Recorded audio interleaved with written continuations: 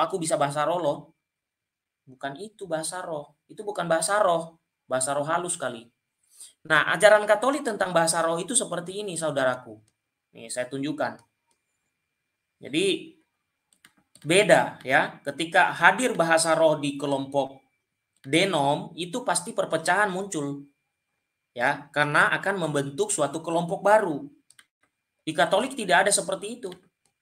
Dan yang terpenting adalah Roh Kudus itu, bahasa roh itu tidak bisa dilegitimasi.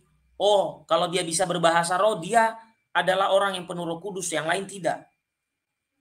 Enggak, dalam kitab suci dikatakan, terutama Rasul Paulus mengajarkan, setiap orang diberikan karunia yang berbeda-beda. Tidak bisa Anda yang punya bahasa roh itu eh, sok-sokan, laga-lagaan bilang, ah kamu nggak ada roh kudusnya.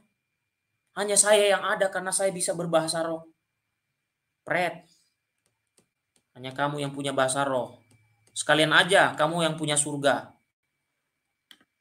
Oke, baik Bapak Ibu, kita lihat Uh, Oke, oke Bapak Ibu, um, sebentar.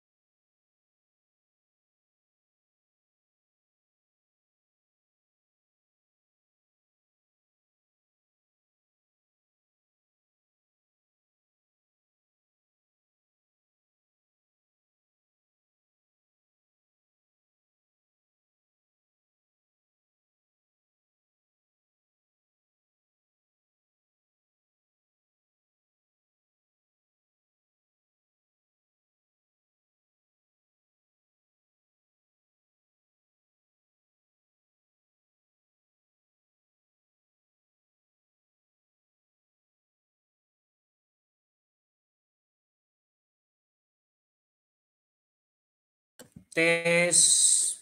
Oke, baik teman-teman. Itulah kalau menghadapi laptop saya error, teman-teman. Mungkin karena terlalu banyak dokumen yang dibuka jadi uh, terganggu ya.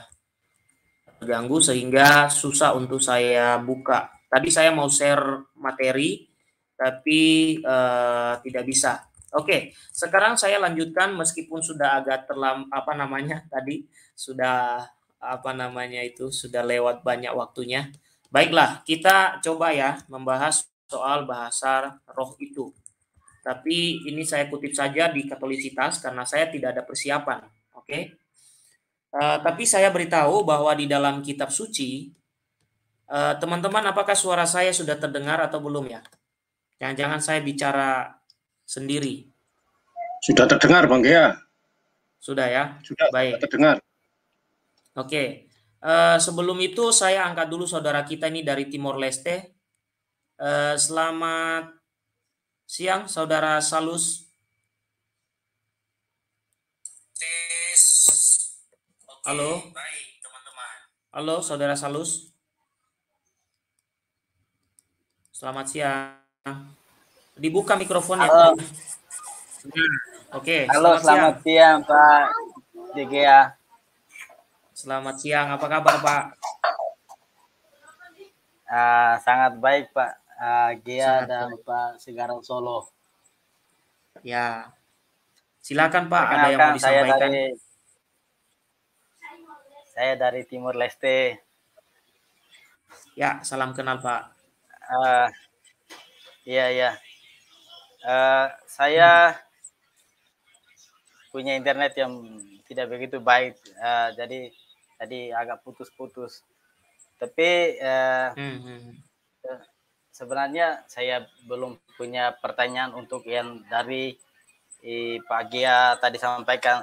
Tapi ada pertanyaan uh, lain yang boleh eh, menjadi satu topik uh, untuk uh, uh, presentasi Pak Gia untuk yang selanjutnya boleh kah? Boleh, boleh, boleh, boleh. Silakan Pak Salus. Ya, ya, ya. Uh, dari uh, Pua, uh, uh, maaf ya, Pua, Pua, Pua. Ini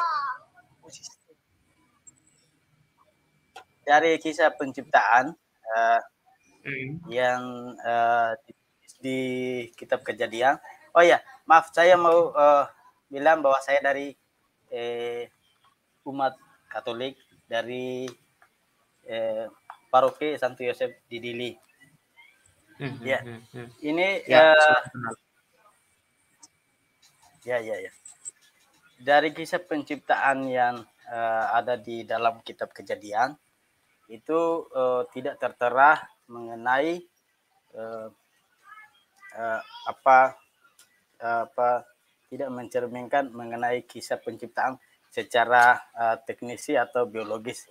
Tetapi uh, di situ uh, mengenai bagaimana uh, umat uh, mulai mengenal uh, uh, apa yang di uh, apa yang diimani mengenai bagaimana uh, kita uh, hidup uh, Eh, dari uh, Bapak pertama yaitu uh, Bapak Adam sampai pada kita. Nah, se, uh, se pertanyaan saya adalah bagaimana uh, kisah penciptaan manusia yang ada di dalam kitab kejadian itu memberi uh, uh, memberi uh, pencerahan atau memberi pemahaman yang dasar kepada uh, uh, umat. Uh, umat di perjanjian lama untuk mengetahui uh, Allah itu sebenarnya dan bagaimana mereka uh, memproteksi atau memfilter dari uh, diri dari ajaran ajaran yang uh, pada waktu itu mulai dari Abraham sampai pada uh, masuknya bangsa Israel di tanah Kanaan yang sekarang Israel itu. Saya kira hanya untuk itu, Pak. Oke, baik. Uh, kita akan bahas pada pertemuan selanjutnya Halo. ya mungkin ya Pak uh, Salus ya. Um, karena untuk membahas itu memang uh, kalau di dipelajari di bagian ini ini untuk perjanjian lama ini kita pelajarinya. Jadi uh, jawaban singkat saya seperti ini. Jawaban singkat saya, uh, tapi ini belum sempurna. Nanti kita mungkin uh, undang Romo untuk menjadi pembicara ataupun uh, untuk men menjelaskan pada kita ya. Uh, karena um, ya mungkin saya bisa iya, jelaskan ya, ya, tetapi ya, ya. tidak tidak tidak semuanya sempurna ataupun tidak akan uh, ya banyak juga yang saya tidak tahu ya. Tidak semuanya saya tahu. Tapi begini uh, kalau kita memandang kitab suci ini memang kita tidak memandangnya yeah, yeah. sebagai buku ilmu pengetahuan. Tapi buku ini adalah buku buku iman. Ya kan? Buku iman di mana di dalamnya termuat pengalaman iman, kisah bersama Allah yeah. dalam karya keselamatan manusia. Jadi bukan buku ilmu pengetahuan uh, yang kita kenal sebagai ilmu pasti ataupun ilmu alam gitu ya. Uh, yeah, jadi yeah. tidak bisa tidak bisa disamakan. Uh, ya.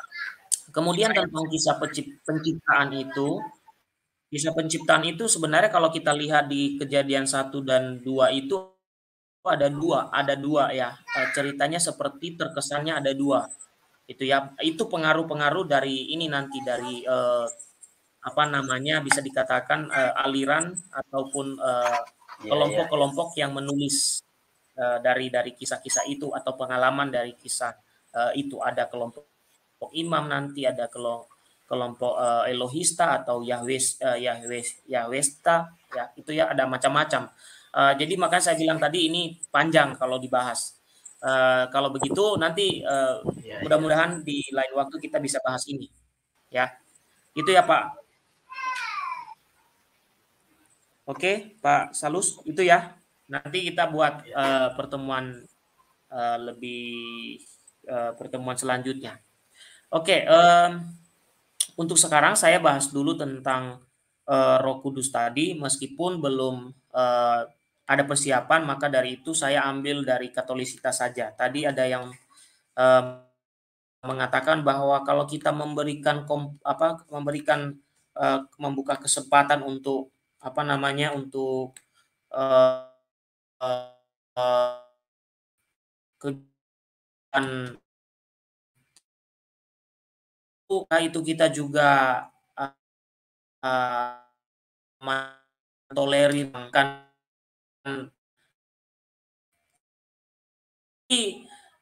uh, bisa kita memahaminya ini Bapak Ibu. Tadi saya sudah sampaikan juga bahwa karunia mengajar dan lain sebagainya, semuanya adalah diberikan untuk persatuan. Itu sebenarnya yang paling konkret dan paling eh, dikatakan itu tujuannya gitu. Bukan eh, kemudian kita membuat aliran baru, eh, kemudian kita sombong-sombong sama orang mengatakan, eh kamu tidak berbahasa roh, saya bisa berbahasa roh, kamu belum penuh dengan roh kudus. Ya, Oke, Nah, itu e, berbeda. Oke. Ada yang memberitahu putus-putus ya. Oke. Mari kita lihat misalnya tentang bahasa roh. Oke, besok-besok yang bertanya masuk ke dalam saja ya supaya saya ya. Oke. E, kalau putus-putus mohon maklum Bapak Ibu, justru malah wifi-nya ini yang putus benaran ini. ini saya pakai data Oke, wifi-nya putus benaran. Oke, kita mulai. tentang ada beberapa tanya jawab tentang bahasa roh. Jawabannya saya ambil dari Katolisitas. Jangan lupa dukung juga channel mereka Bapak Ibu. Dikatakan begini, ya. Uh, penulis mengatakan sepanjang pengetahuan saya memang ya gereja kan dokumen yang mengajarkan mengenai roh ini. Pola ajarkan kudus. Bukan merupakan yang asli bagi kita. Banyak dalam satu penting dari magisterium tentang peran Roh Kudus terdapat dalam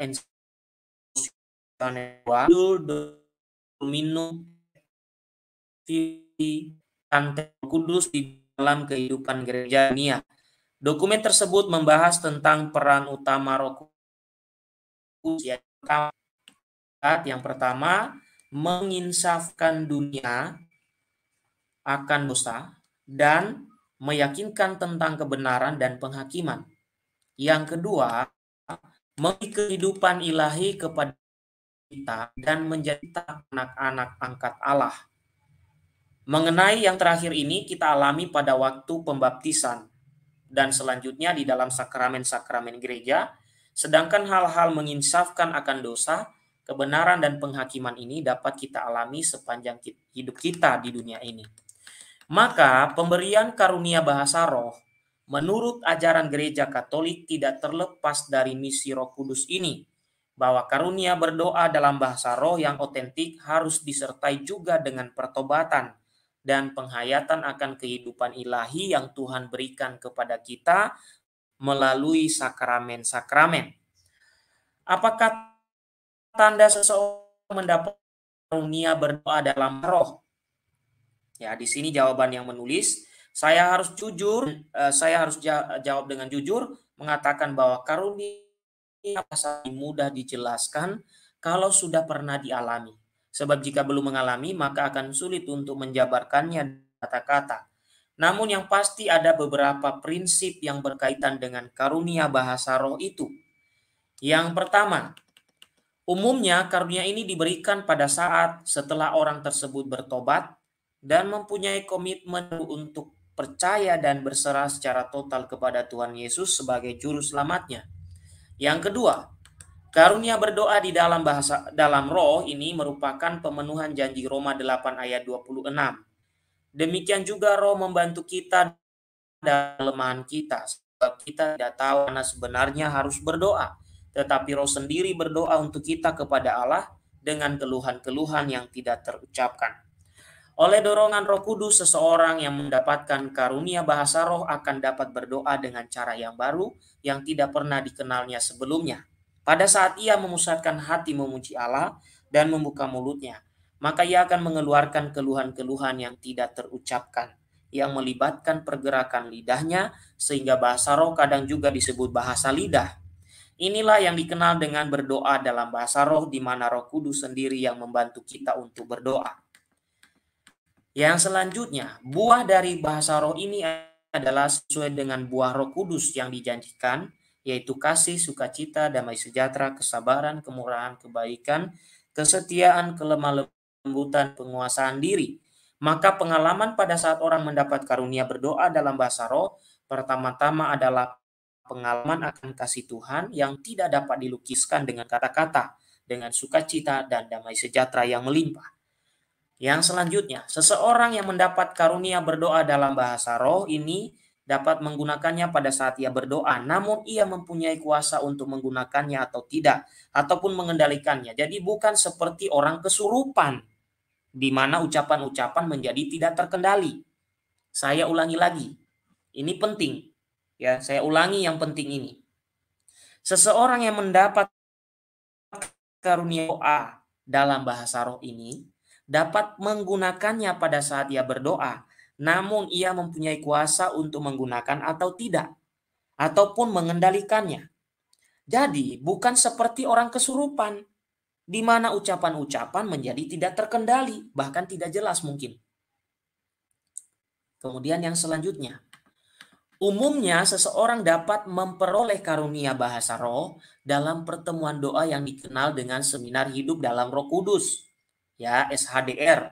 Namun tidak menutup kemungkinan diperolehnya karunia ini dalam doa pribadi, doa rosario, maupun pada saat mendoakan ibadat harian atau brevir, seperti yang pernah dialami oleh Father Raniero Castalamessa, pengkhotbah kepausan di Roma, dan pada saat membaca dan merenungkan kitab suci seperti yang dialami oleh Mother Angelica, pendiri Eternal World Television Network, atau saat berdoa adorasi di hadapan sakramen Maha Kudus, seperti yang dialami oleh beberapa mahasiswa Katolik pertama yang menerima karunia Roh Kudus tersebut dalam Duduensne Weekend di tahun 1967. Ya, Nah, jadi Bapak Ibu eh, tidak sembarangan ya. Oke. Kemudian bagian F. Namun apa pun caranya, akibat yang dialami dari orang yang menerima karunia bahasa roh adalah pengalaman dikasih oleh Allah dan semangat yang luar biasa untuk membalas kasihnya. Kesadaran akan kehadiran Allah dalam hidupnya dan membina hubungan yang pribadi dengannya. Pengalaman rohani ini mendorongnya untuk selalu bertobat dan memperbaiki diri dan melakukannya dengan selanjutnya yang inspirasi untuk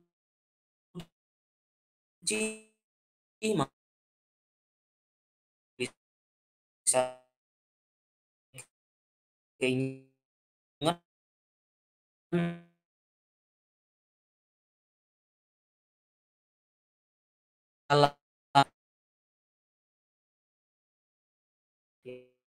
ya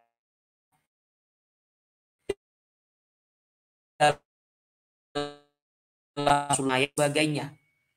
Jadi Bapak Ibu, eh, bahasa roh ini tidak dibatasi dengan perkumpulan, ya, tidak dibatasi dengan uh, suatu komunitas. Kita sudah menerima Roh Kudus kok ketika kita setelah dibaptis.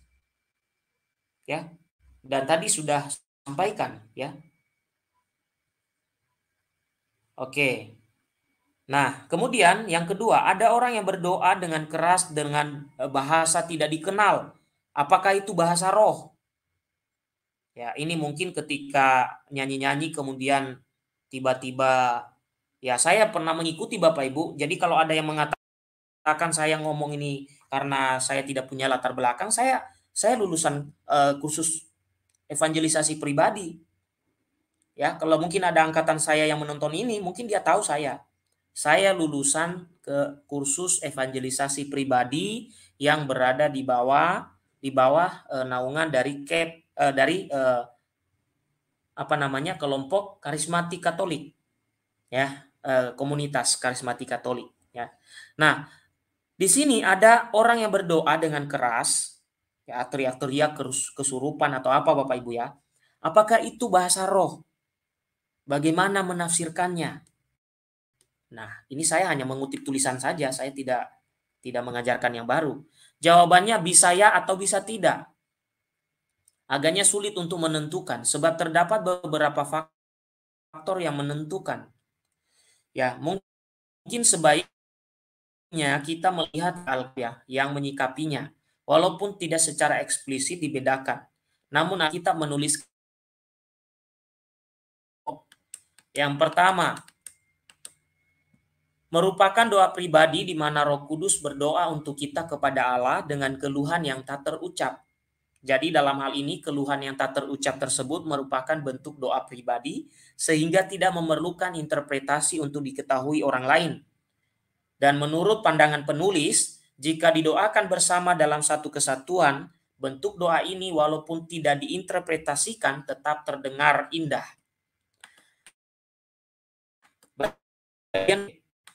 Ya, merupakan perkataan dalam bahasa lain, salah satu bahasa di dunia yang sebelumnya tidak diketahui oleh banyak sang pembicara atau oleh banyak orang. Ya, yang dapat dimengerti oleh yang didengar oleh yang mendengarkannya. Jadi yang dia ucapkan itu dimengerti gitu maksudnya Bapak Ibu. Karena sesuai dengan bahasa yang dipergunakan oleh negara asal pendengar. Itu ya poin B ya Bapak Ibu ya. Jadi yang dia sampaikan dalam bahasa roh itu dimengerti orang. Itu bahasa sederhananya. Kemudian bagian C merupakan perkataan dalam bahasa yang bukan eh, merupakan perkataan dalam bahasa yang bukan merupakan salah satu bahasa di dunia yang diucapkan kepada jemaat sebagai nubuat. Bahasa roh ini memerlukan interpreter ya, entah dari orang yang mengatakannya atau dari orang lain dengan maksud membangun umat. Sebab tanpa interpretasi, maka umat yang hadir tidak mengerti akan apa yang sedang dibicarakan. Untuk maksud inilah Rasul Paulus berkata, dalam pertemuan umat, setidaknya dua atau tiga mengucapkan doa bahasa roh dan dilanjutkan dengan interpretasi. Nah, selama ini sudah ada belum interpretasi dari apa yang selalu didoakan? Oke? Oke. Kemudian, ya, kebanyakan dalam pertemuan doa karismatik Katolik yang umum dilakukan adalah bentuk yang pertama, berdoa pribadi dalam bahasa roh bersama-sama dan tak banyak persekutuan do doa yang juga menyampaikan bentuk doa yang ketiga. Menurut pandangan saya, ya penulis, jika didoakan bersama dalam satu kesatuan harmoni, berdoa bersama dalam bahasa roh ini walaupun tidak diinterpretasikan tetap terdengar indah, terutama jika didukung oleh tim musik. Namun, jika ada orang kemudian mengucapkan dengan keras di hadapan jemaat yang dikenal juga dengan istilah speaker in tongue, berbicara di dalam roh untuk menyampaikan pesan Allah, maka dapat dimengerti bahwa hal ini baru dapat membangun keseluruhan umat jika ada yang menginterpretasikan. Sekarang begini Bapak Ibu ya. Saya katakan, saya lulusan KEP. Saya belajar. Sorry, saya juga pernah ikut ambil bagian dalam PDKK itu. Ya, Persekutuan Doa Karismatik Katolik. Tidak ada pernah saya dengar ada interpreternya menginterpretasikan oh tadi yang diucapkan si B artinya ini, diucapkan si A ini. Tidak pernah ada itu. Ya. Jika tidak ada yang menginterpretasi bahasa roh ini, menurut Rasul Paulus, lebih baik digunakan kata-kata yang dapat dimengerti oleh semua orang untuk membangun iman umat yang hadir. Ya, Pertanyaannya sebenarnya begini, apakah dengan kehadiran bahasa roh itu membuat persatuan semakin erat? Atau justru banyak orang yang sombong rohani? Sombong rohani mengatakan orang lain, ah kamu tidak penuh roh kudus. Aku doang yang ini. Ah kamu nggak bisa, berarti roh kudus nggak ada dalam diri kamu. Nah ini nih, Bapak Ibu, yang sering terjadi dan saya juga alami. Apakah dengan demikian kita mengatakan, oh iya benar kata dia, Enggak demikian. Itu. Ya. Bapak Ibu, jadi kata Rasul Paulus dalam 1 Korintus 14 ayat 19, kalau tidak ada interpreternya ya yang menginterpretasikannya, maka sebaiknya jangan dipakai.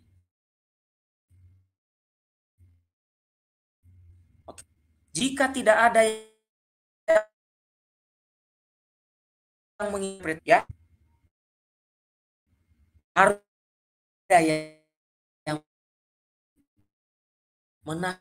menahan juga mendorong agar ibadat bahasa roh ini diadakan dengan tertib. Nah, coba. Coba melihat dalam kegiatan bahasa roh itu tertib atau saling berjatuhan, berantakan ke mana-mana, teriak ke mana-mana, lompat-lompat ke mana-mana, nggak beraturan? Coba, mari kita sejajarkan dengan apa yang dikatakan oleh Rasul Paulus. Dilakukan dengan tertib. Baca 1 Korintus 14 ayat 33 sampai 40. Ada nggak yang tertib yang kamu saksikan saat ini? Mohon maaf kalau saya katakan tidak ada ya Bapak Ibu. Ya. Sorry ya. Sorry. Oke. Karena apa? justru saat ini kelihatannya itu dibuat-buat. Bahasa rohnya dibuat-buat Bapak Ibu. Mungkin tidak semua, tapi dibuat-buat. Ya. Mohon maaf saja. Dibuat-buat, lalu jatuhnya ke mana, jatuhnya ke mana yang lain, teriak-teriak, lompat-lompat, entah apa yang diteriakin. Oke. Nah, maksudnya di sini jangan sampai di pertemuan jemaat orang saling berbicara keras yang melibatkan lebih dari tiga nubuatan dalam bahasa roh, namun tidak ada yang menginterpretasikan. Nah, ini ngeri Bapak Ibu kalau tidak ada yang menginterpretasikan, apalagi tidak mengikuti ajaran Bapak gereja, Bapak apostolik, ajaran magisterium gereja. Lalu ngarang-ngarang setiap orang. Oh iya, itu tadi bahasa dari malaikat apalagi Anda, apalagi saya. Ya. Ngerinya Bapak Ibu kalau tidak ada interpreter, ya nanti menerjemahkannya. Sesuka-suka orang mau ngomong apa. Jadi penafsiran bahasa roh ini bukan suatu ilmu yang bisa dipelajari, namun merupakan karunia Tuhan. Dan setiap orang diberikan karunia yang berbeda-beda. Ingat itu. Jangan katakan kepada Detianus Gea, jangan katakan kepada DGS Official, Faithfully, PTT Sinaga, Kenai Templar, ya kalau dia Cecilia Sura, kalau dia tidak bisa berbahasa roh, jangan katakan kepadanya kamu belum kepenuhan Roh Kudus. Ya, jangan katakan itu. Itu sombong rohani. Oh, kamu perlu dibaptis Roh Kudus. Emang lu siapa? Baptis. Ada yang begitu baik sampai over begitu. Ya. Oh, kamu belum sama belum. Lah, kalau karunianya mengajar, bagaimana coba? Ada memaksa dia karunianya harus karunia ber eh, apa namanya berbahasa roh. Ini yang mengerikan orang akhirnya melegitimasi dirinya karena berbahasa roh aku yang penuh roh. Berarti kelompok lain nggak bisa. Berarti mereka tidak penuh roh kudus. Dia lupa karunia kita itu berbeda-beda. Itu. Ya Bapak Ibu. Ada yang diberikan karunia bernubuat. Ya. Nah, karunia menafsirkan bahasa roh ini dihubungkan dengan karunia bernubuat. Ya. Rasul Paulus berkata, usahakanlah dirimu untuk memperoleh karunia untuk bernubuat dan jangan melarang orang berkata-kata dalam bahasa roh. Tapi ingat Bapak Ibu, jangan dengan berantakan tadi, tertib. Kemudian bisa dimengerti, bisa ditafsirkan, bisa diinterpretasikan. Itu yang menjadi masalah. Tidak ada selama ini saya lihat, mohon maaf ini, mungkin saya keliru, saya tidak pernah melihat di persekutuan doa karismatik Katolik pun tidak ada itu interpreter yang memberitahu apa tadi yang sedang dibicarakan. Nggak ada. Yang ketiga, bagaimana meyakini bahasa roh tersebut berasal dari Allah? Nah, Bapak Ibu, ini yang penting Bapak Ibu. Karena ada orang yang berbahasa roh, kemudian itu malah penyumbang perpecahan terbesar. Ya, penyumbang perpecahan terbesar karena bahasa roh. Ada yang begitu. Terutama di denom ya, bukan di katolik. Nah, Bapak Ibu, coba kita lihat ya, bagaimana meyakininya. Yesus mengajarkan agar kita menilai baik dan buruknya itu dari buahnya. Ya, dari buahnya. Oke, kalau buahnya tidak sesuai berarti bukan bahasa roh itu. Tapi buka, bisa jadi bahasa yang dibuat-buat. Apa itu yang pertama? A. Jika karunia bahasa roh tersebut memberikan pertobatan sejati yang terus-menerus dalam kehidupan orang tersebut. Yang kedua, jika karunia bahasa roh tersebut menghasilkan buah yang baik sesuai penjabaran Alkitab tentang buah-buah roh. Tapi Bapak Ibu, kalau misalnya tiba-tiba ada seseorang di roh kemudian gini ngapain ikut misa? Nggak penting misa itu. Pastornya itu monot penting. Nah bapak ibu dengan saya persekutuan karismatik saja daripada saya datang ke misa ah coba ini sudah beda Ini bukan buah roh lagi. Menolak ekaristi justru. Nah, itu yang perlu kita lihat Bapak Ibu. Kemudian, jika karunia tersebut menjadikan orang tersebut semakin rendah hati untuk bertumbuh di dalam iman dan pengenalan akan Allah, dan untuk menggunakan karunia yang diberikan oleh Roh Kudus itu untuk membangun umat, bukan untuk memecah belah umat. Apalagi sombong. Bagi umat Katolik, sikap rendah hati diwujudkan dalam ketaatan kepada gereja Katolik. Kalau ada kemudian yang muncul tidak taat gereja Katolik dan mengabaikan ajaran puncak dari segala puncak iman Katolik yaitu Ekaristi, bagaimana? Apakah kita mengatakan dia adalah benar berbahasa berbahasa roh? Saya sendiri akan mengatakan itu dibuat-buat sama dia. Bukan bahasa roh itu. Ya. Kemudian berikut adalah pengajaran dalam Lumen Gentium 12. Dikatakan begini, selain itu Roh Kudus juga tidak hanya menyucikan dan membimbing umat Allah, melalui sakramen-sakramen serta pelayanan-pelayanan dan menghias menghiasnya dengan keutamaan-keutamaan saja melainkan ia juga membagi-bagikan kurnia-kurnianya kepada masing-masing menurut kehendaknya. Di kalangan umat Katolik dari segala lapisan ia membagi-bagikan rahmat istimewa pula yang menjadikan mereka cakap dan bersedia untuk menerima pelbagai karya atau utusan yang berguna untuk membaharui gereja serta meneruskan pembangunannya menurut ayat berikut ini. Kepada setiap orang dianugerahi pernyataan roh demi kepentingan bersama. Ingat Bapak Ibu, demi kepentingan bersama, bukan demi kepentinganku. Sehingga aku dikenal sebagai orang yang bisa berbahasa roh. Sila bla bla bla bla bla. Lalu aku dipuji. Lalu aku buat dirikan aliran baru. Nah, itu Bapak Ibu keliru. Demi kesatuan ya demi kesatuan. Oke, karisma itu entah yang amat menyolok, entah yang lebih sederhana dan tersebar luas, sangat sesuai dan berguna untuk menanggapi kebutuhan-kebutuhan gereja. Maka hendaknya diterima dengan rasa syukur dan gembira. Nah, Bapak Ibu, ini perlu diingat. Namun, kurnia itu saja Jangan pula terlalu banyak hasil yang adanya untuk karya kerasulan. Adapun keputusan tentang tulennya karisma-karisma itu, begitu pula tentang penggunaannya yang sepantasnya, termasuk wewenang mereka yang bertugas memimpin dalam gereja. Terutama mereka itulah yang berfungsi, bukan untuk memadamkan roh, untuk menguji segala tanya dan mempertahankan apa yang baik. Bagian D. Selanjutnya untuk memeriksa keotentikan karunia nubuat ialah nubuat itu harus sesuai dengan Alkitab dan yang diajarkan oleh gereja Katolik. Sebab Roh Kudus tidak mungkin mengajarkan sesuatu yang bertentangan dengan apa yang sudah pernah diwahyukannya kepada gereja.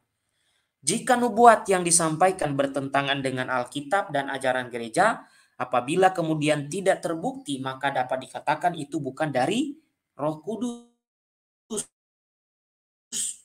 keempat. Dari poin 1 sampai 3 di atas, maka saya telah menyampaikan secara ringkas bagaimana bahasa roh itu. Sekarang kita lihat tulisan Romo yang menanggapi juga di dalam majalah hidup. Ya, ditanggapi oleh Romo Petrus Mariahan. Mari kita berikan uh, perbandingan saja Bapak Ibu ya. Ini adalah Bahasa roh apakah itu? Oke, itu judulnya. Ya. Bahasa roh apakah itu? Oke. Nah, mari kita lihat. Uh, lanjut di sini. Sampai di sini ada yang bertanya, apakah yang dimaksud dengan bahasa roh? Apakah pasaran bisnya? Mengapa bahasa roh tidak digunakan dalam gereja Katolik yang umum dan hanya digunakan dalam kelompok karismatik Katolik. Mari kita lihat penjelasan dari Romo Maria Handoko CM. Di sini dijawab pertama, bahasa roh terjemahan dari glosa lalia yang berasal dari kata Yunani. Glosa berarti lidah dan lalo berarti cara. Secara harafiah artinya adalah bahasa lidah. Gejala ini dikata ialah gumaman atau rangkaian kata yang muncul keluar tanpa arti yang jelas dan tak dapat dimengerti. Gejala seperti bahasa roh terjadi juga dalam agama lain. Yang kedua, dasar biblis dari bahasa roh bisa ditemukan dalam surat Paulus, yaitu Paulus memandang bahasa roh secara sebagai anugerah roh kudus dalam 1 Korintus 12 ayat 8 sampai 10, 28 sampai 30. Dalam kisah para rasul, bahasa roh itu muncul tiga kali dan setiap kali dikaitkan dengan pencurahan roh kudus. Menarik dicermati bahwa sesudah 1 Korintus, bahasa roh tak pernah disebutkan lagi, juga dalam surat Petrus, Yohanes, dan Yakobus, bahkan dalam Roma dan Efesus yang memberikan daftar karunia roh atau bahasa roh yang disebutkan atau bahasa roh tadi tak disebutkan lagi. Uraian tentang bahasa roh dapat ditemukan dalam 1 Korintus 14 dan menurut Rasul Paulus, bahasa roh adalah berkata-kata kepada Allah bukan kepada manusia. Karena dorongan roh, seorang mengucapkan hal-hal yang rahasia dan tak ada seorang pun yang mengerti. Orang yang berbahasa roh membangun dirinya sendiri. Bahasa roh adalah doa yang dilakukan oleh roh dan pengucapan syukur. Rasul Paulus meminta agar jangan melarang orang yang berkata-kata dengan bahasa roh. Tetapi dia sendiri berharap agar semua berkata-kata dengan bahasa roh. Dan Rasul Paulus berkata, berkata-kata dalam bahasa roh lebih daripada kamu semua. Nah, Bapak Ibu, ini perlu ditanggapi lebih serius lagi. Namun, Bapak Ibu, Rasul Paulus mengingatkan bahasa roh perlu disertai karunia untuk menafsirkan. Maka dalam pertemuan umat hendaknya digunakan bahasa roh yang dimengerti, bukan bahasa roh ya. Menggunakan bahasa yang dimengerti Bapak Ibu dalam pertemuan bukan bahasa roh. Ya, jadi ketika pertemuan ya gunakan bahasa yang dimengerti, bukan bahasa roh. Nah, karunia bahasa roh adalah tanda bagi orang yang belum beriman. Nah, ingat Bapak Ibu, karunia bahasa roh adalah tanda bagi orang yang belum beriman dan bukan untuk orang yang sudah beriman. Sekarang saya tanya, sekarang yang Anda saksikan sekarang ini yang berbahasa roh itu sudah beriman atau belum? Kalau sudah beriman, lalu mengapa mereka masih berbahasa roh? Ya, ini ayatnya jelas ya ditunjukkan terutama kutipan tulisan uh, uh, dari surat Rasul Paulus ayat 22 ya dari 1 Korintus 14 karunia bahasa roh adalah tanda bagi orang yang belum beriman dan bukan untuk orang yang sudah beriman maka dalam pertemuan jemaat dengan syarat jika tidak ada eh, jika ada yang menafsirkan barulah bahasa roh boleh digunakan. Bahasa roh tak dilakukan bersama-sama dalam kelompok, tetapi seorang demi seorang secara bergantian dan maksimal tiga orang. Ayat 27-28. Seruan Paulus ini membuat kita mengerti alasan gereja Katolik yang umum tidak menggunakan bahasa roh. Itu alasannya Bapak Ibu. Karunia bahasa roh itu untuk yang belum beriman. Untuk yang sudah beriman, boleh berbahasa roh, tapi ada syaratnya. Paling tiga, paling tidak maksimalnya tiga orang bergantian. Lalu ada interpreter. Oke, Kemudian yang ketiga, menurut Romo Petrus Maria Handoko, ketiga, tuan doa karismatik, bahasa roh itu marak digunakan. Seringkali bahasa roh dilihat sebagai tanda khas gerakan karismatik. Sangat mungkin bahasa roh membantu seseorang menyembah Tuhan, memuji Tuhan, dan bersyukur untuk menumbuhkan iman maka bahasa roh merupakan suatu cara berdoa. Ya. Oke, perlu diingat ya, Roh Kudus membagikan karunia sesuai kehendaknya. Tidak semua orang menerima karunia yang sama. Meskipun Rasul Paulus mengharapkan semua orang berbahasa roh, tetapi ia sadar bahwa Roh Kudus memberikan karunia yang berbeda-beda kepada setiap orang. Maka tak mungkin disimpulkan bahwa bahasa roh adalah tolok ukur keberhasilan doa atau satu-satunya bukti terjadinya pencurahan Roh Kudus atau bahkan bukti kesucian. Tak ada rujukan tentang bahasa roh dalam surat-surat pastoral yang lain menjadi bukti atas hal ini. Tulisan para bapak gereja juga mendukung kesimpulan ini, yaitu kesimpulan tadi Bapak Ibu, bahwa bahasa roh itu bukan tolok ukur keberhasilan doa. Ingat itu. Yang keempat, janganlah percaya akan setiap roh. Tetapi ujilah roh-roh itu apakah mereka berasal dari Allah. Gejala bahasa roh bisa berasal dari roh kudus, tetapi bisa juga dari roh jahat. Selain itu, terdapat faktor manusia yang bisa memalsukannya. Ya. Berpura-pura memperoleh bahasa roh padahal bukan. Maka menguji roh ini berarti juga mau terbuka menyimak masukan psikologis maupun pengamatan dari agama lain. Ya.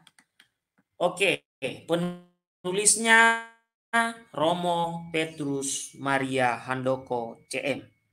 Nah, Bapak Ibu Saudara-saudari, saya kira penjelasan itu saja sudah cukup untuk menjawab apa yang ditanya tadi. Apa yang ditanyakan. Sekarang saya berikan kesempatan untuk Bapak Segaran Solo dan Apostolik TV selanjutnya. Silakan TikTokan. Silakan Pak Apostolik TV dan uh, Pak Segaran. Uh, Bang Gia, kalau di Alkitab kalau di Alkitab coba buka 1 Korintus 14 ayat 2, 22 sampai 23. Saya bacakan ya. ya. Tadi saya sudah ya, silakan. Mm -mm. Karena itu karunia basaro adalah tanda bukan untuk orang yang beriman, tetapi untuk orang yang tidak beriman. Sedangkan karunia untuk bernubuat adalah tanda bukan untuk orang yang tidak beriman tetapi untuk orang yang tidak beriman itu yang anu ayat uh, sekarang ke-23 jadi kalau seluruh jemaat berkumpul bersama-sama dan tiap-tiap orang berkata-kata dengan bahasa roh lalu masuklah orang luar atau orang yang tidak beriman tidaklah akan mereka katakan bahwa bahwa kamu gila gitu loh. Itu kan jelas sebetulnya. Jangan semuanya kan. Kalau dari orang luar ya nanti nyebutnya gila kita gitu saya selalu berpegangan ya. pada dua ayat ini soalnya. Ya. Itu Memang, itu itu yang Pak Segaran benar itu. Ya yang itu yang ayat 23 itu jelas dikatakan hmm. iya ini dari 1 Korintus 22 sampai 23 1 Korintus pasal 14 ayat 23 22 sampai 23. Ya. Kan jelas di situ okay. dikatakan. Saya coba tunjukkan ya ayatnya ya Pak ya, sebentar. Ya. Supaya tidak ada yang berkata nanti ini dibuat-buat. Betul. Ya, oke. Okay. Baik. Ini bukan untuk untuk kita menyudutkan teman-teman kita yang berbahasa roh, tetapi kita menunjukkan ajaran yang sesungguhnya itu seperti apa. Betul, betul. Oke. Sudah, Pak. Di layar sudah ada ayat 22. Ya, itu. Karena itu karunia bahasa roh adalah tanda bukan untuk orang yang beriman, tetapi untuk orang yang tidak beriman. Sedangkan karunia untuk bernubuat adalah tanda bukan untuk orang yang tidak beriman, tetapi untuk orang yang beriman. Coba yang 23, Pak. Uh, Pak Gea, yang 23, yang 23 naikin. Nah, ini. Jadi kalau seluruh jemaat berkumpul bersama-sama dan tiap-tiap orang berkata-kata dengan bahasa roh, lalu masuklah orang-orang luar atau orang-orang yang tidak beriman, tidakkah akan mereka katakan bahwa kamu gila? Itu.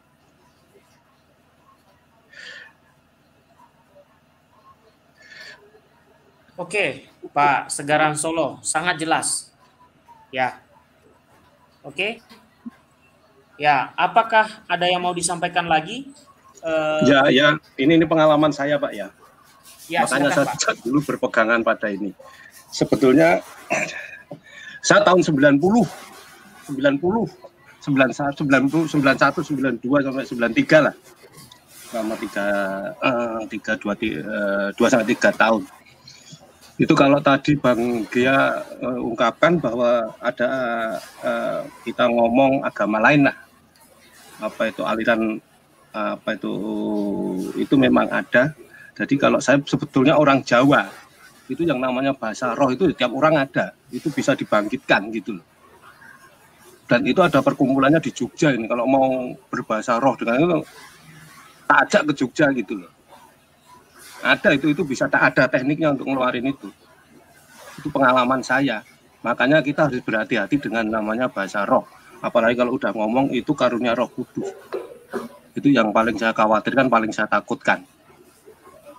Itu karena setiap orang punya roh dan itu bisa dibangkitkan itu. Ada tekniknya caranya. Saya 99 jadi 2 3 tahun lah saya ngikutin itu itu ada tekniknya itu di Jogja ada itu. Coba teman-teman yang di live itu kalau di Jogja carilah perkumpulannya itu ada itu. Nah itu itu yang saya takutkan sampai tua ini karena saya tahu itu. Begitu. Jadi Basaro ini Basaro ini seperti sekolah berarti jadinya kursus iya. Basaro ya sekarang. Iya. Iya karena karena kalau kalau di Jogja mereka berkata bahwa setiap manusia itu ada rohnya Nah, bagaimana caranya untuk itu? Gitu. Nah, ah. yang jadi permasalahan kalau kita ngaku-ngaku itu dari Roh Kudus, waduh, Roh Kudus kok gampang amat gitu loh. Ya, bisa dikendalikan oleh manusia jadinya Pak. Iya, kalau kalau kalau Roh Kudus ya ya ya susah gitu loh. Roh Kudus itu kan begitu mahalnya kan gitu. Itu aja kalau ya. saya pendapat saya seperti itu. Boleh dibuktikan kalau tak antar ke tempatnya gitu. Loh ada itu. Saya saya jadinya pengen pak. Lah bener. Kalau bang Gia di Jakarta bang Gia di mana? Di Jakarta? Ya. Nah sama. Udah nanti ketemu saya gak bagaimana cara tak ajarin itu. Sama Jakarta semua kita bertiga. Ayo tak ajarin juga itu teknik tangan saya masih inget inget dikit lah. Itu cuma di belakang digedor-gedor aja. Nanti membrannya kan bergetar itu Hmm. Itu. Iya. Iya. Iya, Pak. Kalau mau itu ayo ke Jakarta. Kalau di Jakarta ketemu di mana tak duduk duduk gitu tak keluar. Tak sekolahin ya. Iya. Ini pengajar roh. itu sebetulnya logik aja pak nggak ada nggak ada unsur-unsur apa itu setan demit ya ada itu hmm. iya itu jadi itu makanya berpegang pada tadi. Pak tadi protes bukan Korintus tapi Korintus gitu loh. Sama siapa ini Pak siapa ini? Namanya orang Jawa kan susah. Jadi berpegang pada ayat yang ke-23. Pasal 14 ayat 23 udah pegang itu udah. Iya itu itu itu itu yang tadi kan bang ya ada ayat yang maksimal tiga orang. Lah kalau semuanya lebih dari tiga ya lagi ayat yang dua tiga tadi. Udah ketemunya di situ. Ya itu aja kan udah ada syarat di atas. Nah ini jadinya kan. Resultnya yang tadi yang dua tiga. Udah. Hmm. terima kasih bang ya. Oke, silakan saudara Apostolik TV. Sepertinya mau sekolah bahasa roh kayaknya. Waduh, ngapain? Silakan, brother. Ah, Ada yang jadi, mau ditanggapi? Jadi saya gini aja, semua saya lihat dari buahnya aja ya. Dasar itu dia bahasa Arab itu dari mana gitu aja dasarnya gitu. Kan ya kalau dasar dari pemberontak ya nggak mungkin bener lah itu gitu. Ya buktinya tadi saya lihat di Alkitab juga ya kan. Ternyata bahasa roh itu orang berbahasa itu ternyata orang yang belum beriman gitu. Ya lucu juga ya, kasihan juga mereka gitu mereka udah berasa mereka beriman ternyata belum gitu. Dan itu juga bukan roh dari Tuhan ya bukan roh kudus ya bukan. Itu roh apa nggak tahu ya. Roh apa gitu. Apa itu roh setan kita nggak tahu. Soalnya bahasanya begitu dan kita lihat juga ketika ada bahasa juga ada yang serupan gitu gitu. Serupan emang dari roh kudus ya enggak lah gitu. Nah jadi intinya kita lihat dulu dasarnya itu dari mana sih kok ada ajaran seperti itu gitu ajarannya ya itu dari si dari pemberontak itu terus pecah-pecahan-pecahannya lagi gitu makanya ada seperti itu jadi kalau Tuhan Yesus mah ngajarin muridnya mah nggak sulit-sulit gitu loh. Kita lihat aja dari buahnya. Begitu aja buahnya. Kita lihat dari pohonnya itu loh. Kenapa kok bisa ada ini gitu. Nah gitu dulu Bang Ge. Kita sambut Saudara Michael, silakan Mikael menyampaikan sesuatu. Silakan dibuka mikrofonnya. Sambut Saudara Michael, silakan Mikael menyampaikan sesuatu. Ya, terima kasih. Silakan dibuka mikrofonnya. Sambut Saudara Michael, silakan Mikael. Itu dimat itu dimatikan dulu Pak ininya. E, kalau ada YouTube di situ dimatikan dulu. Kembali kembali. Atau di mute Pak. Mikael itu dimat itu dimatikan dulu pak ininya. E, kalau ada YouTube di situ dimatikan dulu. Kembali kembali. Atau di mute pak.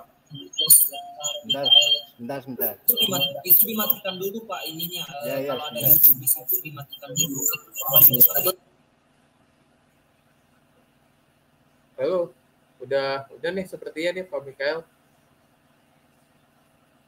Oh mungkin oh, tadi salah pencet salah pencet. Oke. Okay saya berharap beliau yang tadi komentar di di chat itu supaya kita ngobrol gitu. Ya kan? Iya. Tapi kalau okay. saya berharapnya saya berharap Piong masuk sini gitu Pak mm -hmm. ya. Kita tunggu sini. lagi. Ya kita tunggu lagi. Oke. Okay, jadi eh, tadi apa yang sudah saya jelaskan Bapak Ibu. Jadi eh, terkait ajaran Katolik tentang bahasa roh ini sangat hati-hati ya sangat hati-hati karena apa?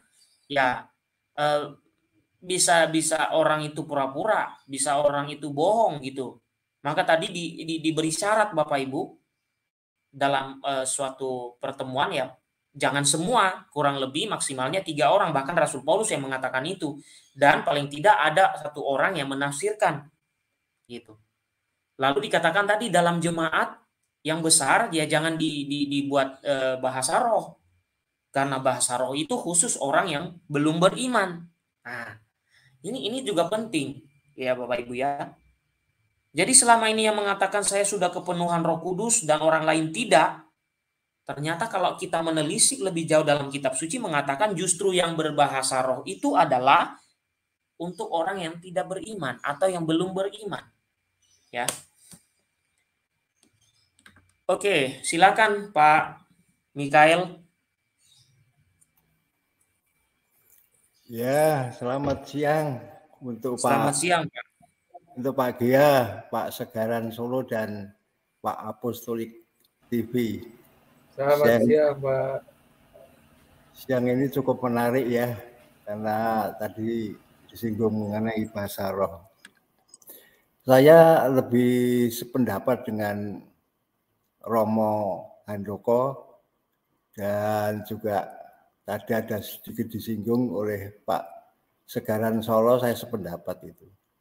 Saya sendiri termasuk awam Katolik ya, masih banyak sekali belajar gitu.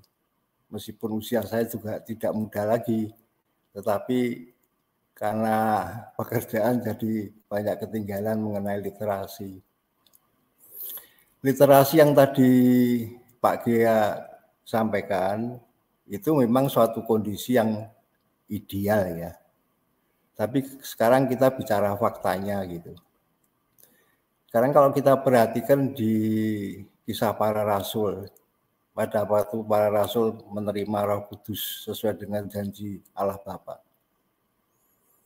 Itu kondisinya normal saja itu. Artinya apa? Ya tidak tidak apa namanya kejang-kejang, tidak tidak ada reaksi fisik yang yang aneh-aneh lah. Lalu kemudian juga mengeluarkan bahasa yang jelas gitu. sehingga didengar oleh banyak orang di situ. Kalau toh misalnya tidak jelas pun tadi sudah dikatakan harus ada yang penerjemahnya. Gitu. Nah yang yang perlu di di apa namanya diperhatikan itu dalam faktanya yang sekarang itu banyak kalau kita lihat di beberapa channel YouTube ya itu kemudian orangnya kejang-kejang ya. kemudian memakai bahasa yang tidak jelas ya tetapi kita bisa mendengar contohnya misalnya di situ disebutkan siki raba-raba Eh, beberapa waktu yang lalu pernah ditampilkan di Damai Kasih channel ya. Literasi sumbangan dari kawan kita Pak RT itu bahasa 101 bahasa yang diucapkan di dalam bahasa roh yang yang terjadi pada saat ini itu kok ternyata dari bahasa Sulu ya. Jadi contohnya misalnya sikira berapa itu artinya Yesus tidak benar.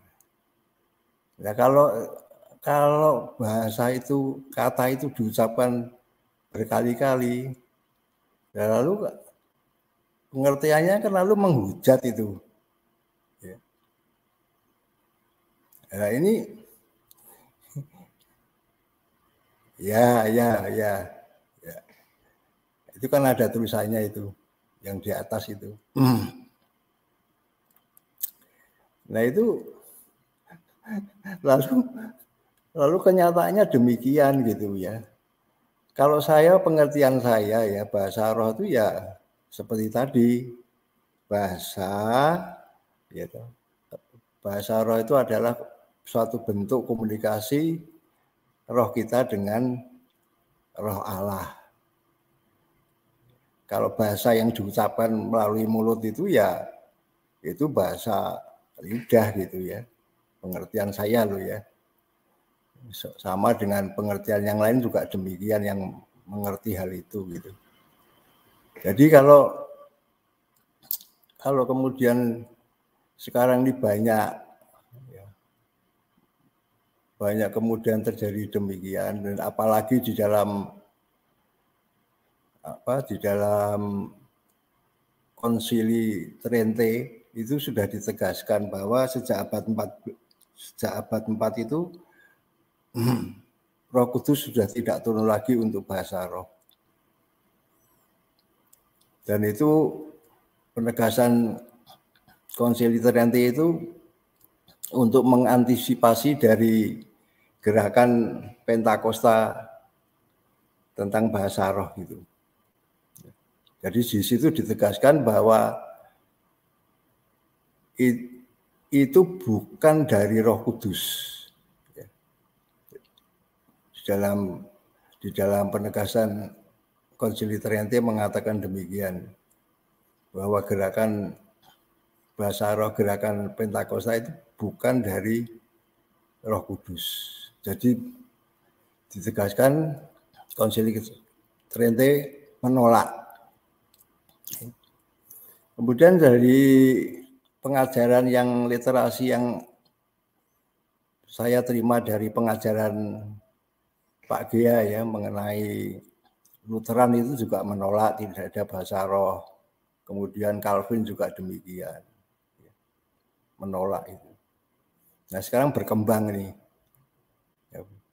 di diakomodir oleh juga di dalam gereja kita gereja Katolik. Nah ini memang idealnya apa yang dikatakan oleh Romo Handoko, tetapi akan sangat-sangat sulit ya. Akan sangat sulit. Meskipun tadi dikatakan yang kita lihat buahnya, tetapi itu tidak mudah gitu siapa yang masuk itu tidak mudah itu. Ya. Nah, kalau sudah kemasukan dulu, persoalannya lalu jadi rumit gitu. Kalau sudah masuk itu kalau sudah nempel kan tidak mudah untuk keluar gitu. Si roh tadi yang tidak tahu dari mana asalnya itu. Ya. Jadi belum belum nganu nih, belum cerita buahnya ini. Ya. Kalau sudah masuk, sudah kalau orang Jawa bilang naik wes kadung masuk gitu terus gimana gitu. Seperti tadi yang disinggung oleh Pak Segaran Solo itu ada sekolahnya itu. Nah kalau yang masuk itu misalnya yang tidak jelas gitu, nah, itu itu kan berbahaya sekali gitu.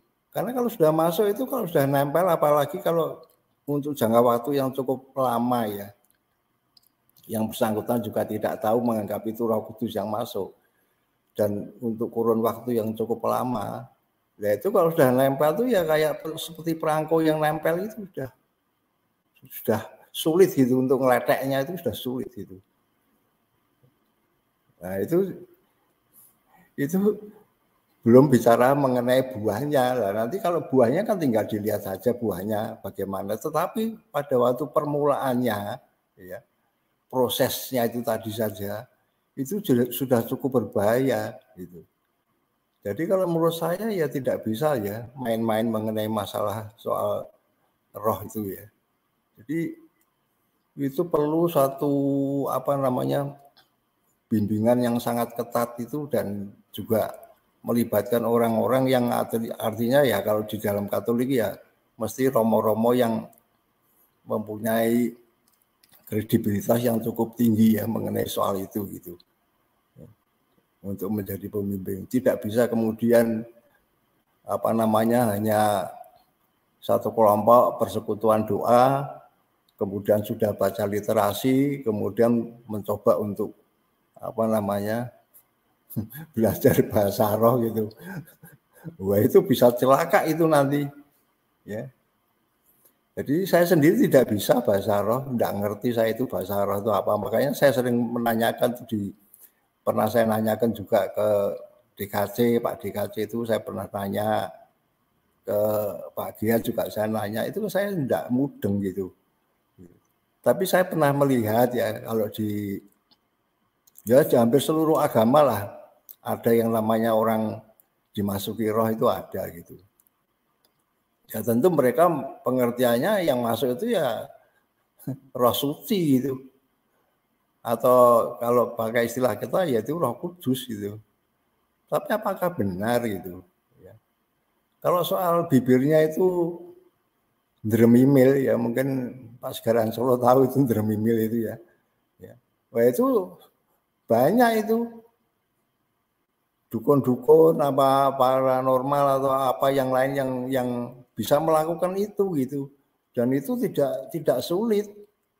Persis yang dikatakan Pak Segaran Solo untuk memasukkan roh itu tidak sulit gitu. Bukan persoalan yang sulit gitu mungkin juga butuh waktu yang panjang-panjang gitu ya. Mungkin cuma beberapa kali pertemuan saja mungkin sudah sudah bisa terjadi bisa satu atau dua kali pertemuan bisa terjadi itu. Nah ini ini cukup berbahaya ya. Kemudian di karismatik katolik kalau saya pernah melihat channelnya karismatik katolik itu tentang berdoa itu persekutuan doanya itu. Saya perhatikan gitu. Waktu berdoa lalu diselingi dengan nyanyian puji-pujian. Lalu kemudian berdoa lagi nyanyian puji-pujian. Jadi pra perahnya itu nyanyian-nyanyian dulu ya. Nyanyi-nyanyi dulu puji-pujian kemudian berdoa kemudian juga kemudian diakhiri dengan nyanyian puji-pujian itu. Tapi waktu berdoa itu apa namanya? Saya perhatikan tuh tangannya diangkat gitu ya. Nah, kalau kita itu berdoa, tentu yang namanya fisik itu kan berdoa itu kan roh kita ya yang berdoa gitu ya artinya roh kita yang berkomunikasi dengan Tuhan ya. Jadi tidak kemudian ada suatu gerakan di dalam apa namanya di dalam fisik kita gitu. Agar supaya kita lebih nyaman lebih tenang lah gitu. Tapi kalau itu pakai tangannya harus dia ke atas begitu nah tangannya ini kan juga perlu perlu ada energi yang untuk mengangkat tangannya ke atas gitu. Nah itu apakah pertanyaan saya apakah tidak mengganggu di dalam doa gitu ya Ya, ya mungkin kalau sudah biasa mungkin ya tidak ya mungkin tidak mengganggu ya. Saya tidak mengerti itu mesti tanya kepada orang karismatik gitu. Karena saya belum pernah ketemu sama orang karismatik gitu. Mungkin sudah biasa kalau berdoa tangannya ke atas mungkin ya mungkin tidak mengganggu gitu ya. Mungkin itu mungkin bisa saja gitu. Tapi pengertian saya itu ya harusnya kita itu fisik kita itu tidak tidak menjadi hambatan lah gitu loh. Itu saja dulu Pak Gia komentar saya. Silakan. Oke. Oke, terima kasih. Ya, terima kasih Pak Mikael sudah uh, menyampaikan statement juga terkait um, fenomena uh, bahasa roh ini. Uh, kemudian sebelum saya berikan kepada bapak-bapak yang lain, jadi begini, kalau bicara pengalaman, saya juga pernah uh, mengikuti hal serupa ini. Saya mau mengatakan begini, kalau seseorang setelah mengikuti uh, kegiatan atau kelompok ini, ya, itu uh, apa namanya berubah gitu ya terhadap uh, pahamnya terhadap uh, uh, gereja Katolik ya itu perlu dipertanyakan. Berubah misalnya soal sakramen. Tidak lagi pergi untuk mengikuti sakramen ekaristi. Kemudian menganggap ah apa itu pengajaran dari Romo? Membosankan. Nah itu artinya dia menekan dari magisterium yang disampaikan melalui Romo. Kemudian dia mengatakan lagi ya misalnya uh, mengatakan uh, untuk apa kita hormati sakramen Maha Kudus? Ya atau di depannya ada sakramen Maha Kudus malah di belakangi dan di, tidak ada penghormatan sama sekali. Nah ini kan uh, akan lucu dan akan aneh itu ya uh, mengaku sebagai karismatik Katolik tapi mentalnya bukan mental orang Katolik. Sudah jauh berbeda. Ada suatu kejadian memang waktu waktu waktu uh, perayaan Paskah ya beberapa tahun yang lalu, kelompok ini dimarahi oleh seorang romo ya. Karena mereka uh, di situ ada sakramen Maha Kudus, malah mereka joget-joget di depannya. Gitu. Joget-joget membelakangi lagi Artinya kan sudah sudah tidak ada lagi pemahaman yang benar tentang ajaran Katolik. Justru menyimpang jauh. Ya.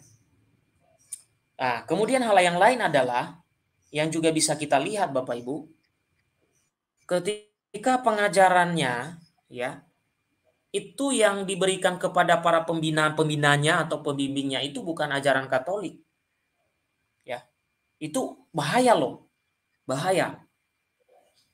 Karena apa? Misalnya, kan setahu saya ketika saya mengikuti kursus evangelisasi pribadi, kan mereka punya sekolah. Oke. Nah, kalau di sekolahnya itu sama dengan yang non Katolik yang diajarkan gitu ya. Bahannya itu bukan uh, dari dokumen gereja, bukan dari apa namanya uh, sesuai ajaran magisterium gereja, nah, itu akan membingungkan banyak banyak orang itu loh. Maka jangan heran nanti kalau bermunculan orang-orang yang merusak gereja Katolik itu bukan dari luar tapi dari dalam. Membangun opini-opini, membangun interpretasi-interpretasi dan juga ajaran-ajaran baru seperti yang saya sudah sampaikan tadi.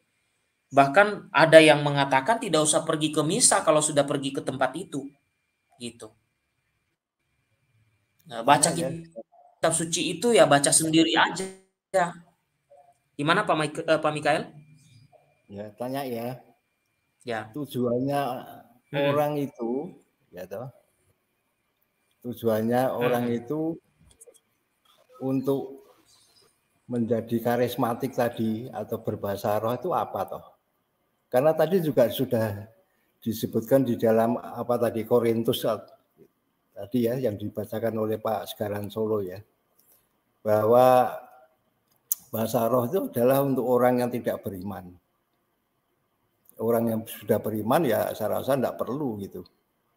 Nah, lalu sekarang kalau orang ingin kemudian belajar itu, ya padahal kalau sudah dibaptis di dalam Katolik kalau sudah dibaptis itu kan sudah sudah ada Roh Kudusnya. Lalu tujuannya untuk apa gitu? Perlunya itu untuk apa gitu loh maksud saya. Karena kan antara antara apa namanya? manfaatnya sama mudaratnya artinya manfaatnya sama risikonya itu kan lebih besar risikonya gitu. Kalau yang yang yang masuk itu kemudian ternyata bukan Roh Kudus gimana gitu. Karena kalau sudah dibaptis kan sebenarnya sudah gitu loh. Apalagi sudah ada penguatan dengan sakramen krisma gitu. Lalu untuk apa gitu harus belajar itu gitu loh maksud saya gitu. Kan sudah tidak diperlukan. Apa kepengen tadi seperti disinggung ya. oleh Pak Gia supaya ber apa namanya berganti tempat dari penumpang ekonomi menjadi penumpang bisnis apa demikian? Silakan Pak. Nah, sebelum pada bergabung putus-putus Pak. Tadi juga putus-putus. Oke. Suara Anda putus-putus.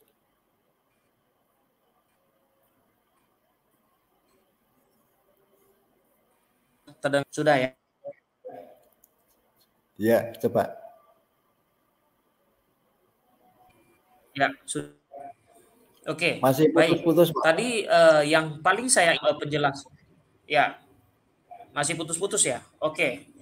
Baik, sebentar uh, uh, Pak, saya coba cek uh, sinyal saya sudah sudah bisa belum ini wifi-nya. Sebentar ya. Saya saya tambahin Pak Pak Mikael. Jelas, ya. Sudah bagus, Pak. Sudah jelas. Itu saya itu. Saya sekarang Solo, Bang Dia baru ngecek dan koneksinya. Oke, Jadi gini Pak Mikael ya. Uh, apa itu kita harus berhati-hati ya yang dengan namanya Roh Kudus ya. Itu kan hal yang bukan main-main, Pak. Dalam artian apa itu harus benar-benar ada yang mendampingi kan para klerus-klerus yang tahu benar gitu loh satu itu. Kedua saya mau susah juga ya mereka itu ya. Jadi gini pak intinya mereka itu ingin ingin terlihat supaya lebih daripada yang kayak kita kita ini. Karena merasa ada apa itu punya karunia lebih gitu loh. Nah, ya, yang jadi pertanyaan untuk membuktikan itu roh kudus atau bukan tuh gimana caranya Nah, ya enggak ada caranya. Nah, satu itu. Kedua, kita selalu beranggapan bahwa kalau sudah di gereja terus membaca kitab suci setan demit jin itu udah lari. Ya padahal ya enggak juga. Bang Yesus saja digoda sama namanya apa tuh iblis. Gitu loh. Itu sekelas Yesus gitu oh, di gereja bagaimana aja, dengan kita di gereja aja setan juga keliaran kok. Nah banyak pak setan itu ada yang kelihatan sama nggak kelihatan. Nah, yang kepalanya hitam ya banyak itu di gereja. Ya, iya. Yang nggak kelihatan juga banyak. Nah makanya yang namanya ya susah. Makanya pertanyaannya untuk membuktikan itu karunia dari Roh Kudus benar sama tidak itu pak ukurannya apa? Sebenarnya ukurannya gampang sih pak. Ya. Ukurannya gampang Ukurannya apa, Pak? Jadi kalau uh, untuk membedakan nabi palsu dan nabi asli itu gimana Pak? Ingat gak Pak? Bukan secara nyata aja Mas. Iya secara nyata, secara nyata. Memang nah, uh, gimana? Gimana menurut Bapak? Saya nggak tahu dalam, soalnya. Di, di dalam Matius 7 boleh di-share Bro ya?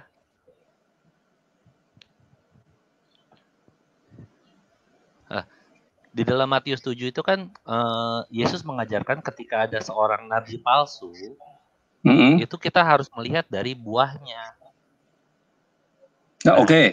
Ya, okay, dari buahnya setuju. ya. Betul, Betul. dong. Nah, ya, jadi, sekarang pertanyaannya gini, Pak. Nah, hmm. buahnya itu kapan terjadinya, gitu loh. Nah, atau gitu. saat itu atau uh, yang jadi pertanyaan di situ kita bertanya lebih lanjut. Iya. Ya, buahnya kan? ada buahnya itu bisa kelihatan langsung, bisa kelihatan tidak langsung. Gini. Jadi gimana buahnya, contohnya?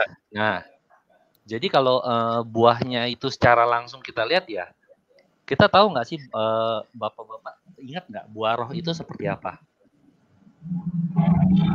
Di dalam Galatia 5 ayat 22 Iya iya iya, udah langsung aja Mas, langsung aja buahnya secara langsung apalah intinya iya, gitu. Iya, kita uh, kita kan ngomong itu. Jadi hmm. kalau di dalam di dalam Alkitab sendiri, kalau uh, kan Matius 7 itu Yesus mengatakan dari buahnya yeah. kamu mengenal pohonnya itu uh, Iya, buahnya. Oke. Okay. Kan? Nah, hmm. dalam Galatia 5 ayat tunggu saya buka ya sebentar. Nah, buah roh tunggu saya share ya bisa share ya bentar. Share screen. Oke. Okay. Um, window Nah, kelihatan nggak Pak? Enggak, enggak. Bacain aja Mas.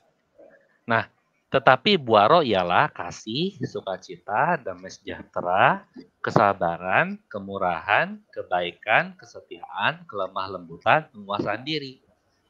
Oke, pertanyaan saya Mas, pertanyaan saya gini. Yep.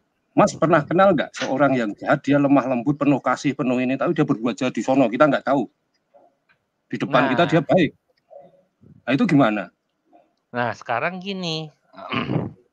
kita lihat kan dari buah rohnya gitu. Kalau kita bilang, oh orang jahat, lemah lembut segala macam, ya kelihatannya dari mana gitu.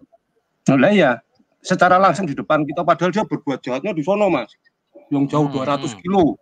Nah itu gimana? Ya. Banyak sekarang, yang begitu itu mas. Iya, tapi uh, kalau yang Yesus ajarkan memang kan uh, kita ya, melihat ya, itu, seseorang itu, itu, itu, itu ya, dari betul. Roh, tunggu dari Roh Kudus hmm. itu lihat dari buahnya. Kalau buahnya memang buah daging, ya jelas itu bukan dari Roh Kudus. Makanya saya bilang bisa dilihat secara langsung, secara langsung itu saat itu juga kita merasakan ada damai sejahtera, misalnya ya, misalnya hmm. ada ada damai sejahtera, ada sukacita, ada, ada pengendalian diri gitu kan. Nah, nah kalau kita lihat misalnya contoh dia uh, dia uh, ngaku oh saya penuh Roh Kudus, tapi ternyata kelakuannya bukan dari uh, Roh Kudus ya. Jelas itu bukan dari Roh Kudus gitu. Makanya iya, kita, iya, Uh, makanya kan uh, gereja kita Paham, selalu mengat, gereja kita selalu nggak langsung bilang oh ini dari Tuhan, Betul. ini dari Tuhan. Nah Betul. itu dilihat dilihat dari buah uh, buah jangka panjangnya. Nah, yang yang nah, yang itu. makanya tadi tak sebutkan uh, Pak uh, apa itu? Nah, jadi gini loh, di gereja Katolik itu memang ada penelitian. Ingat itu, tidak sembarangan. Satu seperti tadi katakan kalau orang jahat nanti di sini bagus di sono jelek gimana? Contoh, semua orang di sini pasti kenal Lourdes kan? Siapa tuh? Saya nggak kenal. Lourdes, Lourdes. Nggak kenal. Nah, itu ada ribuan yang disembuhkan, tapi kenapa yang cuman yang diakui gereja cuma 70 atau 60 berapa itu? Hmm, nah, terus? karena melakukan penelitian. Betul. Nah, seperti gini, buah kita nggak bisa ngomong apa itu yang namanya Roh Kudus itu kan apa itu kekal, nggak dia orangnya nggak akan berubah-berubah. Hari ini hari ini baik, besok meledak-ledak hari ini nggak bisa, mas. Makanya kan itu saya harus bilang, konstan. iya, mak makanya konstan. Iya makanya. Nah, bilang, ya makanya yang kita dari lihat kita dari kan saya bilang melihatnya itu bisa dari jangka pendek dan dari jangka panjang. Nah, iya berarti. Nah, dan, dan yang menilai, tunggu, yang, ya. yang menilai yang menilainya bukan orang itu, tapi orang-orang di sekitarnya dia gitu. Nah, Oke, ya, Pak kalau... Saya ikut komentar sedikit ya. Ya, silakan silakan. Ya, kita jangan cerita buahnya. Ya, itu kan hasil daripada proses. Sekarang pada waktu proses kemasukan roh itu ya, kita kan hmm. tidak tahu, tidak bisa membedakan. Betul. Masukan roh gimana ya, Pak? Boleh tahu, Pak? Ya, tadi kan Roh Kudus Tadi kan Roh Kudus itu masuk toh. Seperti... Lah, Roh, Roh Kudus kan Roh Kudus itu kan ada di dalam diri kita setelah uh, saat kita ya, dibaptis, okay. Pak. Ya. Saat dibaptis kan, Pak? Ya, mungkin gini ya, mungkin yang waktu proses di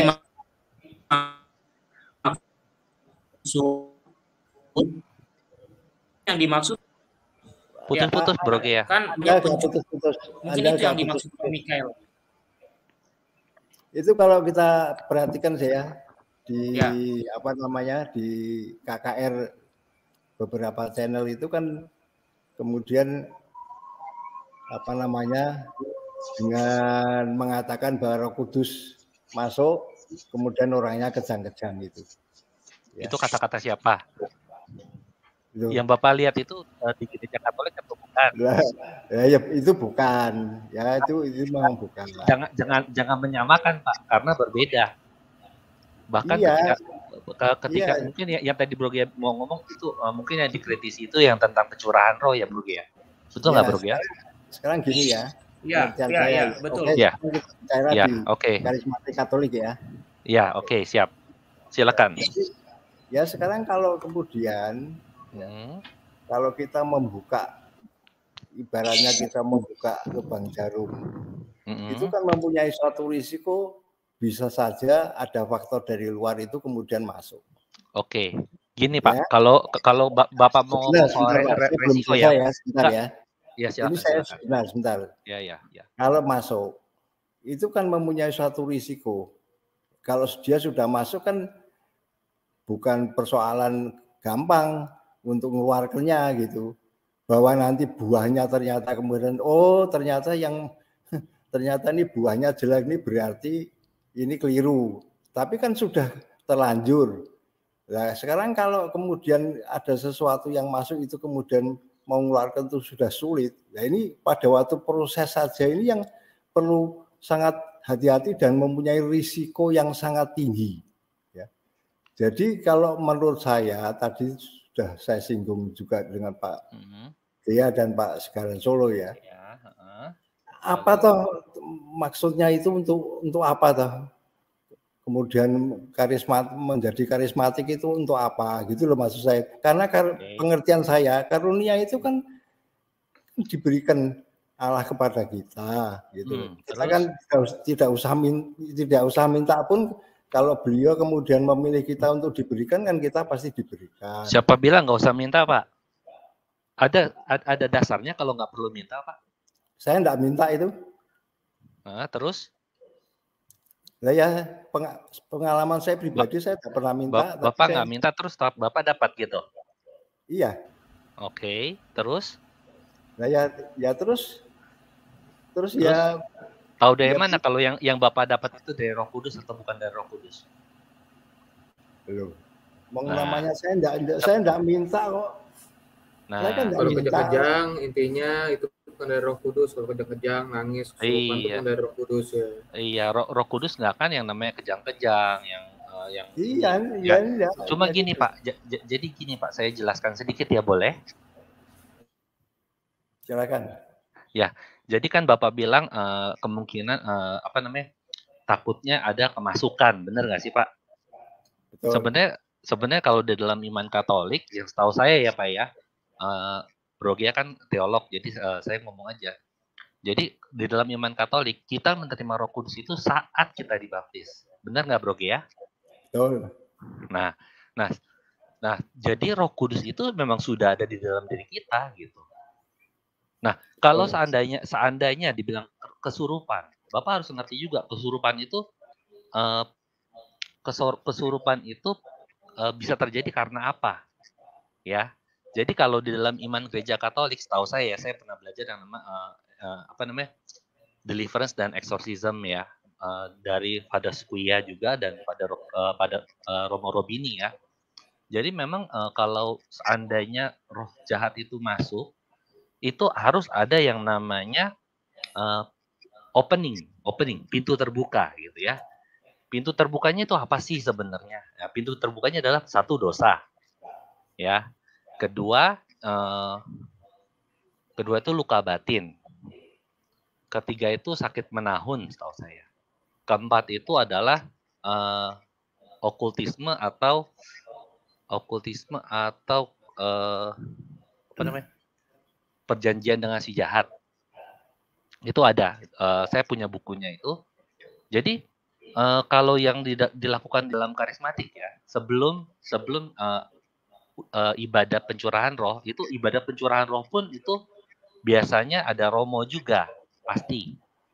Jadi uh, ada romo kenapa? Pasti ada pengakuan dosa dulu.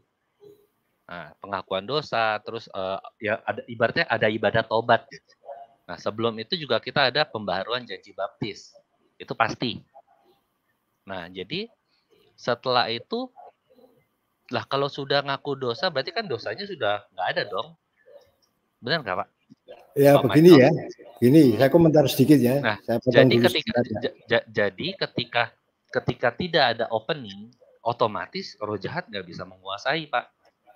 Gini ya, gini. Ya silakan. Charity ya. Saya Charlie oh, Pak, bukan Charity Pak. Apa? Char oh Charlie ya, maaf ya. Iya. Kalau tadi Anda mengatakan bahwa ya sudah ada Roh Kudus pada setiap orang yang sudah dibaptis. Betul. Oke toh? Mm -hmm. ya. Setuju nggak nah, Bapak? Ya. Dengan pernyataan itu setuju atau enggak? Ya setuju, ya memang oh, ya demikian. Ya kalau hmm. kalau sudah ada, Anda sudah mengatakan demikian, hmm.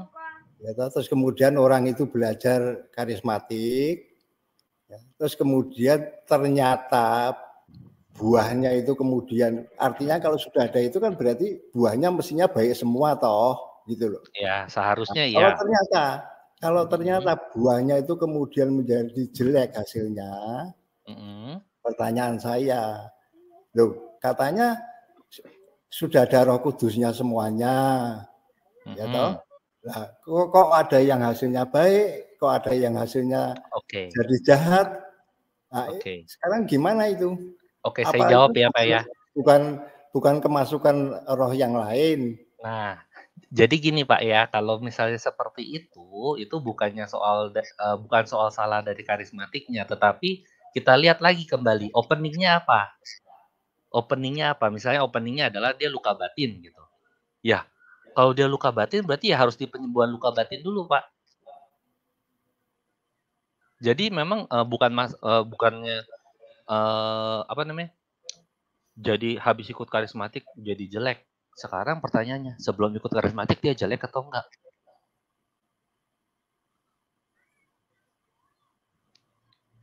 Gitu.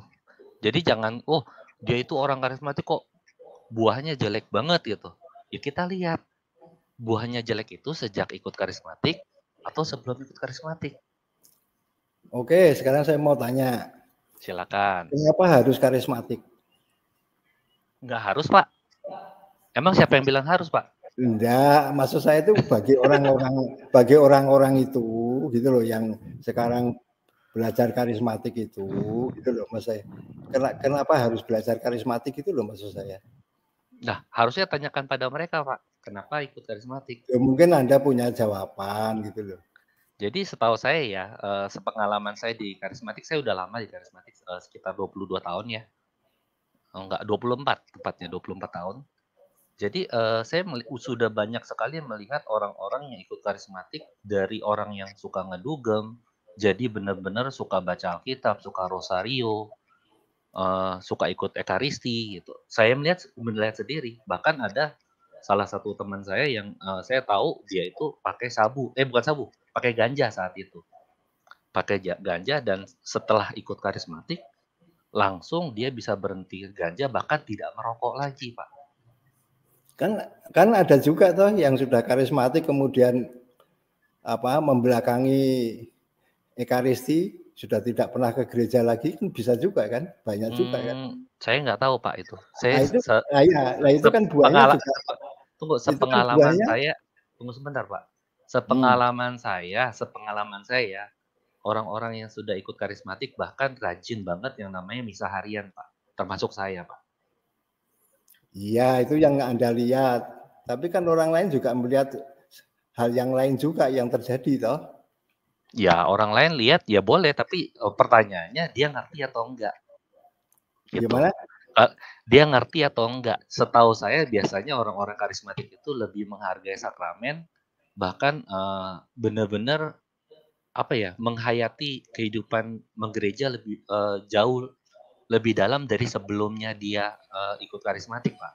Misalnya ya, contoh, yang anda, yang anda katakan itu kan uh, yang Anda katakan itu idealnya demikian. Bukan idealnya, Pak. Itu kenyataannya, Tapi, Pak. Bapak Bapak bisa bisa cek Oke. Okay. uh, uh, Pak, ya, silakan. Pak Mikael, Pak Pak Charlie, saya boleh bertanya juga enggak? Sebentar Pak Mikael ya. Boleh. Nanti mungkin disambung ya. Boleh, boleh silakan. Oke, okay. pertanyaannya pertanyaan saya begini. Kalau saya juga orang yang mengalami soal karismatik, jadi saya tidak bisa berbohong soal ini.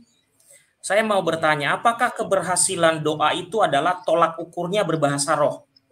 Tidak. Nah, kenapa ada sebagian besar dari kelompok karismatik itu mengatakan kalau kamu tidak bisa berbahasa roh berarti kamu tidak ada Roh Kudus? Itu biasanya dia jajan dari gereja Protestan. Saya kan udah, nah, udah pernah bilang bahwa masalahnya. Nah, ya, tahu, apakah Pak. ini tidak menjadi tidak menjadi uh, tidak menjadi be, apa namanya pedang bermata dua, brother?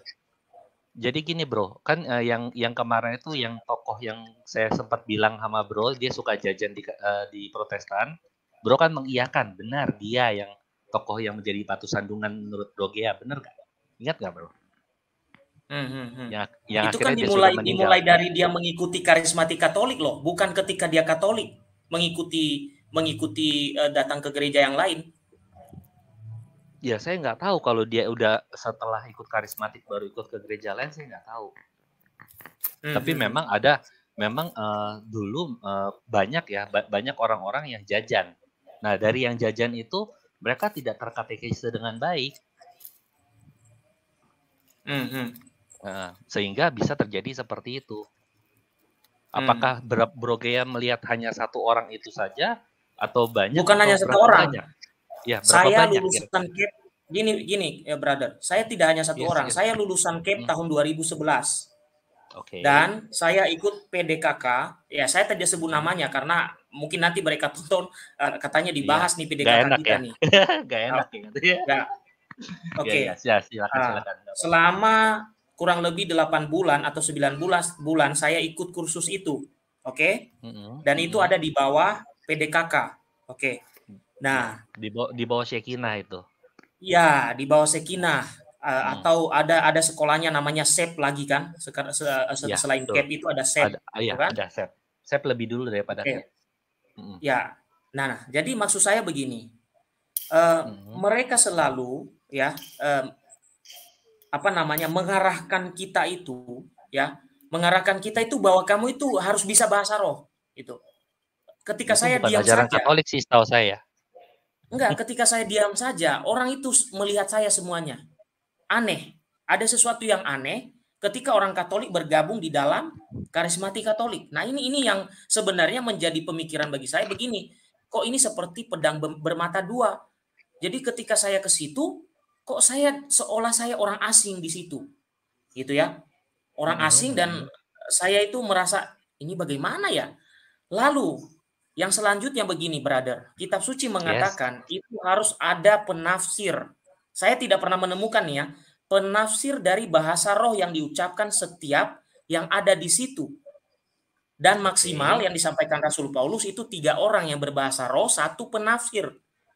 Nah, selama ini itu mungkin kenapa banyak orang yang kemudian mengikuti jajan-jajan ke mana-mana. Karena apa? Tidak ada penafsir.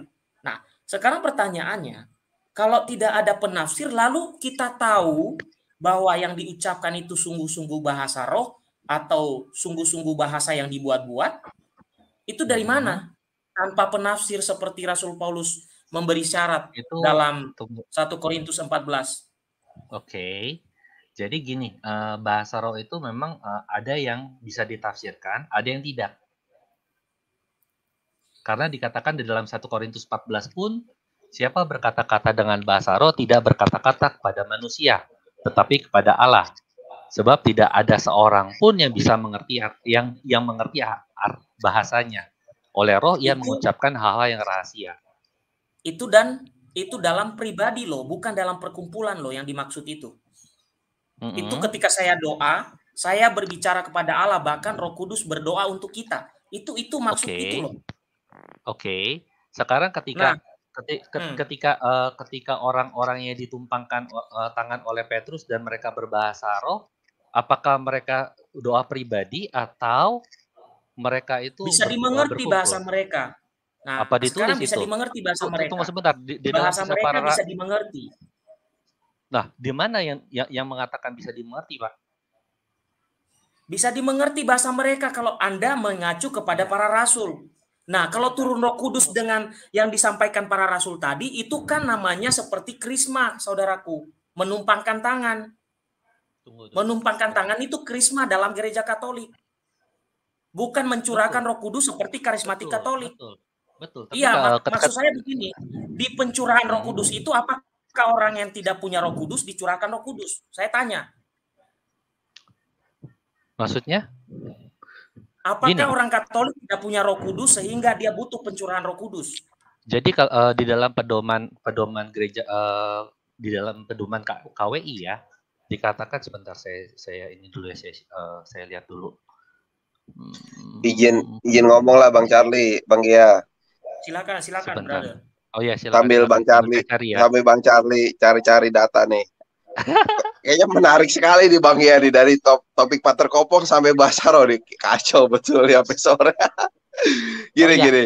Saya, saya, saya pun anggapin dulu ya apa yang saya punya ya. Uh, ya sebenarnya saya juga baru juga sih mengenal Basaro atau ya sebenarnya saya belum memiliki karunia itu tapi ya sepatah dua kata mungkin adalah tapi untuk saya nanggapi dulu saya tadi baru dengar segaran solo sama Mikael nih kadang dari tadi dia bicara soal ada orang oknum ya. Itu kayaknya menggeneralisasi semua karismatik atau orang yang yang punya karunia bahasa roh. Ini kayaknya harus diklarifikasi dulu. Ketika Anda menyebutkan seseorang yang tadinya buah-buah roh, tadi damai dan sebagainya, terus tiba-tiba kelakuan yang enggak ini, nah itu datanya harus dicek dulu bang, atau gimana ya bro? Ya, ya Jangan saya hanya punya teman. Gini, gini, gini, gini, gini. Uh, Oke, lanjutin, lanjutin dulu. Iya, masalahnya gini, saya lihat logika berpikirnya yang tadinya universal, general, dikerucutkan jadi singular. Terus yang singular ini, yang sebagian ini atau oknum ini dibuat general. Nah itu logikanya udah sesat di situ, cara berpikir logikanya yang saya. Iya, iya. Nah, Oke, sudah. Nah, nah, jadi, ya. jadi udah. Jadi gini bos, gini gini. Pertanyaan saya tadi kan gini. Un, untuk itu supaya kita itu tahu dari Roh Kudus dan enggak apa buahnya. Oke, buahnya. Buahnya itu dalam jangka kalau dalam jangka panjang terus ini naik turun gimana orangnya? Bukan Roh Kudus. Hmm. Nah, sekarang, Berarti pribadi ya, ya, personal ya. Lu ya personal mau iya ya personal yeah. pasti. Nah, karena yeah. karena kan gini, yang namanya apa itu Roh Kudus itu bisa hmm. turun ke mana saja. Iya. Ya, setuju kan itu kan? Setuju. Setuju. Mak makanya kan di dalam gereja Katolik dalam bentuk apa pun pasti pakai penelitian yang lama. Iya. Untuk menentukan itu. Satu, ya. dia kayak penampakan Bunda Maria. Kita nggak usah ngomong Roh Kudus lebih tinggi, penampakan Bunda Maria lah. Ya kan itu kan diteliti bertahun-tahun. Ya. Makanya coba coba Bapak buka namanya www Miracle Hunter. Di situ diterangkan ya. semua. Yeah. Jadi apa itu itu yang harus kita hati-hati. Hati-hati yeah. dalam dalam hal kadang-kadang umat Katolik kan senang juga begini. Wah, ada berita penampakan lari ke sana begitu kan. Itu itu yeah. yang harus dihati-hatiin di situ. Kita harus bisa mencegah itu. Iya. Oke. Okay. Jadi, jadi kalau seandainya kita pun sebagai orang yang punya uh, yang sudah dibaptis secara Katolik mempunyai Roh Kudus, apakah iman kita itu selalu kenceng? Oh, saya selalu berdoa, selalu nah, baca kita selalu ikut ekaristi. Apakah seperti itu, Pak? Boleh saya ya kita kita jangan ya, pasti seperti itu, itu naik turun pasti pak. Naik Nggak turun iya iya iya ya, pasti. ya, ya iya itu itu kan seperti itu kan orang yang nggak karismatik nah, ini ini itu, saya, gitu. saya pernah sama-sama punya roh kudus loh. Iya sama gini gini iya sama-sama punya roh kudus kenapa bisa ya, iya. turun juga pak? Iya makanya ya, makanya roh kudus, roh kudusnya ke mana kan nggak tahu juga kita kan itu. Ya, jadi gini memang uh, di dalam gini gini pak ini sebentar. Ini contoh ini. saya, saya jelaskan pak sebentar. ini ini tak kasih contoh. Contoh. Ya, silakan, silakan. Saya punya teman Katolik dia memang orang penduduk Rosario yang punya kelompok lah. Itu dua tiga orang tak tanyain semua itu. Ini pertanyaan saya satu ini. kamu sudah berdoa Rosario kencang pertanyaan terus ada malaikat datang kamu ngomong apa? Misalnya begitu. Pasti kamu takut. Pasti ngomong Tuhan, ya Tuhan. Nah, ini ada setan, nah, di, di, gampar sama malaikat. Karena kita nggak siap, bos. Kalau ketemu malaikat datang dan ketakutan, jangan-jangan bukan malaikat, Pak. Loh, belum tentu, Bos. Paulus saja ketemu Yesus tersungkur, Bos, kalau kita ngacu Alkitab. Lah, sekarang Paulus tersungkur, apa yang terjadi, Pak? Bertobat nggak? Loh, iya pasti. Ada, Tapi ada buah pertobatan gini, Mas. Pertanyaannya gini, logika aja, Pak. Logika. Logika. Logika. Ah. Ya, kita ya, kaget. Ya. Itu itu udah manusiawi, Bos. Itu ya, manusiawi terus? itu. Uh, uh, uh, ya makanya terus? kekagetan pasti diikuti dengan doa. Terus supaya dia pergi. Iya, intinya di situ. Iya. Karena iya.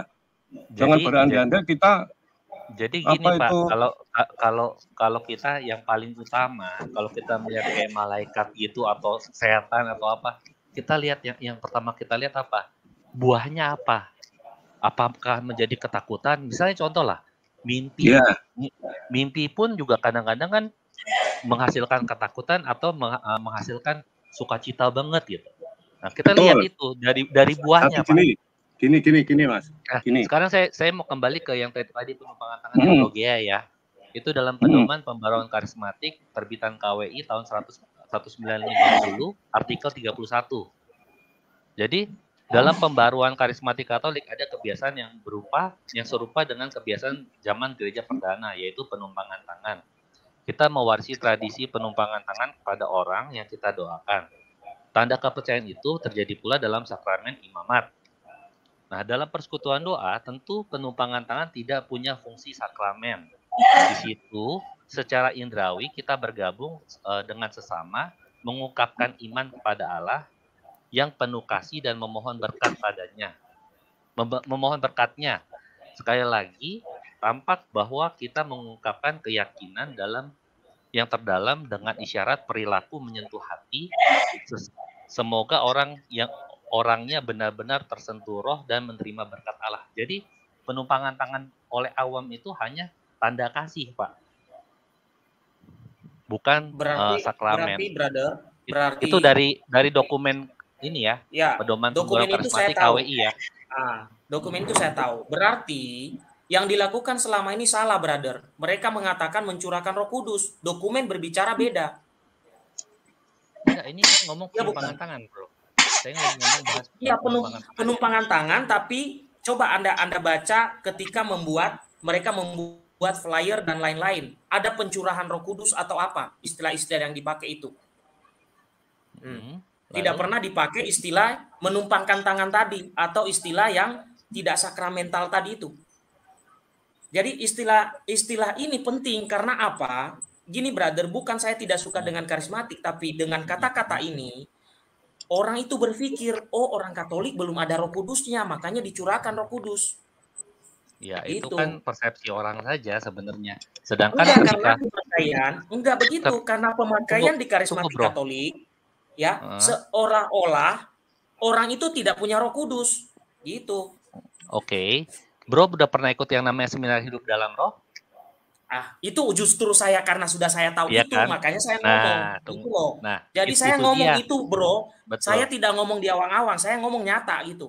Betul, betul. Jadi sebenarnya uh, kalau uh, salah satu apa namanya? sesi dalam SHDR itu sesi 5 yang namanya pencurahan roh itu sebenarnya ini dijelaskan, Bro. Tapi saya nggak tahu ya, mungkin uh, pengajar ada dokumennya nggak, Bro?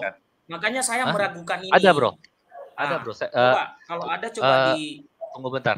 Ini uh, saya, saya kan juga pengajar untuk sesi 5, Bro. Jadi saya tahu Jadi memang hmm. di slide saya pun saya uh, menyertakan itu gitu. Kalau hmm. dokumennya hmm. ya yang, yang tadi artikel 31, kalau bukunya ada namanya uh, seminar hidup, da hidup dalam roh itu tunggu benar kenapa keluar. Uh, sesi 5 itu di bukunya itu jelas, memang dijelaskan tuh. Tapi nggak hmm. tahu ya, mungkin kalau pengajar-pengajar lama dia tidak mengacu dengan buku, hanya mengacu dari orang ngajarin saja mungkin ya saya nggak tahu ya kita agak hmm. berbeda tapi ketika mengacu pada buku kita jelas gitu memang penumpangan ya. tangan itu dijelaskan bukan mencurahkan roh bahkan saya ingat ya. banget setiap kali sesi uh, tiap-tiap sesi SHDR itu dijelaskan bahwa ini uh, kita bukannya bukannya seakan-akan kita menumpangkan tangan jadi akhirnya Roh Kudus turun. Enggak enggak seperti itu bro. Menumpangkan tangan itu adalah tanda kasih ketika kita mau ngedoain orang atau apa itu ada penumpangan tangan bukan mencurahkan roh. Enggak enggak seperti itu. Itu cuma istilah saja sebenarnya. Ah, mungkin begini bro. Ah. dalam tataran teoritis saya setuju dengan bro. Tapi ta dalam tataran praktis itu banyak orang yang mengartikan semacam itu tadi yang saya katakan jadi pencurahan roh itu dipandang seolah-olah kita ini belum mempunyai roh kudus maka dari itu bro ada beberapa hmm. orang Katolik bertanya, termasuk ke saya, hmm. mereka bertanya, e, Bro Gea, kenapa kita harus ditumpangkan tangan dan istilahnya itu dicurahkan Roh Kudus? Bukannya kita sudah punya Roh Kudus dalam diri kita? Kenapa kita mesti dicurahkan lagi? Itu nah, biasa dibahas ini, di sesi 3 SHDR, Bro. Nah, ini bro, maksud saya bukan menjelekkan, tapi bro, Betul. mungkin setelah mendengar mendengar masukan saya ini, itu hmm. perlu disampaikan kepada kelompok yang uh, sering kali tidak sesuai dengan dokumen yang ada. Sudah, ya? Bro. Sudah disampaikan bahkan setiap uh, setiap tahun kita bisa ada refreshment ya. Kalau dia ikut ya, biasa sih ikut karena semua yang ngajar itu terdaftar dalam forum uh, forum komunikasi po, uh, pengajar pengajar itu FKPP ya. Jadi memang mereka di, di refresh diingatkan lagi dan karena memang di dalam uh, pengajarnya, uh, maksudnya ketuanya FKPP itu biasanya memang seorang teolog juga. Jadi memang dijelaskan lagi ini nggak boleh seperti ini, ini nggak ya. Jadi dijelaskan yang benar seperti ini loh gitu. Nah, ya oke okay, bro. Sampai di situ saya hanya memberi memberi ini aja. Ya mudah-mudahan ini berguna ya. Tanya bro. Moga moga nah, moga, moga memang uh, ada perubahan ya, tapi memang kalau yang namanya pengajar lama saya agak-agak pesimis ya dengan perubahan mereka karena kan mereka sudah terbiasa mungkin ya dengan cara yang lama. Tapi kalau pengajar-pengajar baru dalam FKPP biasanya sih mereka akan udah tahu ini loh yang harusnya. Nah, Jadi ya. memang dijelaskan dalam sesi tiga ya. Bahkan di, okay. di, di, di, dibedakan dengan ini sakramen baptis, ini uh, pencurahan roh. Bedanya apa gitu? Kan ya. di baptis kan uh, sudah punya roh kudus gitu. Ya, saya jujur nih bro. Tadi pagi sebelum saya live di memulai live ini tadi sekitar jam setengah sembilan sepuluh, mm-hmm. saya terlambat untuk untuk memulai live. Ada yang menelpon, termasuk bertanya soal yang kita bahas ini. Oke. Okay. Ya. Nah, kegundahan hatinya adalah sama seperti yang saya sampaikan ini. Jadi banyak hmm. orang Katolik akhirnya menganggap dirinya tidak ada Roh Kudus. Akhirnya hmm. nyambungnya adalah kepada bahasa roh. Oh, kalau saya tidak bisa bahasa roh berarti saya tidak ada Roh Kudus. Oh, itu persepsi nah, saja, Bro. Kalau itu kita nggak ada bilang ini, bahwa ini, ini bisa ya. jadi bumerang, brother. Ini bisa jadi bumerang. Sorry nih, saya harus sampaikan. Ya, ya. Bumerang itu dimulai dari hal-hal kecil semacam itu. Yang saya temukan kan satu orang yang menghubungi saya, ya kan? Hmm, hmm. Belum saya tahu di luar sana ada 10 orang, 15 orang kan? Nah, jadi hmm. sebelum terjadi yang tidak-tidak, ini kan pedang bermata dua ini. Ya, itu perlu ya, itu perlu ditegaskan ataupun dalam diskusi ini kita sampaikan. Nah, eh, saya kira berhenti hmm. sampai di situ soal ini, tapi saya sambung begini, brother.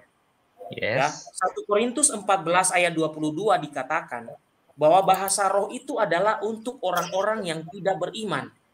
Sedangkan orang-orang yang beriman mereka bernubuat. Betul. Terus? Nah, bagaimana tanggapan dokumen gereja yang Anda baca soal apa yang dikatakan Rasul Paulus di situ? Apakah orang-orang karismatik belum beriman? Ya, itu kaitannya memang uh, saat kita berdoa dalam bahasa roh uh, gini. Jadi memang kadang uh, roh sendiri itu yang mem, mem, mem, membimbing kita bagaimana harus berdoa sebenarnya ya. Kalau uh, kita yang saya tahu ya, Bro.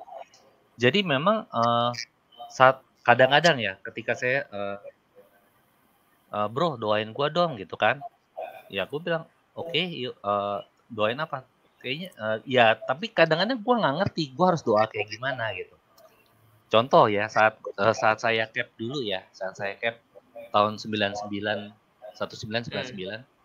itu uh, ada satu umat yang memang uh, pas dikunjungi itu dia lagi sakit. Lagi sakit ya udah saya uh, ajak doa bersama setelah step-step penginjilan itu kita lakukan ya.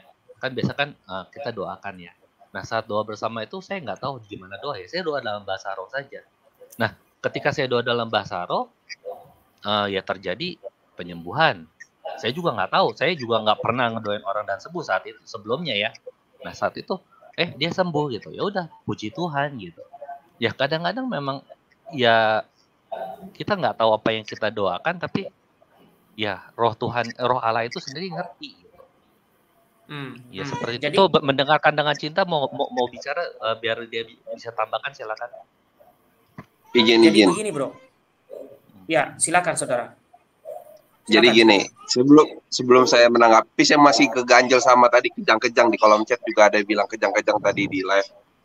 Uh, mungkin kita lihat dulu kisah para rasul dua ya.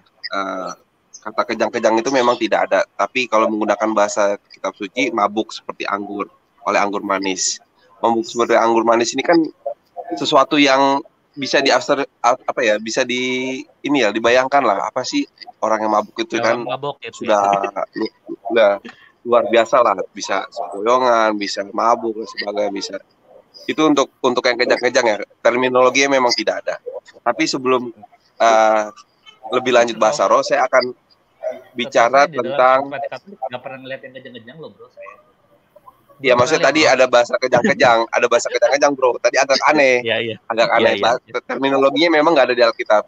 Tapi saya mau ajak di perjanjian lama itu 1 Samuel 16 ayat 14. Itu bisa dicek. Saya bacakan ya 1 Samuel 16 ayat 14.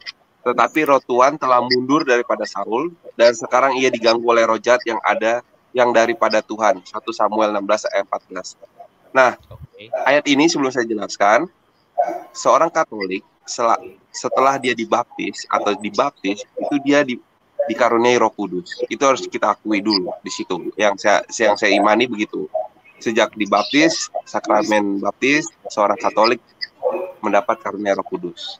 Lalu kalau dia inisiasi atau dia seorang katekumet, itu akan mendapat sakramen krisma uh, sakramen Roh Kudus atau penguatan confirmation lah bahasa Inggrisnya. Di situ harus diakui lagi bahwa Gereja Katolik uh, mengaruniakan secara khusus uh, karunia Roh Kudus di sakramen Krisma. Saya pribadi tahun 2008 di mendapat sakramen Krisma oleh Julius uh, Emeritus ya dulu masih kardinal di Jakarta, Julius Kardinal dan Wajo. Itu salah satu khotbahnya adalah buah rohnya itu pengendalian diri saya masih catat masih ada dokumennya itu masih saya simpan. Uh, khotbahnya itu saya catat. Karunia pengendalian diri.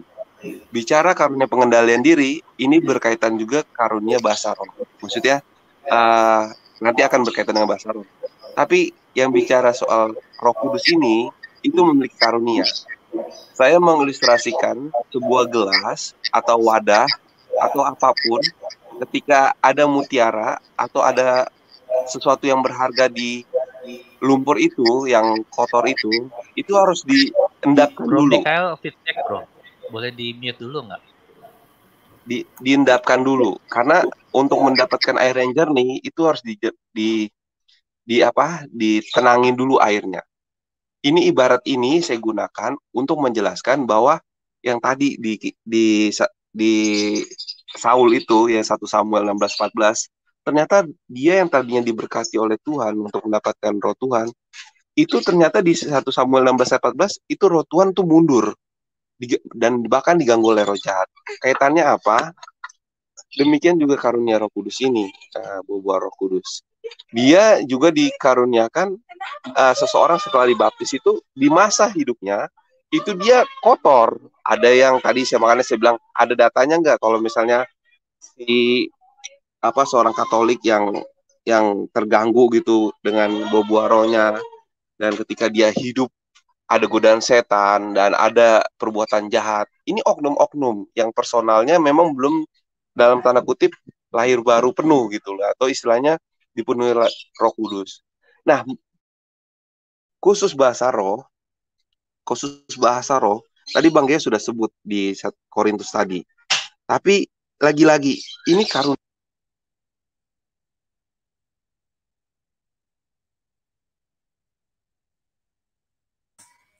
Suaranya dimohon doa. Ya?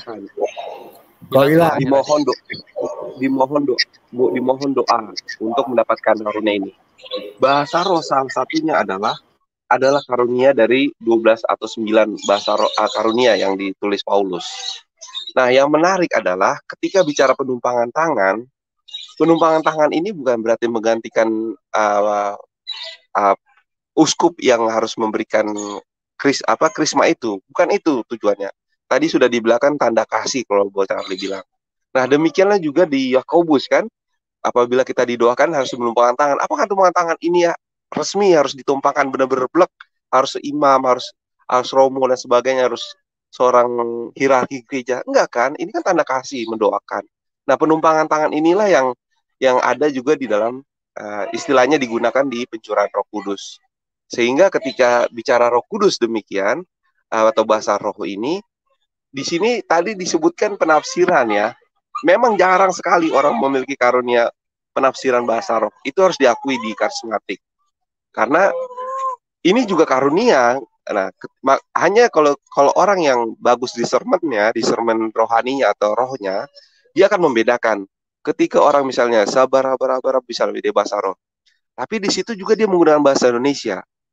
Tuhan berkati, aku ini jangan takut dan sebagainya. Itu salah satu karunia juga dalam menafsirkan orang tersebut berbahasa roh dan juga uh, menafsirkan. Nah, berkaitan dengan orang-orang yang belum bisa bahasa roh, ya monggo lah, nggak usah inilah, nggak usah menjadi masalah lah. Ini agak lucu nih, ketika orang harus bahasa roh ya, ini kan karunia, kalau nggak dimohonkan kan nggak nggak ini juga, nggak jadi masalah gitu loh. Dari 12 karunia ada yang bisa mengajar, ada yang bisa uh, bernubuat, itu kan karunia. Jadi sebagai yang saya perhatikan ya, sebagai sakramen krisma itu udah mutlak. Apalagi orang-orang yang belum dewasa secara rohani itu harus krisma dulu lah, lu, lu paham dulu sakramen krisma ini. Nah, ketika yang saya, saya ceritakan tadi, ketika 2008 kardinal yang sekarang udah emeritus itu Julius Darmat Mojo itu menyampaikan salah satu permenungannya untuk krismawan krismawati itu memiliki karunia pengendalian diri atau buah roh pengendalian diri. Nah, jadi balik lagi karunia. Ketika seseorang tidak bisa bahasa roh, ya udahlah. Nggak usah di inilah, dipermasalahkan lah. Di situ di Korintus banyak sekali loh. Jika saudara-saudara nih, uh, banyak sekali saya mau contoh ini dari 1 Korintus 14, ayat 3, 1 Korintus 13, ayat 1 Korintus 12, itu banyak sekali loh Alkitabnya tentang bahasa roh itu. Nah, tunggu satu lagi saya. Nih, yang saya 1 Korintus 14 ayat 39 lah. Tadi Bang Gia sudah bicara 1 Korintus. Karena itu saudara-saudaraku, usahakanlah dirimu untuk memperoleh karunia. Nih, jelas-jelas Paulus mengatakan, untuk bernubuat dan janganlah melarang orang yang berkata-kata dengan bahasa roh. Silakan dicek ya 1 Korintus 14 ayat 39. Itu menarik sekali loh. Kalau saudara-saudara mengusahakan untuk ber, karunia bernubuat ya silakan. Tapi kata Paulus janganlah melarang orang yang berkata-kata dengan bahasa roh. Ya gitu. Brother, itu kan ya. kaitannya di ayat 22. Bahasa roh untuk orang yang tidak beriman. Ya. Jadi jangan dilepas dengan konteks yang 22, ayat 22. Iya, Jadi betul. Saya tadi belum dijawab. Kenapa ayat itu mengatakan bahasa roh untuk orang yang tidak beriman, sementara nubuat untuk orang yang beriman? Dan tadi uh, Pak Charles mengatakan bahwa itu nanti karena uh, berdoa dalam roh dan sesungguhnya kita tidak tahu apa yang kita doakan dibantu oleh Roh Kudus lah begitu kira-kira. Sekarang saya tanya, kenapa ada bahasa roh yang bisa ditulis? Kalau kita tidak tahu seharusnya kita berdoa. Bisa ditulis sira bara bara bara bara. Kenapa bisa ditulis bahasa roh itu? Kenapa bisa dihafal? Itu bahasa roh atau hafalan? Itu Gak itu yang menjadi itu sih, Bro. Pikiran. Ya. Saya juga baru, baru dengar ini ada yang ditulis. Iya, enggak ya. bukan ditulis sih, tapi kan jadi, jadi gini Anda, ada yang gini, gini, ada yang meng, gini, ini, ada saya yang perjelas merumuskan gitu. Brother, uh -huh. saya perjelas, perjelas. Saya sudah datang ke karismatik Katolik di beberapa tempat. Mirip semua bahasa rohnya, sira bara bara bara bara bara bara bara bara baba baba baba baba. Itu. Saya tanya, tadi Pak Charis mengatakan bahwa ketika kita berdoa kita tidak tahu harusnya berdoa seperti apa. Lalu Roh Kudus membantu kita untuk berdoa. Sekarang siapa yang tahu supaya menulis dan menghafal bahasa roh? Itu siapa? Gitu loh. Kok bisa dijadikan suatu hafalan, bisa mirip itu ya di mana-mana? Itu hafalan dari mana semacam itu? Itu ada ajaran para rasul nggak sih yang memberi kita dokumen tentang bahwa bahasa roh roh, roh itu mesti sira bara bara bara bara atau baba baba baba baba itu ada nggak? Gini gini. Bro Enggak mesti seperti itu. Jadi itu memang kan yang menulis itu kan uh, kemarin itu kan polemikus dari Protestan kan ya, yang memang anti banget sama karismatik. Tapi uh, saya dengar uh, juga, Bro. Uh, iya saya tahu. Dengar juga, bukan tapi, tapi nggak semua seperti itu loh, Bro. Nggak semua seperti itu loh, Bro. Hmm, hmm, hmm. Serius, nggak semua seperti itu. Jadi kita nggak bisa menjelaskan. Korintus 14 ayat. Saya nanggapin dulu, Bro. Ya satu Korintus, Bro. 14. Silakan, silakan. Kita kalau bicara satu Korintus 14 ini menarik sekali nih. Ini sampai 39 ya ayat satunya ya. Jadi sekali lagi karunia ya. Ayat satunya kejarlah kasih itu seakan demi memperoleh karunia karunia roh. Kalau lompat ke dua-dua, ini saya enggak mau lompat. jelaskan eh, begini. Enggak, enggak. Gini, enggak, enggak apa-apa, enggak apa-apa. Jangan bilang saya yeah. lompat. Enggak lompat, justru saya mau berkata kepada saudara, tadi itu kan hanya hmm. mengutip ayat yang mendukung pendapat saudara. Saya bilang itu yeah. satu kesatuan loh dengan ayat 22. Kenapa di ayat 22 yeah. dikatakan bahasa roh itu untuk orang yang tidak beriman? Ya. Yeah.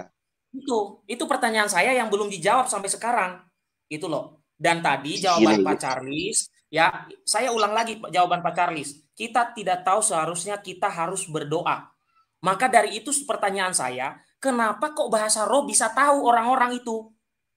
Dengan mencatat bahkan mungkin menghafal sirabarabaraba atau labalababa. Saya saya saya itu mempertanyakan itu. Apakah ada rujukan dokumen gereja yang mengatakan bahasa roh itu seperti itu? Nanti kalau dokumen gereja bro, bro cari ya. Tapi kalau soal kitab suci kita boleh sharing nih. Nggak, nggak usah bilang saya yang paling betul atau Bang Gea atau siapa pun ya. Kita sharing aja lah. Ya, bahasanya lebih soft ya. Betul, saya tanya, ya, hanya tanya ya, aja. Tanya. Ya, ayat dua-dua nih. Nah, kita baca sama-sama, saya baca ulang ya. Karena itu karunia bahasa roh adalah tanda bukan untuk orang yang beriman, tetapi untuk orang yang tidak beriman. Sedangkan karunia untuk bernubuat adalah tanda bukan untuk orang yang tidak beriman, tetapi untuk orang beriman.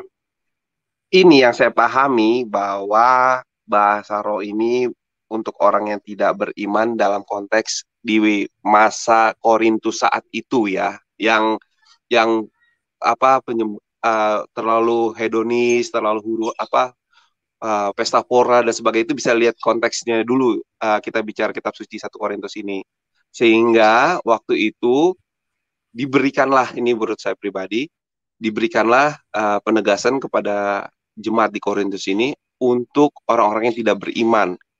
Nah, itu yang saya pahami Bang ya. Jadi jadi konteksnya ke situ dulu untuk kita bicara untuk mendalami kitab suci ya orang yang tidak beriman di jemaat Korintus saat itu adalah ada orang-orang yang hedonis, orang di perkotaan yang yang yang mabuk, yang apa, yang pesta pora, bahkan kalau bisa lihat cari lagi konteks Korintusnya. Nah, ketika sekarang kontekstualnya di karismatik atau di Katolik sendiri itu bahasa roh, ini sebenarnya orang-orang yang sudah beriman, ya kan? Ini harus kita akui. Dan ini kembali lagi karunia. Kalau bicara misalnya bahasa yang harus ditulis gitu, dua hari lalu kalau nggak salah saya share di grup itu saya itu saya dijelaskan untuk uh, memohon karunia bahasa roh. Memang dalam suatu pelatihan atau webinar itu dikatakan untuk berbisa bahasa roh itu dilatih dengan kata haleluya dulu 12 kali minimal. Kenapa 12 kali?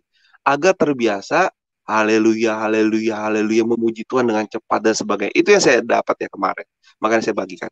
Ketika seseorang sudah mulai terbiasa bahasa haleluya itu memuji Tuhan sampai uh, bahasa kitab suci mabuk anggur manis itu yang wah sudah luar biasa Tuhan kamu haleluya terpujilah Tuhan. Nah, itulah yang yang kemudian menjadi transmisinya atau berubahnya tuh ke sarabara bara bahasa bara itu itu karunia yang sudah nanti seseorang itu dipenuhi. Jadi saya berbagi ayat ini dan juga bahasa roh kenapa harus ditulis. Mungkin saya baru dengar dari bang ya jujur aja. Ada yang ditulis mungkin memang itu ada pesan khusus yang memang Tuhan kasih karunia dia untuk dituliskan. Nah dalam satu webinar itu yang kemarin saya bagikan itu dikatakan ketika ada doa safat di Asia di Asia itu doa syafaat, doa bahasa roh. Ini orang Jepang, di, dikatakan seorang istri dari orang Jepang, itu dia mengerti bahasa roh yang disampaikan oleh orang lain yang bukan orang Jepang. Dia mengatakan, aku mencintaimu Tuhan. Dalam bahasa Jepang, padahal yang disebutkan oleh uh, komunitas doa syafaat ini cuma bilang hasara barawa, bukan bahasa yang uh, kanji, uh, bukan bahasa Jepang betul-betul, tapi bahasa roh itu yang dipahami oleh seseorang itu. Nah ini kesaksian betul yang saya kemarin saya nggak dapat rekaman ya. Kalau saya dapat rekaman saya bagi Bang Gia khusus buat Bang Gia. Nah kenapa harus dilatih? Memang nanti Bro, Bro Charlie boleh koreksi saya karena saya udah baru dapat webinar kemarin Bro Charlie. Jadi yang di dari salah satu bukan Bro. Iya betul. Jadi Oke. itu harus dilatih. Saya punya rekamannya. Kasih ya, kasih ya minimal itu harus dilatih dengan haleluya. Kenapa haleluya? Haleluya itu bacaan dari Mazmur loh. Terpujilah Tuhan atau bahasa Latinnya haleluya. Nah, itu yang dilatih lidahnya. Karena ini bahasa lidah gitu loh. Haleluya, haleluya. Nah, haleluya. Nah, karunia ini harus dilatih sehingga nanti bisa ditranskrip atau ditulis misalnya orang itu didapat karunia Tuhan itu ditulis nah, bahasa ini. Nah, dia yang menulis itu dibagikan ke orang yang bisa menafsirkan ini artinya apa okay. sih? Kalau misalnya begini, gitu, misal, begini, hmm. uh, brother. Jadi berarti kita tidak tidak tidak tidak mengikuti tadi katanya kata Pak Charles tadi ya bahwa kita tidak tahu apa yang harus kita doakan. Tapi kita tahu yang harus kita doakan berarti. Sebaliknya berarti ini. Karena apa? Karena sudah sudah mengatakan seperti inilah bahasa roh itu.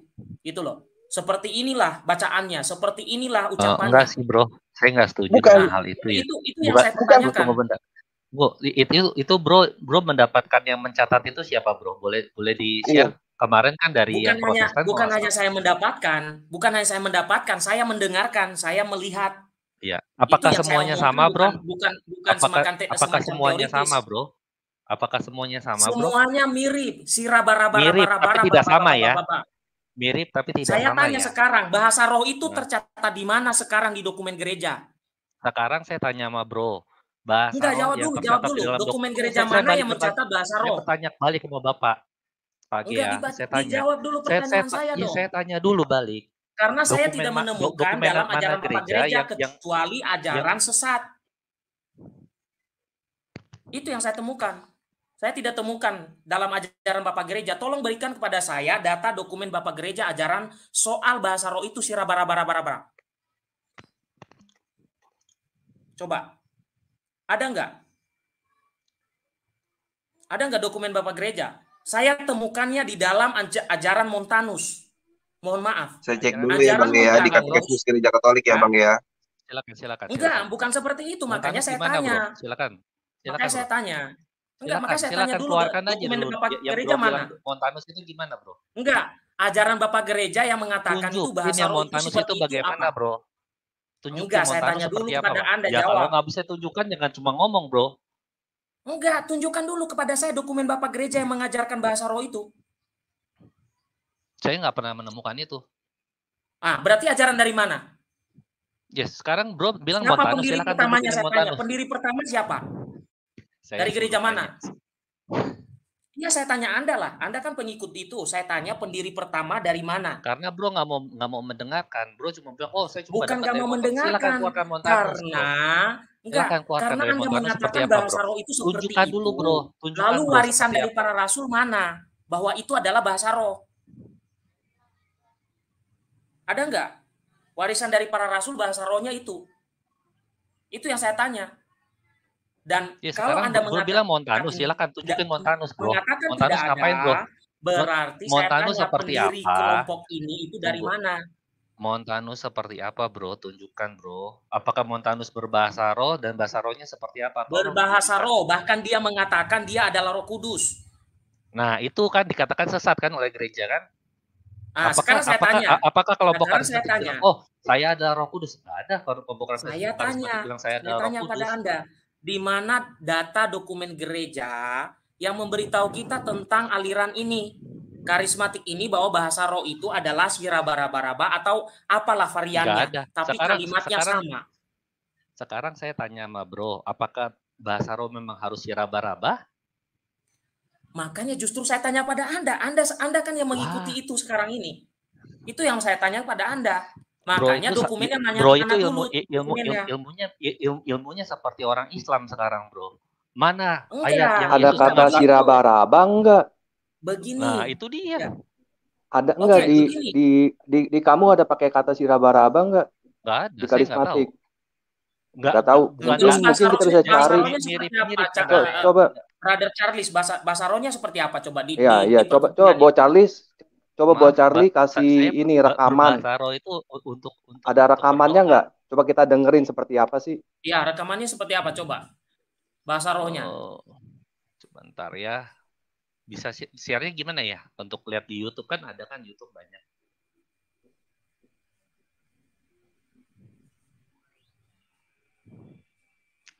Tunggu sebentar saya cek dulu YouTube-nya yang kemarin okay. aja yang Baik, sambil sambil dicari, mungkin uh, eh, IHVC ada ada yang mau disampaikan. Silakan, Bro. Tadi belum diberi ya, kesempatan. Kalau, Silakan. Iya. Kalau doa sembuh juga, saya juga dulu dok pendoa kok sembuhin orang dan saya nggak pakai bahasa roh. Syaratnya untuk nyembuhin orang juga puasa, hidup suci, udah kamu doain orang pasti bisa sembuh. Itu, Kalo... itu yang saya benar-benar lakuin. Waktu saya umur 25 saat saya benar benar benar dekat dengan Tuhan. Gak ada saya puasa setiap hari dan hidup saya hmm. suci enggak. Saya pergi pun enggak, apa pun enggak, doa saya pasti sembuh. Hujan bisa saya berhentiin. Tapi saya nggak hmm. pakai bahasa roh. Hmm, saya dulu ya kan, ikut kok, saya, kan, saya saya dulu ikut karismatik kok. Tapi saya ngerasa itu kayaknya sepertinya ikut-ikutan. Soalnya saya ngerasa kalau emang benar dari zaman dahulu ada, dari zaman para rasul seperti itu, yang kayak sekarang ya, pasti itu ada terus, bukan muncul itu di abad 19 dia muncul eh, Katolik karismatik. Pasti seperti hmm. itu. Dan feeling saya ini ya, feeling saya waktu zaman para rasul kan banyak orang budak-budak dari Afrika. Orang Afrika kan kalau dia lagi berdoa, lagi apa aja kan seperti itu. gitu sampai sekarang hmm. orang Afrika juga kan masih kok berdoa seperti itu kan dia kalau lagi ada upacara adat ada apa pasti bah seperti gitu.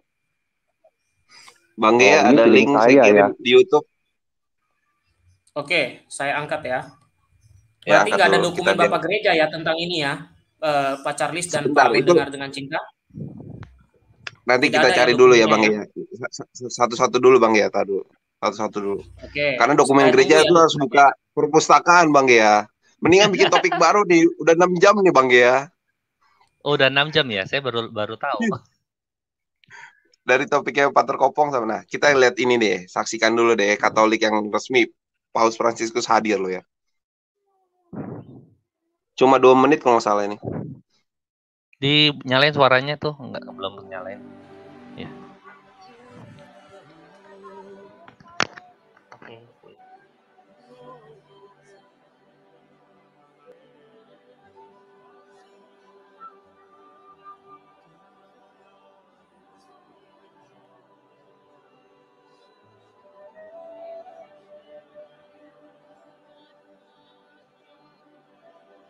Suaranya hilang bang ya. Terlalu kecil suaranya. Alziamo la nostra voce e lodiamo il Signore nelle nostre lingue, in italiano, in spagnolo, in portoghese. Una lode a Dio per la Chiesa, una lode al Padre in Gesù, nello Spirito.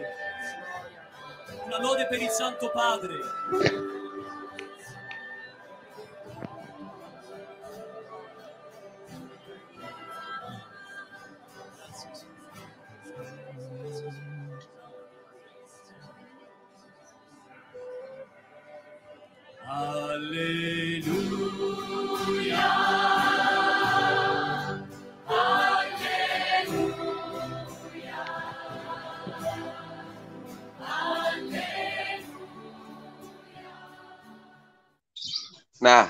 Komenin dulu Bang ya, boleh nggak? Bisa sebenarnya bisa dibalik ke tengah tadi. Ada penafsir bahasa roh seorang uskup. Ada nih kita bicara bedakan komunal dengan personal. Personal itu artinya eh personal itu sendiri ya berdoa bahasa roh ya. Dan komunal ketika Paus Fransiskus hadir di karismatik di tahun 2014 16 itu ada penafsir bahasa roh di situ yang digunakan adalah ber, uh, salah satunya adalah bahasa Inggris ya untuk untuk menerjemahkan itu untuk disampaikan untuk mendoakan Paus Fransiskus. Nah, yang saya mau katakan ada kata haleluya, terus ada kata bahasa-bahasa yang dari berbagai negara itu untuk mendoakan Paus. Nah, untuk saraba-raba ini jujur di Indonesia ini menggunakan yang familiar itu ya harus diakui nah, itu masih ada gitu loh saraba-raba. Tapi yang yang saya dapat kemarin yang di webinar itu kata utamanya itu aleluya. Artinya apa? Memuji Tuhan, terpujilah Allah. Memang dibuat uh, sedikit uh, tempo waktunya apa berbicara itu dengan aleluya aleluya aleluya. Nah, dari video ini putus lagi suaranya, Bro. Nah, ketika bicara saraba-raba ini harus ini harus harus dikembangkan dulu jangan berpotok di sini. Harus diakui emang ada. Masih beberapa yang mungkin kalau kita buat presentasi di antara 100 karismatik atau orang yang bahasa roh 50 persennya masih ada lah, anggaplah begitulah, yang menggunakan bahasa raba-raba. Tapi sebagai dasar untuk mengenai bahasa roh ini, karunia ini, itu haleluya yang saya dapat, yang saya, dan saya sendiri sedang latih itu.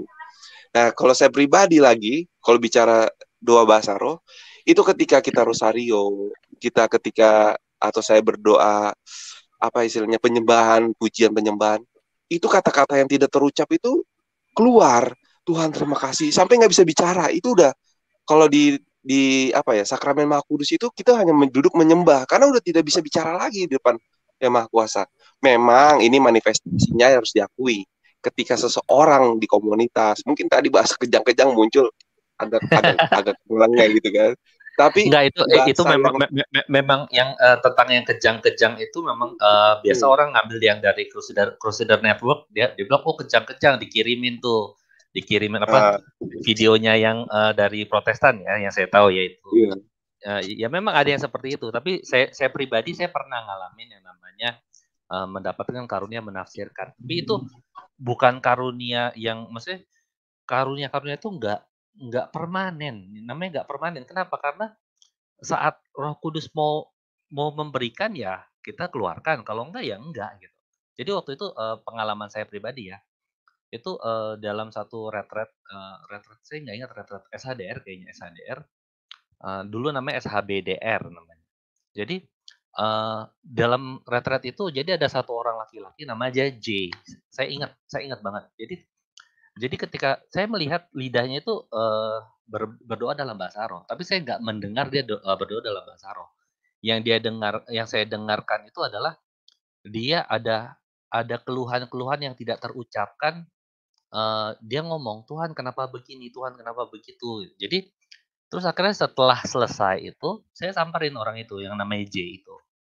Bilang, bro, kalau lu ngalamin ini kenapa lu harus salahin Tuhan? Gue bilang Kenapa lu, uh, lu menge uh, maksudnya ibaratnya lu kayak, kok lu mengeluh seperti itu gitu. Waktu itu ya itu yang gua waktu dan terus dia bilang, "Bro Charlie kok kok lu tahu?"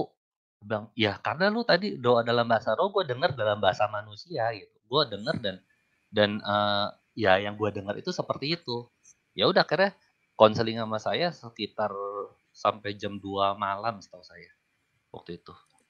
Oke oke. Jadi memang uh, Segaran Solo mau turun, mau turun nih. Uh, mungkin uh, beri statement dulu Pak Segaran Solo sebelum keluar. Silakan Pak. Kalau ya, saudara, ya memang ya. memang sedikit ribet, sedikit susah kalau kita membahas tentang roh ya. Karena roh itu ya manusia itu kan punya roh juga kan. Ingat loh, manusia itu ada rohnya loh. Itu. Saya tuh pernah melihat dengan mata kepala saya sendiri itu orang dari Tibet. Itu sama bapak teman saya. Itu cuma diem tahu artinya itu. Terus itu gimana ceritanya? Sama-sama diem itu. Terus gimana itu? Sama-sama diem nggak ngomong. Cuman diem aja berdua. Jadi Pak Solo yang mengerti bahasa itu bukan bapaknya terus itu cerita. Dia ngomong gini oh. gini gini gini gini. Dan orang Tibet itu yang sedang bahasa roh gitu? Diem nggak pakai bahasa diem. Dua-duanya diem. Cuma tatap-tatapan hmm. aja. Karena di tiap Terus? orang ingat setiap kita itu ada roh ya. Hmm. yang perlu saya selalu ngomong hati-hati. Berhati-hati dengan yang namanya roh karena kalau kita mengklaim itu roh kudus roh ini susah juga kan begitu Jadi makanya yang diperlu kita itu adalah kehati-hatian dari diri kita. Karena yang namanya setan dan iblis itu bisa jadi apa pun itu. Dia bisa bermanifestasi mau jadi apa gitu loh. Itu yang harus kita hati-hatiin. Ya, setuju saya dengan dengan pernyataan uh, itu itu pengalaman saya dia bisa jadi apa aja itu. bahwa memang iblis itu bisa menyamar sebagai malaikat terang. Itu benar gitu. Dan itu tercatat nah, ya. untuk it, it, iya. dan juga yang makanya yang yang, yang, yang saya katakan gini, gini sebentar pak sebentar. Ah, ya silakan silakan. Yang paling penting di dalam kelompok itu ada yang bisa membedakan itu antara iblis sama enggak itu itu ada enggak? Itu loh. Itu itu paling bahaya itu karena iblis mau merubah dirinya jadi apa itu bisa saya soalnya sering pernah tidur tahu-tahu nunggu kok ada bapak saya yang udah meninggal tak diemin saya geleng-geleng nggak hilang geleng-geleng nggak hilang ah demit udah tak bilangin aja gitu tinggal tidur lagi karena saya percaya orang roh yang di sana nggak mungkin balik lagi ke sini jadi hati-hati itu paling penting. Nah pertanyaannya pada waktu kita berbahasa yang katanya bahasa roh itu ada nggak yang tahu itu benar-benar roh kudus itu enggak kan? Kalau bahaya loh Pak itu Pak. Harus harus ya. benar-benar ada ada pak. Ada yang untuk untuk untuk penafsir bahasa roh kalau paling bukan, familiar itu Yesuit Yesuit itu paling bukan. untuk iya, membedakan iya. bahasa roh. Oh. iya, iya, mereka loh, mereka hmm. jadi gini loh itu kalau Yesuit kan di biaranya banyak. Ada Yesuit ada mungkin Kartusian. Kartusian yang pertapa itu pun nggak pakai bahasa roh mungkin ya saya nggak tahu juga di biara Kartusian itu pakai ya Lembah Karmel pakai hmm? Lembah Karmel pakai. Nah, tetap nah yeah. pasti di dalam dia karena dia itu sering berdoa. Itu pasti dia tahu, Pak. Itu enggak sembarang, enggak semua di biara itu juga tahu enggak, pasti cuma satu dua orang itu. Enggak selalu tahu, Pak. Enggak selalu nah, tahu, enggak, enggak selalu tahu, paling cuma satu dua itu yang tahu. Enggak ya. semuanya bisa. Nah, gitu jadi loh. gini, uh, sebenarnya bahasa roh itu ada ada beberapa macam, ada tiga macam kalau kita kelompokkan ya. Jadi ada bahasa roh yang di uh, mana satu orang ngomong dengan bahasanya sendiri atau entah bahasa lidah atau apa saya nggak uh, ini. Tapi yang saya, yang pernah saya pengalaman itu adalah uh, ada teman saya memang dia penginjilan ke Cina waktu itu dia nggak bisa bahasa Mandarin dia cuma bisa bahasa Inggris. Tapi uh, suatu ketika ya dia ngomong dan semua orang yang yang mendengarkannya itu adalah mendengarkan dengan bahasa yang mereka masing-masing itu itu persis seperti yang yang terjadi di uh, di kisah para rasul ya di mana yeah. uh, itu uh, di mana Petrus uh, berbicara dan semua, semua ngerti ya meng mengerti dengan bahasanya masing-masing. Nah juga ya, itu, yang itu. yang yang kedua itu ya yang memang uh, berdoa itu, dalam itu bahasa beneran roh. seperti itu. Benar-benar ada ada. Soalnya bapak gereja ada ada catatannya bilang bapak bapak gereja ya baru kemarin saya dengar hmm. bahasa karunia roh seperti itu udah nggak ada. Ya kan itu kan saya bilang kisah para rasul. Oh. Enggak kan kayak kamu bilang kemarin di Cina. Temen, oh ada ada ada teman saya ada. Oh, ada kan tapi ya. ada ada deh Pak. Mungkin Bro Gea bisa lebih cari. Kemarin ya, saya baru okay. dengar katanya karunia itu udah nggak ada lagi. Ya, karena bahkan, itu khusus buat di sana aja. Bahkan bahkan uh, ya itu kan uh, pendapatnya ya. Tapi gini, uh, ya yang terjadi seperti itu. Yang saya tahu ya, yang pernah uh, teman saya ngalamin itu. Dan uh, pernah juga ada satu orang saya, saya ingat banget itu di dari Protestan ya, memang uh, dia dia nggak percaya bahasa roh yang ya bahasa lidah itu tapi yang bahasa yang seperti itu dia percaya. Ya tapi nggak tahu. Itu uh, lain orang lagi ya. Cuma uh, it, yang kedua itu ya berdoa yang memang semua orang nggak ada yang ngerti. Nah yang ketiga itu berkata-kata dalam bahasa roh berkata-kata dalam bahasa roh itu memang dia mengatakan sesuatu bahasa roh yang jelas bisa bisa uh, bisa ini bisa didengar jelas bahasa rohnya itu dan ada yang menafsirkan dan itu fungsinya seperti nubuat. Gitu itu yang eh, 1 Korintus 14 ya nah itu itu sih uh, kalau yang saya tahu ya tapi kalau ya gini ya itu sih. uh, boleh tak tambahin Pak Charlie ya. Hmm. ya jadi terus, memang uh, memang terus ya tadi Pak Segaran Solo bilang itu uh, kita harus hati itu ya betul kita harus hati-hati. Makanya uh, di, di, di dalam uh, di dalam apa namanya ketika saya belajar tentang deliverance dan exorcism itu memang uh, di, dikasih tahu. Memang ada ada empat open opening yang tadi saya bilang. Bahwa misalnya contoh dosa. Contoh lagi uh, ini luka batin. Itu bisa membuat orang bisa kerasukan gitu. Iya ya gini gini bisa dikuasai oleh eh, oleh rojat. Makanya uh, gini Pak Charlie kita, saya kan mau jalan ini. sering mungkin kita ngaku dosa. Kalau kita ada dosa besar ya itu harus gini gini. jaga kekudusan gitu. ya ya silakan bro. Gini gini. Gini Pak ya ini ya sebetulnya saya uh, bukunya masih ada enggak ya? Saya pernah baca spiritual spiritual dan agama itu yang yang nulis almarhum Uskup Purwokerto dan yang lain-lain lah. Bukunya kecil itu ada itu bukunya. Memang di situ harus harus diperhatikan kehati-hatian satu dan kalau sudah bicara roh itu memang kita harus benar-benar apa itu bermeditasi ria kan gitu loh meditasi pun sembarangan. Bisa, meditasi pun bisa kerasukan kan? Nah, bisa makanya nah, makanya tergantung itu. pikiran orangnya itu, Pak. Sebenarnya bukan sekali bukan dengan pikirannya. Bukan tergantung oh, pikiran, Bro. Jadi uh, tergantung dari ada opening atau enggak. Kalau ada opening, kita bisa kerasukan. Serius. Misalnya contoh, contoh memang uh, orang itu uh, ada ada openingnya contoh dosa, dosa dia sering banget yang namanya uh, ya melakukan dosa-dosa itu dan akhirnya udah benar-benar dikuasai gitu. Iya betul. Itu, itu, itu jadi openingnya. Jadi uh, si jahat itu nggak bisa menguasai kita kalau kita nggak ada opening. Opening itu ada satu dosa, dua luka, tiga. Betul. Uh, jadi gini, ini penyakit. Sebentar pak. Ini yang terakhir keturunan, nih. Keturunan, keturunan atau sebentar. autisme. Gini, saya ini pernah di apa itu ada temen lah pembantunya kayak kerasukan kerasukan bingung itu malah akhirnya tak puencet itu kakinya di belakang awal lutut. Dia teriak aduh aduh sakit. Ah tak gebir bak itu kamu nggak kesurupan kamu stres saya bilang gitu. Oh dia ngerasain sakit? Gimana ceritanya? Ya, jadi pencet aja ya. belakang itunya. Duk, begitu dia ngerasa sakit sakit ya. Ah kamu nggak kesurupan kerasukan kamu stres ini ya memang ada klasifikasi seperti Burcari tadi bilang kan. Psikologis itu mempengaruhi sekali yang harus dihati-hatiin seperti itu. Nah, makanya yang paling utama ya kita lihat. Ya seperti itu. Memang kita lihat bahwa uh, ada opening enggak jadi nggak cuma orang karismatik. Orang-orang yang bukan karismatik pun kalau ada opening ya bisa dikuasai. Misalnya contoh dikuasai dengan roh bunuh diri misalnya. Contoh ini ini yang sering sering sering banget uh, terjadi ya jadi orang itu walaupun dia udah sering doa, sudah sering baca kitab, tapi pikirannya mau mati lagi, mau mati lagi, mau mati lagi. Nah, nah psikologis menurut, ya. Enggak, enggak, uh, itu bukan soal psikologis, Pak. Jadi kalau secara normal, orang normal itu dia sakit, bahkan jual rumah, jual harta untuk berobat. Itu normalnya, benar nggak, Pak? Nah, kenapa orang ini mau mati? Berarti ada sesuatu hal yang menguasai dia.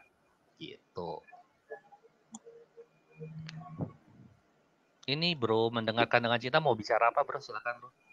Ini saya nemu baru nemu buku satu doang nih, tapi ini khusus bahasa ini ya dibaptis dalam roh ya. Konteksnya itu uh, dalam abad 11 ini Santo Simon teolog baru nih seorang kudus besar dari gereja timur. Mungkin nggak tahu Bang ya tadi datanya gereja apa gereja Katolik datanya gimana nih saya saya harus cari arsipnya dulu Bang ya atau nyari di perpus pribadi dulu nih. Tapi di sini katakan memang dia dalam konteks pembaptisan Roh Kudus ya, bukan dalam baptisan bahasa roh memang. Tapi memang di ini penulis bukunya juga mengatakan bahwa soal Roh Kudus ini atau karismatik ini sudah ada sejak lama gitu loh.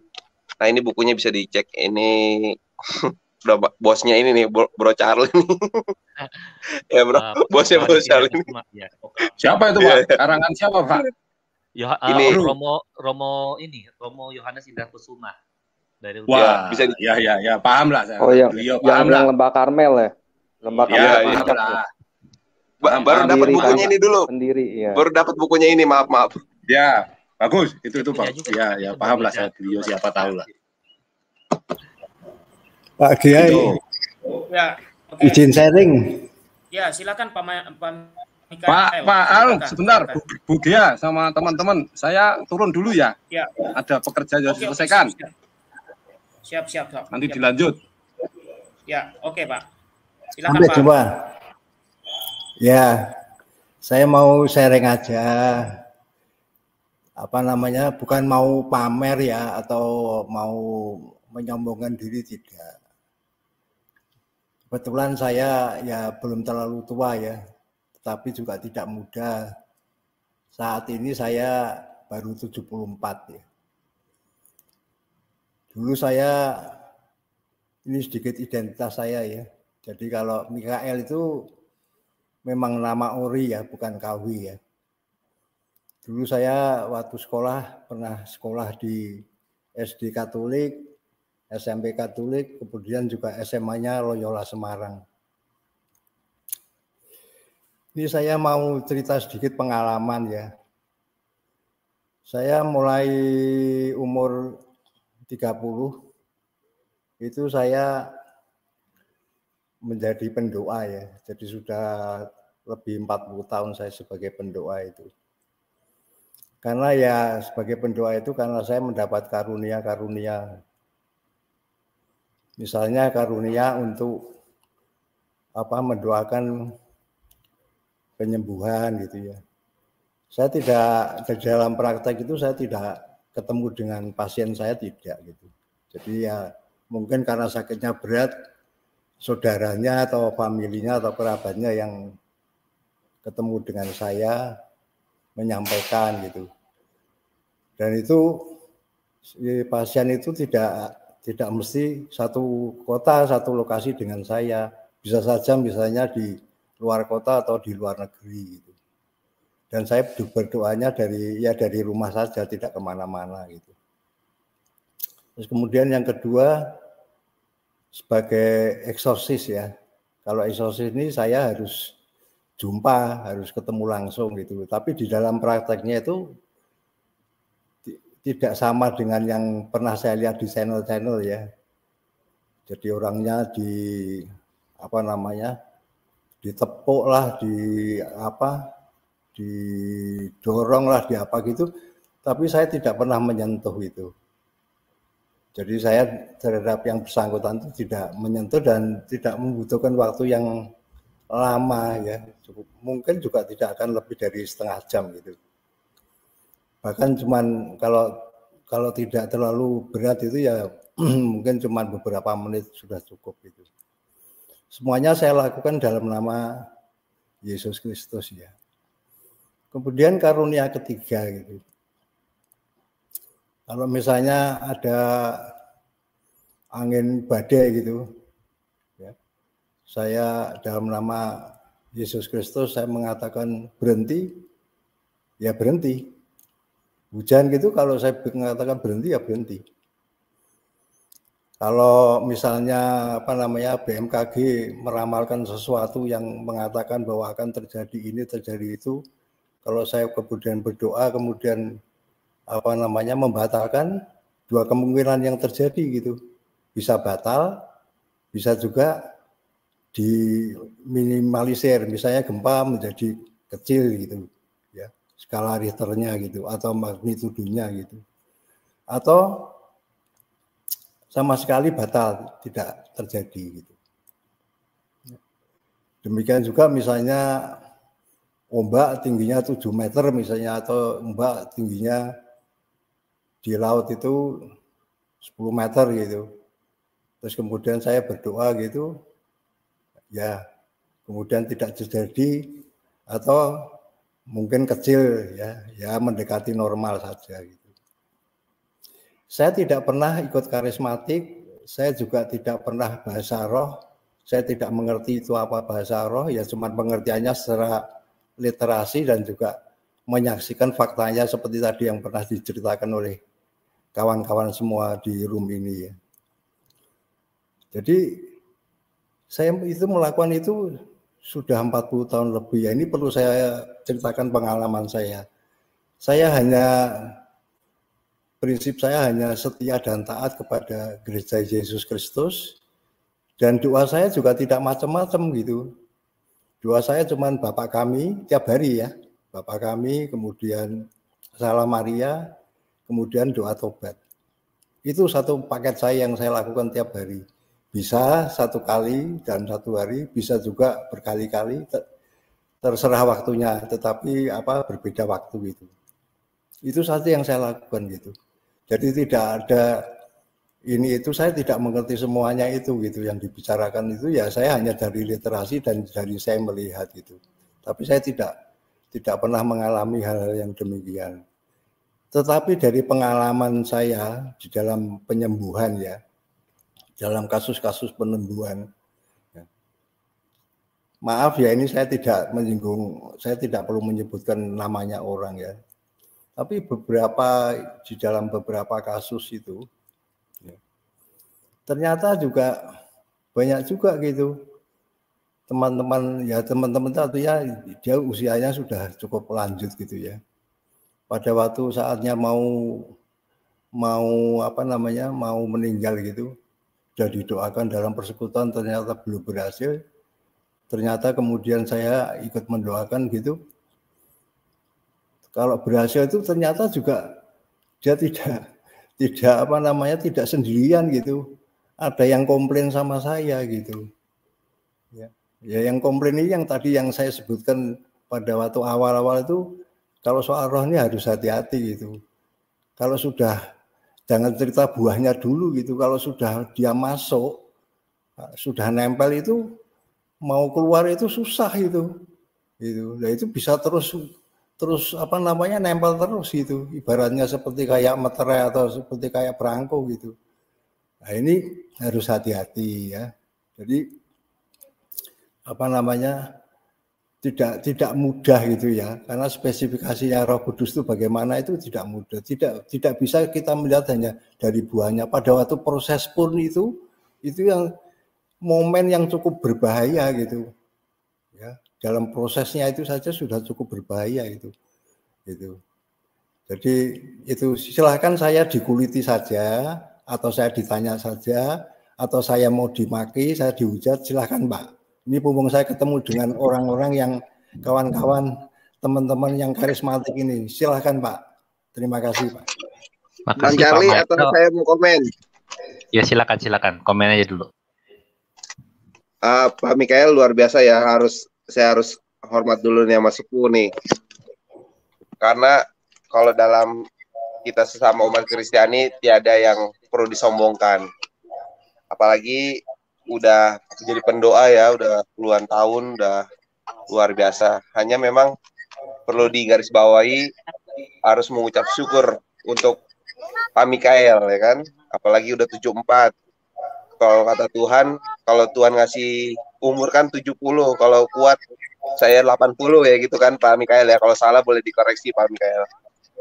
Tapi luar biasa, saya nggak banyak komen kalau soal uh, karisma atau karunia dalam mendoakan bahkan hujan pun BMKG takluk gitu kan itu salah satu karunia juga uh, dalam pengalaman spiritual itu uh, kerohanian nggak bisa dibantah kalau itu pengalaman pribadi Pak Mikael tapi catatan saya untuk Pak Mikael mumpung Tuhan masih beri kesempatan ya ilmunya dibagi gitu loh inspirasinya, teladannya ke yang muda-muda seperti saya ini? Apakah harus uh, disiplin, rutin, doa pribadi atau ada mungkin puasa, muti, mantang atau apa yang secara kerohanian perlu dilatih spiritualnya. Saya rasa itu yang harus saya apresiasi dari Pak Mikael ya, luar biasa. Untuk untuk karunia lainnya saya nggak bisa komen karena itu hanya orang-orang tertentu yang dikaruniakan untuk menafsirkan atau me, mengkomenin lah bahasa awamnya lah mengkomenin pengalaman hidup doa dan spiritualnya Pak Mikael. Sekali lagi propisiat atau sharingnya ini luar biasa sekali ya. Jarang sekali ada yang bisa sharing seperti ini pengalaman hidup rohani doanya. Mungkin yang terakhir saya lupa ayatnya nanti saya cari. Yang penting tidak jemu-jemu berbuat baik terutama ke, uh, kepada semua orang khususnya kepada kawan-kawan seiman. Saya lupa ayatnya tapi di pertanyaan baru saya ingat. Gitu Pak Mikael silakan berbicara ya, mau dikomentari. Saya komentari ya. Tadi sudah saya sebutkan, saya doanya hanya paketnya itu saja. Bapak kami, salam Maria dan doa tobat. Tiap hari harus doa tobat ya. Terus kemudian kalau soal puasa, okay. ya saya melakukan puasa ya sesuai dengan ketentuan gereja. Kalau memang harus puasa puasa, kalau tidak ya biasa saja. Gitu. Saya tambahkan sedikit ya. Tadi misalnya kayak seperti gunung ya, gunung BMKG mengatakan itu akan meletus.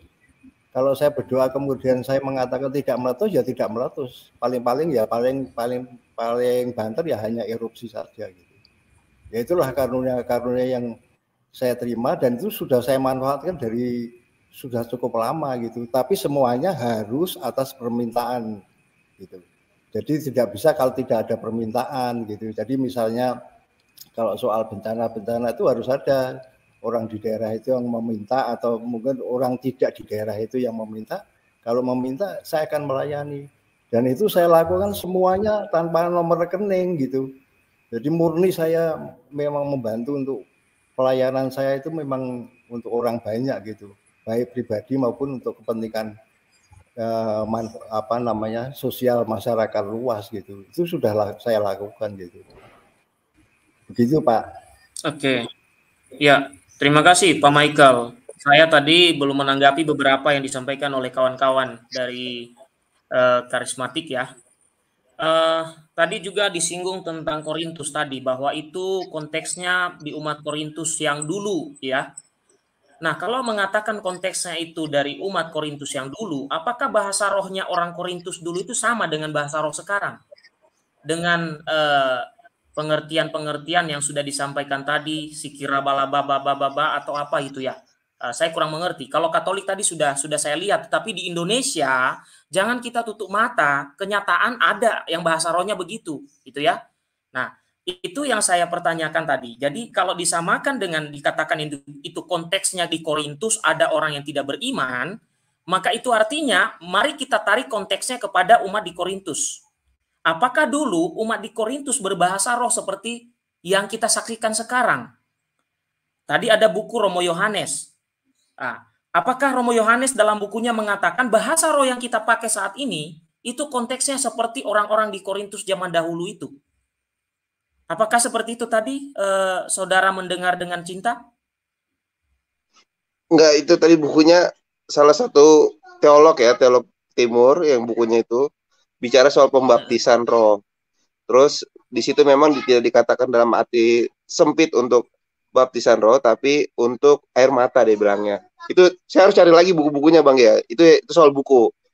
Tapi kalau soal Korintus agak sulit juga dua SKS okay. itu mata kuliah perjanjian baru tuh. Karena begini saudara, uh, uh, Charles dan mendengar uh, dengan cinta, Romo Petrus Maria Handoko itu memuatnya seperti ini. Saya mungkin tampilkan sebentar. Tadi uh, sebenarnya sudah saya saya bahas ketika sebelum saudara-saudara uh, masuk ya. Uh, Romo Petrus Maria Handoko itu uh, juga memuat seperti apa yang ditulis uh, sampaikan juga Uh, contohnya tadi ini, karunia bahasa roh adalah bagi orang yang belum orang yang sudah beriman. Maka dalam pertemuan jemaat dengan syarat yang menafsirkan barulah bahasa roh digunakan. Nah, ini ini uh, disampaikan di video tadi kan uh, ketika ada paus katanya ada penafsir kan nah itu oke okay lah tidak ada masalah di situ. Nah yang kita saksikan atau di beberapa tempat itu tidak ada penafsir itu ya. Nah kalau kita lihat konteks ya saya lebih percaya yang disampaikan Romo sih ya. Mungkin Romo lebih lebih lebih eh, maksud yang disampaikan oleh perikop itu adalah seperti itu ya.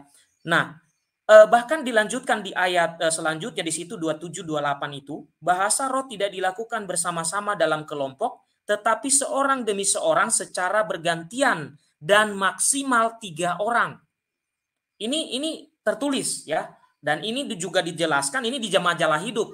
Nah, saya yakin saudara-saudaraku tahu lah inilah mungkin juga salah satu penggemar majalah hidup.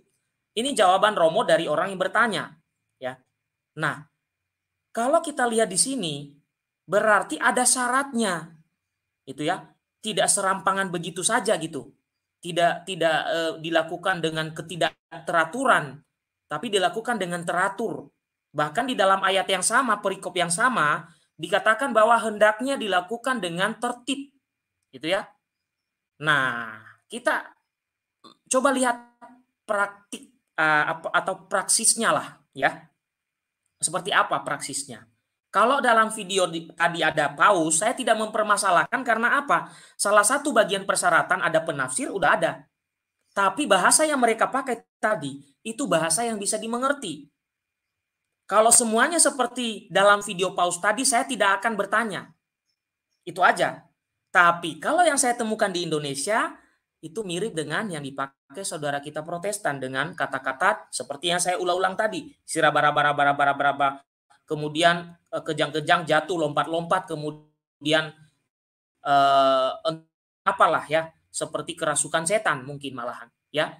Nah, kalau itu, itu yang saya pertanyakan, karena di Indonesia ada gitu loh yang justru tidak sama dengan di dalam video yang kita lihat. Itu ya. Nah, Oke, ini yang ada di dalam tulisan Romo. Kemudian dikatakan begini, bahasa roh ya, tidak dilakukan secara berkelompok atau dilakukan tapi bergantian ya seorang demi seorang. Kemudian seruan Paulus ini membuat kita mengerti alasan gereja Katolik yang umum tidak menggunakan bahasa roh. Karena tadi ada pertanyaan di atas itu mengatakan, kenapa di dalam gereja kalau misa itu kenapa nggak ada bahasa roh? Gitu, itu pertanyaannya tadi. Gitu. Nah, kemudian sebelum nanti teman-teman me, me, menyampaikan ya, saya itu kenapa menanyakan dokumen gereja? Begini kawan-kawan, seperti yang ditulis oleh teman-teman kita di live chat, ini jadi polemik. Polemiknya begini, kita di banyak juga aliran karisma itu dengan mereka yang karismatik itu harus punya spesifiknya supaya tidak menyamakan. Nah, bisa kan kelihatannya sama, tidak bisa membedakan. Ya. Orang tidak karena ya karismatik yang Protestan. Sama, lagu puji-pujian lalu uh, sebelum uh, putus-putus bro suaranya. lalu lama-lama lama-lama mereka nyanyi. Ya. Putus-putus uh, suaranya bro. Bro ya. Putus-putus apa saya aja yang ngerasa putus-putus okay. ya yang lain oke okay. uh, yang lain uh, saya Oke. Okay. Kalau saya sih ngerasa putus-putus Biasanya ya. kan kalau di Indonesia gimana? mereka nyanyi Bung Gea putus-putus Bung suaranya. Di HVC terdengar nggak suara? Putus-putus. Putus-putus. Ya. Terdengar Oke, tapi terputus-putus. Oke. Iya. Oke, saya uh, turunkan dulu ini presentasi. Biasanya ini berat. Oke. Baik, saya lanjut. Sekarang sudah aman belum Baik, kalau sudah aman berarti ya sudah saya lanjut ya. Putus-putus masih. Masih putus-putus. Masih putus-putus, Bu. Ya, ya. Oke. Masih putus-putus. Oke, oke, oke. Sebentar.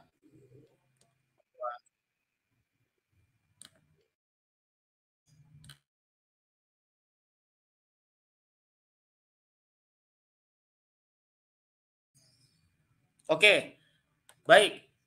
Nah, teman-teman, kalau di Indonesia kan kita lihat susunan doa-doa di karismatik itu juga ya, mulai dari awal mereka puji-pujian, doa, lalu e, berbahasa roh dalam puji-pujian itu, itu yang saya ikuti ya, itu ini pengalaman saya. Kemudian nanti e, mereka mendengarkan firman Tuhan. Setelah mendengarkan firman Tuhan, mereka bernyanyi lagi puji-pujian, lalu mereka berbahasa roh. Nah, e, itulah yang e, akhirnya mirip dengan apa yang dilakukan oleh saudara-saudara kita Protestan juga. Nah, nah kemudian sorry, habis, tadi saya tanyakan, habis firman baru bahasa roh, bro. Iya, tapi yang saya ikuti seperti itu, bro. Itu ini oh, ini iya, pengalaman iya. saya. Ah, iya, pengalaman iya, saya. Iya. Jadi tapi, di awal tapi mereka di tempat, tempat saya beda sih, bro. Di tempat saya beda hmm, sih. Hmm, hmm. Ya. Jadi nggak okay. bisa di ini nggak bisa di generalisasikan ya. Hmm, hmm, hmm. Ya, uh. tapi yang mau saya sampaikan dari bahasa rohnya itu sama dengan apa yang dilakukan oleh saudara kita Protestan dalam konteks ini. Sorry, ta, ini tidak semua, tapi mungkin yang saya saya kunjungi ini yang saya tahu. Oke. Okay. Ya mungkin. Nah, mungkin ya. Saya, ya. Itu masih mungkin ya, bro. Oke, okay. yang saya ikuti inilah, bukan saya mungkin. Kalau saya udah udah mengikuti berarti saya akan lihat, gitu ya. Oke. Okay. Ya. Sama nah, sebenarnya sama sama kayak gini, bro. Sama kayak uh, bro denger bayi nangis oa gitu bayi lain nangis oa oh semua bayi nangisnya oa coba di, di, dideretin lima bayi atau enam bayi oanya sama nggak? Oh berbeda bro. Bahasa roh nah, itu, itu. apakah bisa di bisa ditentukan? Sekarang saya tanya. Uh, kenapa bisa ditentukan oleh oleh PDKK oleh orang-orang itu bahwa itu bahasa roh atau bukan? Itu kan nggak ada catatannya. Nggak ada yang dikata yang mengatakan yang menjamin itu bahasa roh atau bukan. Nggak ada coba, penafsir di situ. coba bro bro cari di di Korintus bahasa rohnya seperti apa? Saya mau tahu. Di situ bahasa roh tidak ditulis. Ya sudah sama. Iya tidak ditulis. Nah sekarang kenapa orang-orang seperti teman-teman ini itu hmm. yakin itu bahasa roh? Saya tanya. Karena memang bahasa roh itu nggak ada yang sama setahu saya ya. Tapi kalau Bro Gea bilang, oh sama justru, semua saya nggak tahu. Mungkin nah, justru, mungkin sama seperti sama seperti bayi menangis. Bayi menangis itu oh, orang jadi, bilang, oh bayi jadi menangis. disamakan dengan dengan Roh Kudus bayi nangis gitu. No, no, no, no. Bahasa Enggak, bahasa Kudus bahasa itu tidak ada yang tahu bahasanya, tunggu sebentar, Bro. Tunggu sebentar, saudara. Kalau melegitimasi ada bahasanya, itu yang saya pertanyakan. Itu bahasa Roh Kudus dari mana? Bung Gea, Halo. Ya, silakan, silakan Pak Dwi. Ya, mohon izin ya. Terima kasih Bung Gea. Selamat sore saudara-saudara sekalian. Salam damai dalam Kristus. Ya, Bung Gea kalau boleh nambahi Bung Gea ya. Tadi Bung Gea kan sudah share itu bahasa roh itu untuk bagi mereka yang kurang beriman kan begitu. Kurang beriman. Nah, pertanyaannya sebenarnya kan karismatik dalam Katolik itu sendiri sebagai vitamin lah. Karena yang yang utamanya makanan pokoknya kan ekaristi itu sendiri. Jadi eh, apa namanya betul yang Bung Gia sampaikan bahwasanya di firman sendiri ya itu tidak tertulis hanya ada Roh Kudus turun atas para rasul kan gitu. Hari raya Pentakosta. Nah, di sini kalau kita berdoa dalam roh ya, siapa manusia di bumi ini? Pertanyaan saya nih ya. Siapa di manusia di bumi ini yang mengenal secara benar dan presisi itu adalah Kristus atau Sang Sabda yang yang menjadi daging. Kan hanya satu orang, hanya Bunda Maria. Maka kita bersama-sama Bunda Maria dan orang-orang kudus kalau itu kita percaya untuk berdoa. Kenapa ada lagi yang namanya bahasa roh? Itu untuk yang tidak beriman, yang kurang beriman. Tadi udah disampaikan kan ayatnya yang Bung Gia tampilkan. Nah, bagi yang sudah beriman, ya kita bersama-sama Bunda Maria dan orang-orang kudus. Memohon gitu. Berdoa bersama sama Bunda Maria. Kenapa? Seorang ibu lah yang sangat mengenal putranya. Ciri-ciri fisik. Ini saya kutip dari Paman AO ya. Ciri-ciri fisik seorang anak hanya ibu 100% mengenal. Lah kita. Kita siapa? Bisa mengetahui apa? Iblis juga mampu menyerupai Yesus. Ini yang harus dipahami. Makanya pendampingan oleh Bapak Uskup dalam dalam karismatik itu disarankan tidak sembarangan dan bahasa bahasa roh itu ya benar-benar pribadinya yang menerima yang mengerti.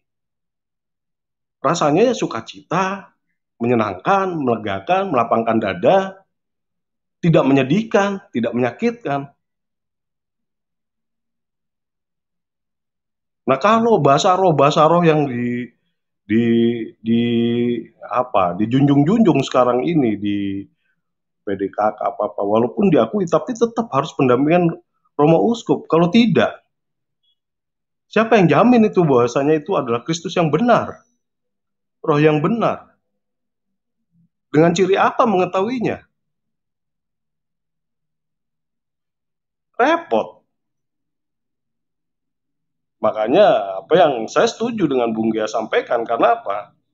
Irasional bagi orang yang beriman ya kita beriman ya seperti Bapak Gereja sampaikan Itulah itulah manifestasi atau jelmaan Kristus ya kepada Bapak Gereja yang sekarang ini. Romo Pastor, Romo Uskup, Romo Kardinal, Romo Paus. Itu jelmaan manifestasi, manifestasi Kristus langsung itu. Kenapa kita mesti pakai yang bahasa lain-lain?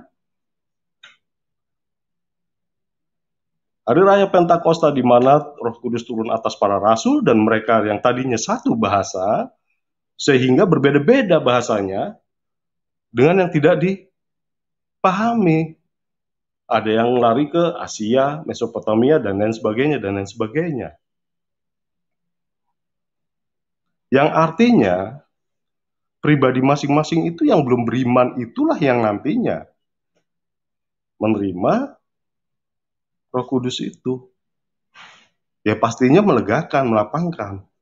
Karena konsep dari penciptaan dari awal adalah kasih tidak menyedihkan, tidak menyeramkan, tidak menakutkan, tidak dalam teror, tapi menyenangkan hati, sukacita. Tapi kalau untuk kesombongan rohani, buat apa? Apa artinya? Ah, Bunda Teresa, Bapak Paus Franciscus, cium kaki. Bahasa roh itu. Bahasa roh yang benar itu ya kerendahan hati. Vincentius Apollo mengajarkan kepada kita semua, pakailah senjata Tuhan semua. Pakai semua senjata Tuhan. Apa sih senjata Tuhan itu? Kerendahan hati. Kristus mengajarkan kerendahan hati sampai mati di kayu salib. Yang paling hina adalah dibunuh dengan disalib. Itu kerendahan hati. Itu yang harus disadari para Oke, awam Pak, Katolik kayak kita. Pak Dwi, Pak Dwi. Ya. ya. Ini ada pertanyaan. Mungkin uh, Pak Dwi punya pengalaman dengan rekan-rekan kita dari uh, saudara kita uh, dari karismatik Katolik, mungkin ada pengalaman um, mereka ngobrol ataupun Pak Dwi mengikuti seperti apa Pak? Coba. Ya uh, jadi kesombongan rohani buat saya jauh. Jadi kesombongan rohani. Nah, kalau kesombongan mis rohani kan misalnya kan, Pak contoh contohnya seperti apa Pak tidak. yang Bapak alami? Yang ya, Bapak seolah-olah ya seolah-olah jadi apa? Uh, Romo Romo pastor itu kalah sama dia gitu bahasanya tuh ya istilahnya gue nih lebih deket nih gitu loh. Bahasanya jadi kurang ini ya gitu. Tidak seperti itu menurut saya. Ya saya diam aja daripada nanti saya lawan nangis. Saya kasih tahu nangis saya diam aja. Ya udah deh ngomong aja. Ngomong kan bebas aja. Tapi mm -hmm. untuk percaya apa tidak kan kita juga berpikir tidak telan mentah-mentah. Itu manifestasi tubuh Kristus. Kristus sendiri ya hadir dalam gereja ya itu dia dalam Romo, pastor, Romo, uskup, Romo, kardinal, Romo paus ketika Ekaristi. Oke, Pak Dwi, ya, ya. Uh, di dalam di dalam uh, apa uh, pengalaman tadi ya Pak Dwi ya, ini kita menggali saja. Kita ini bukan bukan menyerang karismatik Katolik bukan, tapi ini adalah uh, keresahan hati kita dengan kenyataan, dengan dengan dengan apa yang kita lihat, dengan apa yang kita alami Nah, eh, mungkin nanti juga saya lemparkan saja ke IHVC ya. Tadi diam diam terus ini ya.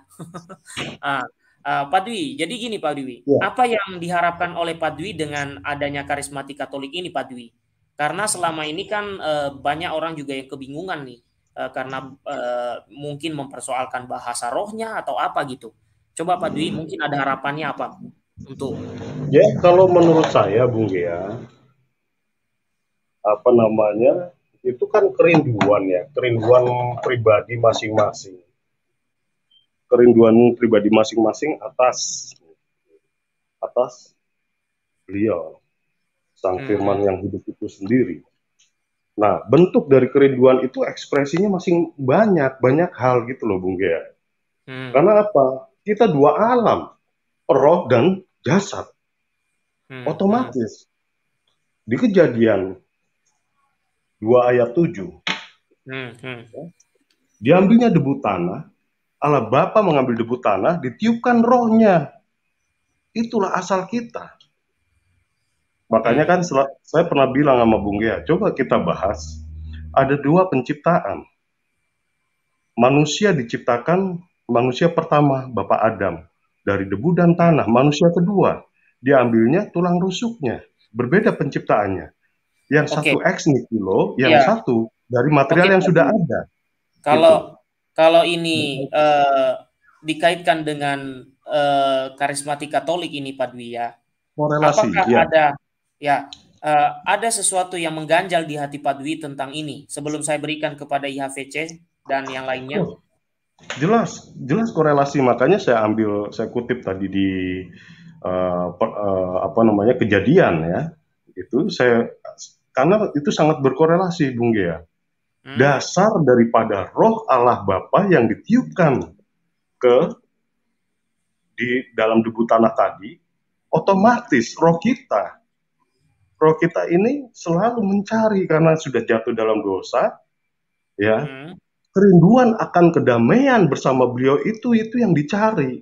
Ekspresi ini dimanifestasikan, di, dijewantahkan, dijelmakan gitu. Hmm. Tapi bagaimana yang seperti apa? Kan gitu, Bung Gea. Hmm. Penjuantahannya bagaimana? Seperti apa? Seperti yang Bunda Teresa sampaikan, ya kan? Kepada orang-orang kecil, Dwi, karena ada roh ilahi di sana. Ya, gitu. Pak Dwi. Itu lebih tepat. Bunda, bukan untuk Bunda Teresa hubungan rohani. Hmm, hmm. Oke, okay. Baik. Uh, maksud saya supaya terarah aja uh, Pak Dwi. Jadi Bunda Teresa ini sebenarnya bisa dikatakan punya Roh Kudus nggak, Pak Dwi? Kalau oh, dia jelas. melakukan, ya. Jelas, jelas. Bapak Paus Franciscus, Presiden Sudan, dicium kakinya. Oke. Okay. Si, nah, jadi napi-napi dicium kakinya, dibersihkan kakinya, dicium kerendahan hati. Baik. Gitu. Oke Pak Dwi, sampai di, Ya, sampai di situ dulu. Saya lemparkan dulu kepada Pak IHVC nih. Dari tadi juga menunggu. Silakan, Pak I. Ya, Pak IHVC, silakan uh, memberi statement juga apa yang mau disampaikan. Silakan. Aduh. Saya lupa tadi. Uh, yang ini nih yang tadi Bro Gea bilang kan Bro Gea pernah coba ikut karismatik Katolik. Bukan Terus, hanya bukan kata, hanya coba, Bro. Saya saya justru sudah bergabung juga. Sudah nah, lulusan KIP saya. Ya. Terus Bro Gea ceritain pengalaman Bro Gea, terus katanya beda sama yang karismatik Katolik yang ini, Pak Charlie sama mendengar, sama Pak mendengar.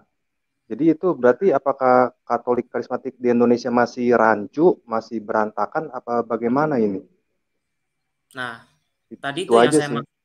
sebenarnya saya saya ngobrol dengan teman-teman dari karismatik di sini kan maksud saya tujuan saya baik, bukan saya mau tapi sampai saya di, di pada kesimpulan ya tadi itu saya mengatakan bahwa saya hanya mengenal uh, tentang Roh Kudus Roh Kudus ini di zaman Montanus itu karena saya juga mencari loh dokumen-dokumen mana sih yang menceritakan tentang uh, bahwa itu doa doa uh, apa namanya itu adalah ilham Roh Kudus apa itu adalah bahasa roh gitu ya. Dokumen-dokumen mana sih gitu.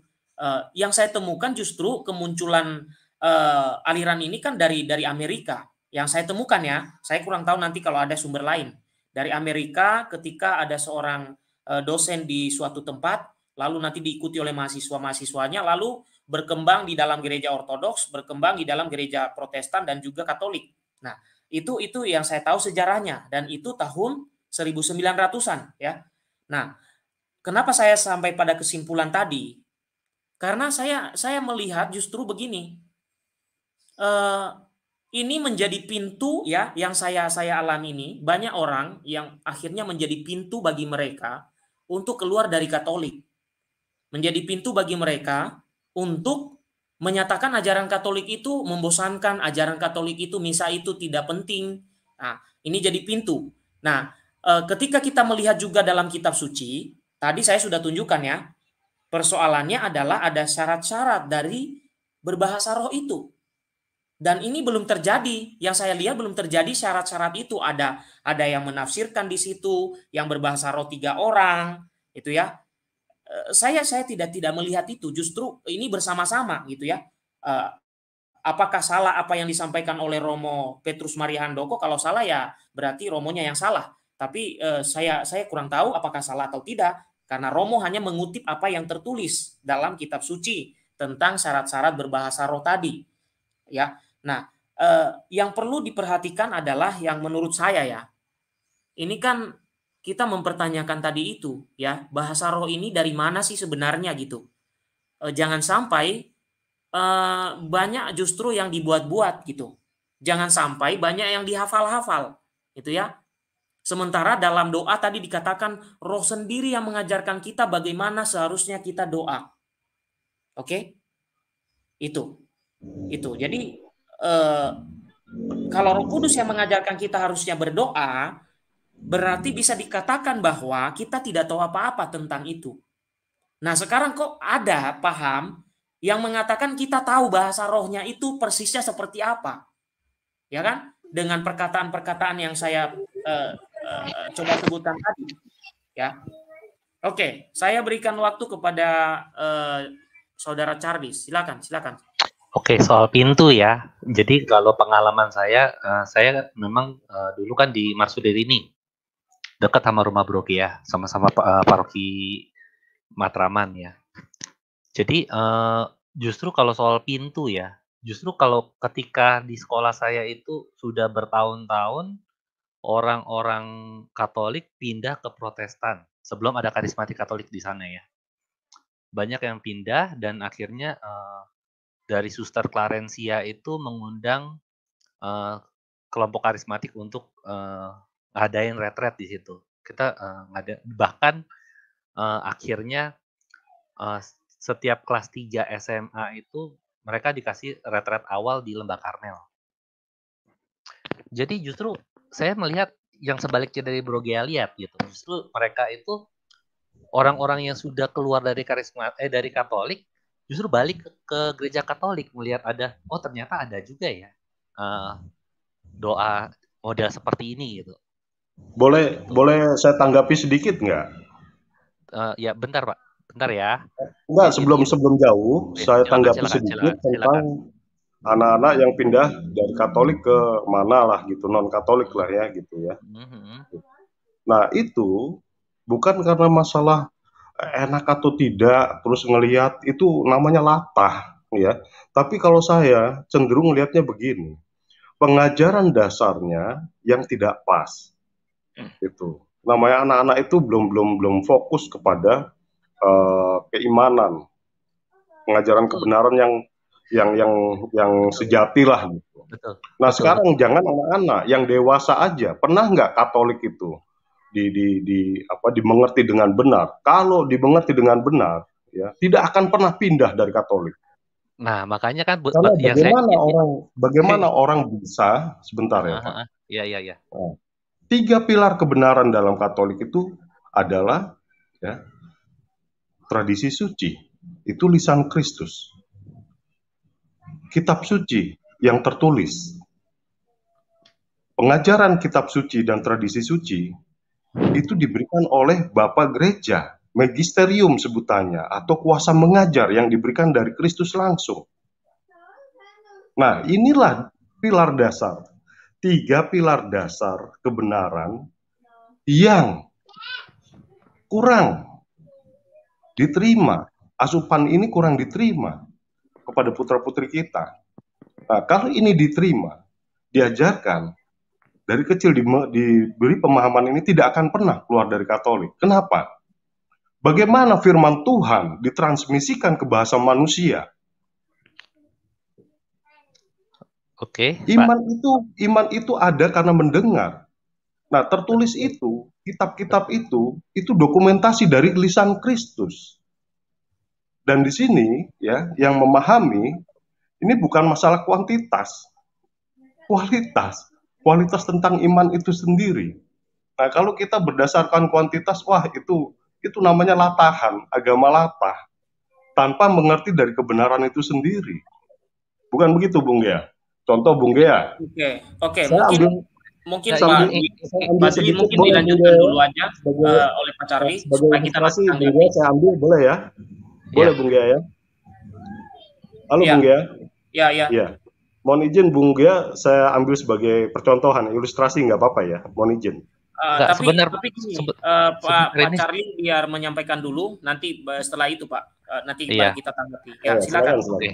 Jadi, ya. jadi gini bro, jadi uh, kan gue kan sharing uh, pengalaman gue pribadi gitu. Jadi uh, teman-teman aku kemarin ketemu sempat ketemu juga di di satu acara gitu. Ternyata senior sekitar di atas lima tahun di atas saya gitu kan.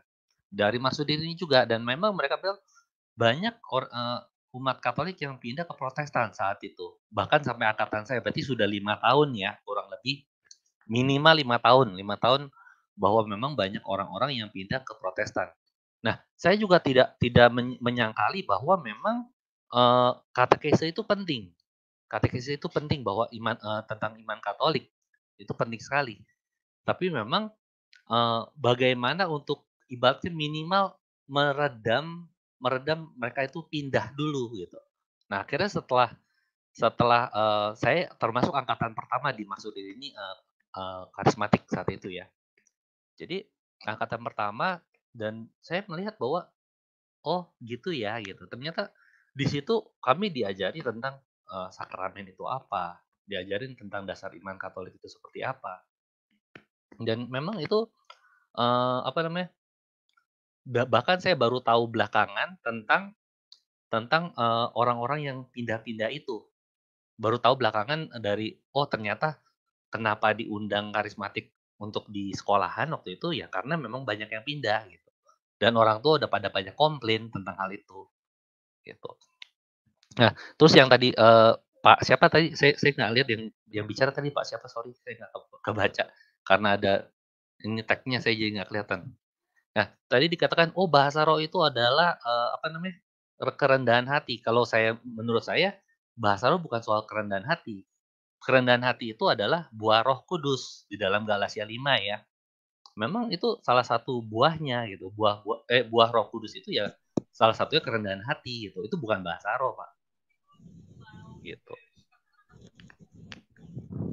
Hmm, cuma itu, aja sih. Saya cuma melihat bahwa memang yang Bro dia bilang itu pintu untuk orang-orang ke, ke ke Protestan. Itulah, Justru saya melihat ya. saya, Pak, saya melihat banyak teman-teman saya, ya. teman-teman saya Pak dari Charlie. Protestan tidak Katolik sejak mengenal karismatik itu. Gitu. Pak Charlie, Pak yes, Charlie. Pak. Iya, jadi gini. Itulah Katolik itu tidak mata ayatan karena tiga pilar kebenaran itu tadi di Betul, mana saya, saya, saya tahu nah, Katolik itu lisan, uh, pilarnya lisan tradisi, magisterium dan dan kitab suci. Iya, saya tahu okay. itu. Oke, oke, oke. Ya, Pak Dwi, Pak Dwi. Oke, sebelum menanggapi uh, biar dulu mendengar dengan cinta dulu ya, Pak ya. Karena kita tadi sudah ya. Oh iya, okay. iya. Monggo ya, silakan. Oke. Okay. Mendengar cinta. Bang ya. Per ya. Pertama yang tadi ditampilin Romo siapa Pet apa Handoko ya? Ya ya saya nggak mau komen lah Romo lebih ilmunya lebih tinggi saya taat kepada gereja dan hierarki. Jadi saya harus uh, setuju dengan Romo itu.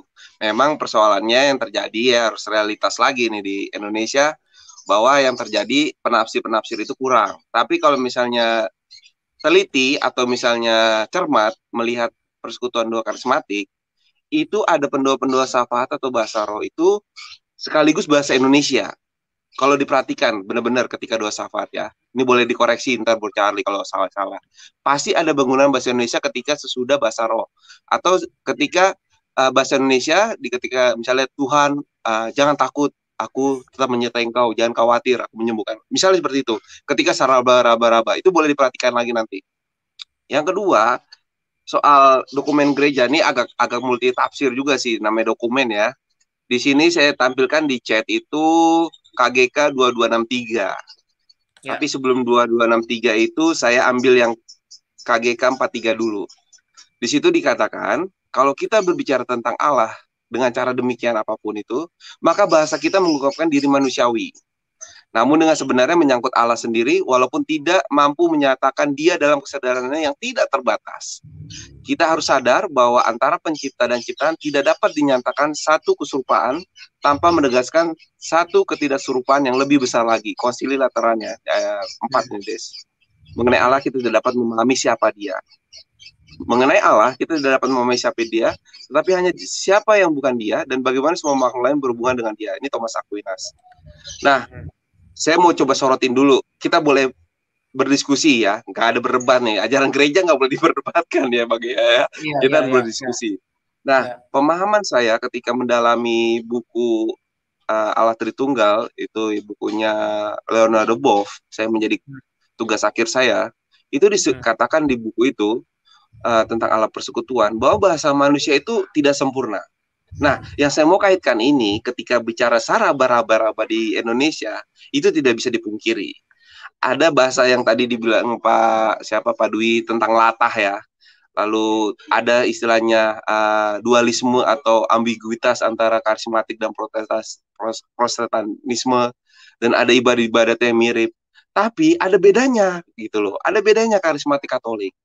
Kalau Anda atau siapa pun yang menyimak ini melihat karismatik yang sesungguhnya, itu ada uskupnya bahkan yang membawahi dewan uh, pembina atau istilahnya dewan kehormatan. Kita bercari yang lebih paham lah. Saya masih ecek-ecek kalau soal organisasinya. Tapi uh, siapa pun yang karismatik yang sesungguhnya, yang benar-benar karismatik uh, Katolik itu, itu ada misalnya. Artinya apa? Taat pada gereja. Nah, ini soalnya metode ya, metode. Saya bilang metode atau mungkin bahasa psikologisnya ini ada yang tipe melankolis, ada sing apa yang sebagainya ini. Nah, karismatik ini kalau saya boleh pakai bahasa saya, itu darah-darah agak sedikit apa ya, bergelora lah istilahnya. Suka yang uh, nada uh, suara-suara yang meriah bahasanya gitu ya. Uh, jadi saya melihat pengamatan saya saya baru observasi selama tiga tahun bang ya. Dari 2018 observasi saya baru mengatakan observasi dan saya lulus sepum 33 bang ya. Jadi sep umum 33 uh, eh, jebolan Sekina tahun 2019 selama saya mengamati dan mengamati terus sampai sejauh ini saya mempelajari dengan dua hari terakhir yang saya share di grup itu bahasa roh itu yang terutama tuh haleluya. Jadi perlu pertegas lagi haleluya. Ada kelatahan menggunakan bahasa badu, padu ini, kelatahan karismatik Katolik itu menggunakan bahasa raba-raba itu yang yang bisa di copy paste lah bahasanya. Tetapi yang harus ditegaskan adalah ketaatan karismatik Katolik yang murni itu taat pada paus dan gereja Katolik. Jadi ada uh, romo-romo bahkan yang bisa dicek nanti romo-romo karismatik itu taat. Nah, kelatahan ini menggunakan bahasa Pak Dwi terjadi di uh, masyarakat. Karena apa? Kalau bicara penjatsan nih, saya agak menyoroti penghakiman nih. Seolah-olah mengeneralisis dan meng, tidak ada data spesifik sehingga mengatakan karismatik ini mirip protestanisme, nggak ada data yang kita apa ya istilah kita berdasarkan yang saya sampaikan pengalaman pengalaman ya, ya, makanya ya, makanya saya tidak, tidak tidak mengatakan tidak, data. Tidak, saya juga seorang ya. karismatik dulunya. Saya tahu nah, gitu maksudnya. Bung makanya ini mendengar dengan cinta ini terlalu jauh tadi. Anak Enggak, tahu Pak, tahu dulu Pak, saya belum selesai sebentar, bicara sebentar, Pak. Saya jelaskan dulu, sebentar saya jelaskan dulu konteksnya. Tadi Pak Charlie eh, yang dari anak-anak Katolik pindah ke non Katolik. Nah, itu itu latah bukan saya nyebut karismatik. Tidak di Enggak. situ. Saya nggak menyebut pindah-pindah, Pak. Saya cuma Enggak. bicara latah, Pak. Kalau ini kalau ya, Bapak ikutin dari jam jam jam 12 tadi konteks pembicaraannya nanti rekaman ini Anda dengar sendiri lagi. ya tidak seperti yang anda Oke, sampaikan begini, begini, berbeda begini Pak Dwi gini saya... Pak uh, ketika ketika saya bicara tentang uh, dari yang saat itu orang Katolik pindah ke Protestan justru saya uh, ingin membalik uh, apa yang Bro Gea bilang bahwa orang gara-gara karismatik banyak orang pindah ke Protestan karena menyamakan gitu. Makanya Tapi, itulah yang saya, saya bilang apa? Nah, karena saya nah. menjelaskan kebenaran. Ya dalam Katolik ya. itu tiga pilar, maka tadi saya jelaskan betul. itu. Betul Pak. Gitu. Uh, itu saya, saya saya udah ngerti. Okay, Jadi okay. jangan di jangan di. Jadi, Oke, okay, saya belum selesai nih. Sesi saya belum selesai Bang ya nih. Belum ya, selesai. Saya, Sebentar, yang ya, lain uh, berhenti dulu. Uh, cuman begini, brother mendengar jangan, dengan jangan kita. Ini, jangan tadi saya enggak, tidak pakai data, pas, tapi itu yang saya alami. Gitu maksudnya. Ya oke. Okay. Saya lanjutin lagi ya. Enggak, ya. takutnya gini. Penonton kan banyak yang enggak enggak ini nih yang mendengar juga nih di channelnya Bang Gea, saya menggunakan istilah lata, tapi, tidak tapi pakai anda, data. Anda menuduh saya gitu. berbeda. Anda menuduh ya, saya dulu. berbeda nanti Anda dengarkan. Enggak. Iya, Bu. Iya, saya paham maksud Anda. Saya hanya mengatakan oke, konteks. Oke, kita dengarkan dulu. Konteks ya. kontekstualnya karismatik Indonesia itu dalam arti lata memang ada gaya-gaya protestantisme harus diakui. Tapi kalau yang benar-benar Anda selidiki Katolik yang karismatik di bawah BPK KJ, Badan Pembaruan Karismatik Kuskupan Agung Jakarta, silakan dicek. Itu taat pada tiga pilar itu bahkan uskup atau kardinal pun memimpin uh, ini ya uh, karismatik Katolik Indonesia. Pengejawantahannya bahasanya ya uh, prakteknya nih karena Bang Gia selalu bilang uh, praktek apa yang realistis itu memang terjadi Bang Gia. Karena apa? Uh, umat Katolik ya kalau kita bicara soal penghakiman ya karena saya udah menyoroti penghakiman melihat orang kita sendiri Katolik ya yang murni Katolik yang gak usah bicara karismatik itu saat misa pun mas misa di gereja anggaplah nih nggak on apa nggak online ya misa offline itu salaman aja tuh nggak nggak nggak nggak kenal nggak nggak saling care gitu nggak peduli. Ketika kita nggak mengenal mereka itu pun hanya salam damai setelah pulang gereja parkir mobil berantem. Ini mobilnya siapa sih? Nah yang saya mau maksud katakan ini contoh ilustrasi ini. Kelatahan atau apa jangan pakai kata latahan nanti di salah tafsir lagi yang Pak Dwi maksud saya uh, karismatik Indonesia yang kurang murni yang terjadi di PD-PD yang baru kecil itu ntar baru cari bisa jelasin tuh. Ada ada PD-PD yang baru uh, kayak bayi lahir ada yang udah 10 tahun ada yang 20 tahun. Itu memang masih menggunakan metode-metode yang protestanisme tapi kalau ada misa khusus misa khusus karismatik Katolik Indonesia itu taat pada gereja loh. Jadi yang saya mau katakan di sini ayolah bijaklah gitu loh. Jangan hanya melihat satu dua PD terus baru observasi. Ya ya mungkin saya baru empat tahun lah ya kalau dihitung sekarang ya. Dan saya selama observasi belajar bahasa roh ya memang salah satu karunia saya permohonkan saat, sampai saat ini adalah bahasa roh karena saya menyadari karunia yang saya peroleh adalah mengajar. Itu di bisa dicek di Korintus ya atau di Rasul Paulus. Saya memiliki karunia itu saya bersyukur dari pedagoginya saya dapat saya hanya memang dari karunia bahasa uh, Roh Kudus ini saya hanya memohonkan kalau Tuhan berkenan saya dikasih bahasa Roh sampai dua hari terakhir saya benar-benar ikut webinarnya itu kata yang digunakan yang murni benar-benar Katolik Indonesia atau Katolik Karismatik Indonesia itu haleluya loh. Itu diajarkan untuk teknik dasarnya itu untuk memulai pintu dasar kepada bahasa yang berikutnya atau bahasa rohnya atau bahasa malaikatnya ataupun itu itu haleluya. Haleluya itu bahasa yang alkitabiah Mazmur di gereja Katolik ada kata haleluya itu diulang 12 kali. Haleluya haleluya haleluya. Lalu kita mohonkan Tuhan kalau emang uh, lalu dibuat nyanyian lagu apa berhembuslah Roh Kudus gitu. Dan itu diiringin itu. Sehingga kalau bicara tentang uh, bahasa ya saya terakhir Bang ya sebelum saya tutup nanti bisa didiskusikan lagi. Itu satu Korintus 13 ayat 1 ya ini saya sambil ngeteh nih. Sekalipun aku dapat berkata-kata dengan semua bahasa manusia dan bahasa malaikat, tetapi jika aku tidak mempunyai kasih, aku sama saja dengan gong yang berkumandang dan canang yang bergelincing. Nah, kontekstual yang kita diskusikan yang, yang saya ikutin dari tadi, mau sarah baraba, mau haleluya, mau bahasa Asia atau bahasa dunia, ya sekarang kembali lagi. Baik itu karismatik Katolik ataupun Katolik murni sejati Roma, apakah sudah sungguh-sungguh memiliki kasih itu? Apakah benar-benar uh, tidak ada apa ya tidak sampai ada penghakiman bahwa si A si B yang oknum-oknum ini sudah di luar jalur gitu? Itu bang ya kira-kira sambil ngeteh nih bang ya lanjut. Oke Pak Mikael silakan Pak memberikan tanggapan juga. Tadi diam dari tadi. Pak Mikael halo. Apakah masih ada? Ya ya seru juga ya antara Pak Dwi tadi. Pak Dwi, selamat sore Pak Dwi. Selamat uh, sore Pak Mikael. Ya, salam damai Pak. ah, salam damai.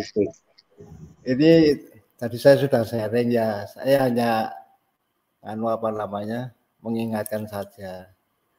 Proses itu sangat berbahaya. Saya bisa mengatakan itu karena dari pengalaman puluhan tahun ya saya mendoakan orang yang disembuhkan maupun orang yang mau meninggal ya. Itu ternyata meskipun dia Kristen meskipun dia seorang Katolik ternyata ada ikutannya gitu. Nah ikutannya itu komplain gitu.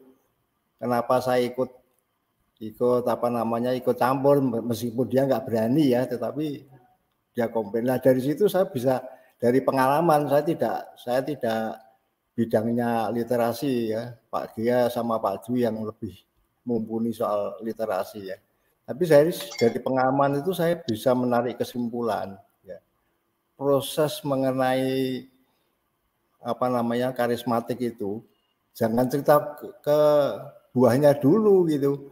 Dalam prosesnya itu sangat berbahaya kalau tidak benar-benar ada bimbingan yang betul-betul yang sangat kredibel ya mengenai persoalan mengenai masalah ini harus hati-hati itu kalau hanya dipimpin diawasi oleh seorang awam ya, ya awam artinya bukan romo lah ya bukan pada tingkatan tertentu ya saya katakan masih awam gitu tapi sudah senior itu ya harus hati-hati karena parameternya soal Roh Kudus itu kan tadi sudah disebutkan kan sulit sekali gitu ya. Nah, saya hanya cerita dari pengalaman gitu, makanya saya mengambil kesimpulan hati-hati karena kasus itu banyak sekali ya, terutama di daerah-daerah yang yang apa namanya banyak banyak banyak kepercayaan-kepercayaan itu ternyata itu mereka melakukan kadang-kadang itu double gitu ya. Kecuali dia sebagai seorang Katolik, dia juga melakukan ritual yang lain. Atau mungkin dia selingkuh gitu ya, tidak setia dan taat kepada gereja Yesus Kristus ya. Sebagai seorang Katolik, misalnya dia juga kadang-kadang menghadiri ibadah di apa di gereja yang non Katolik.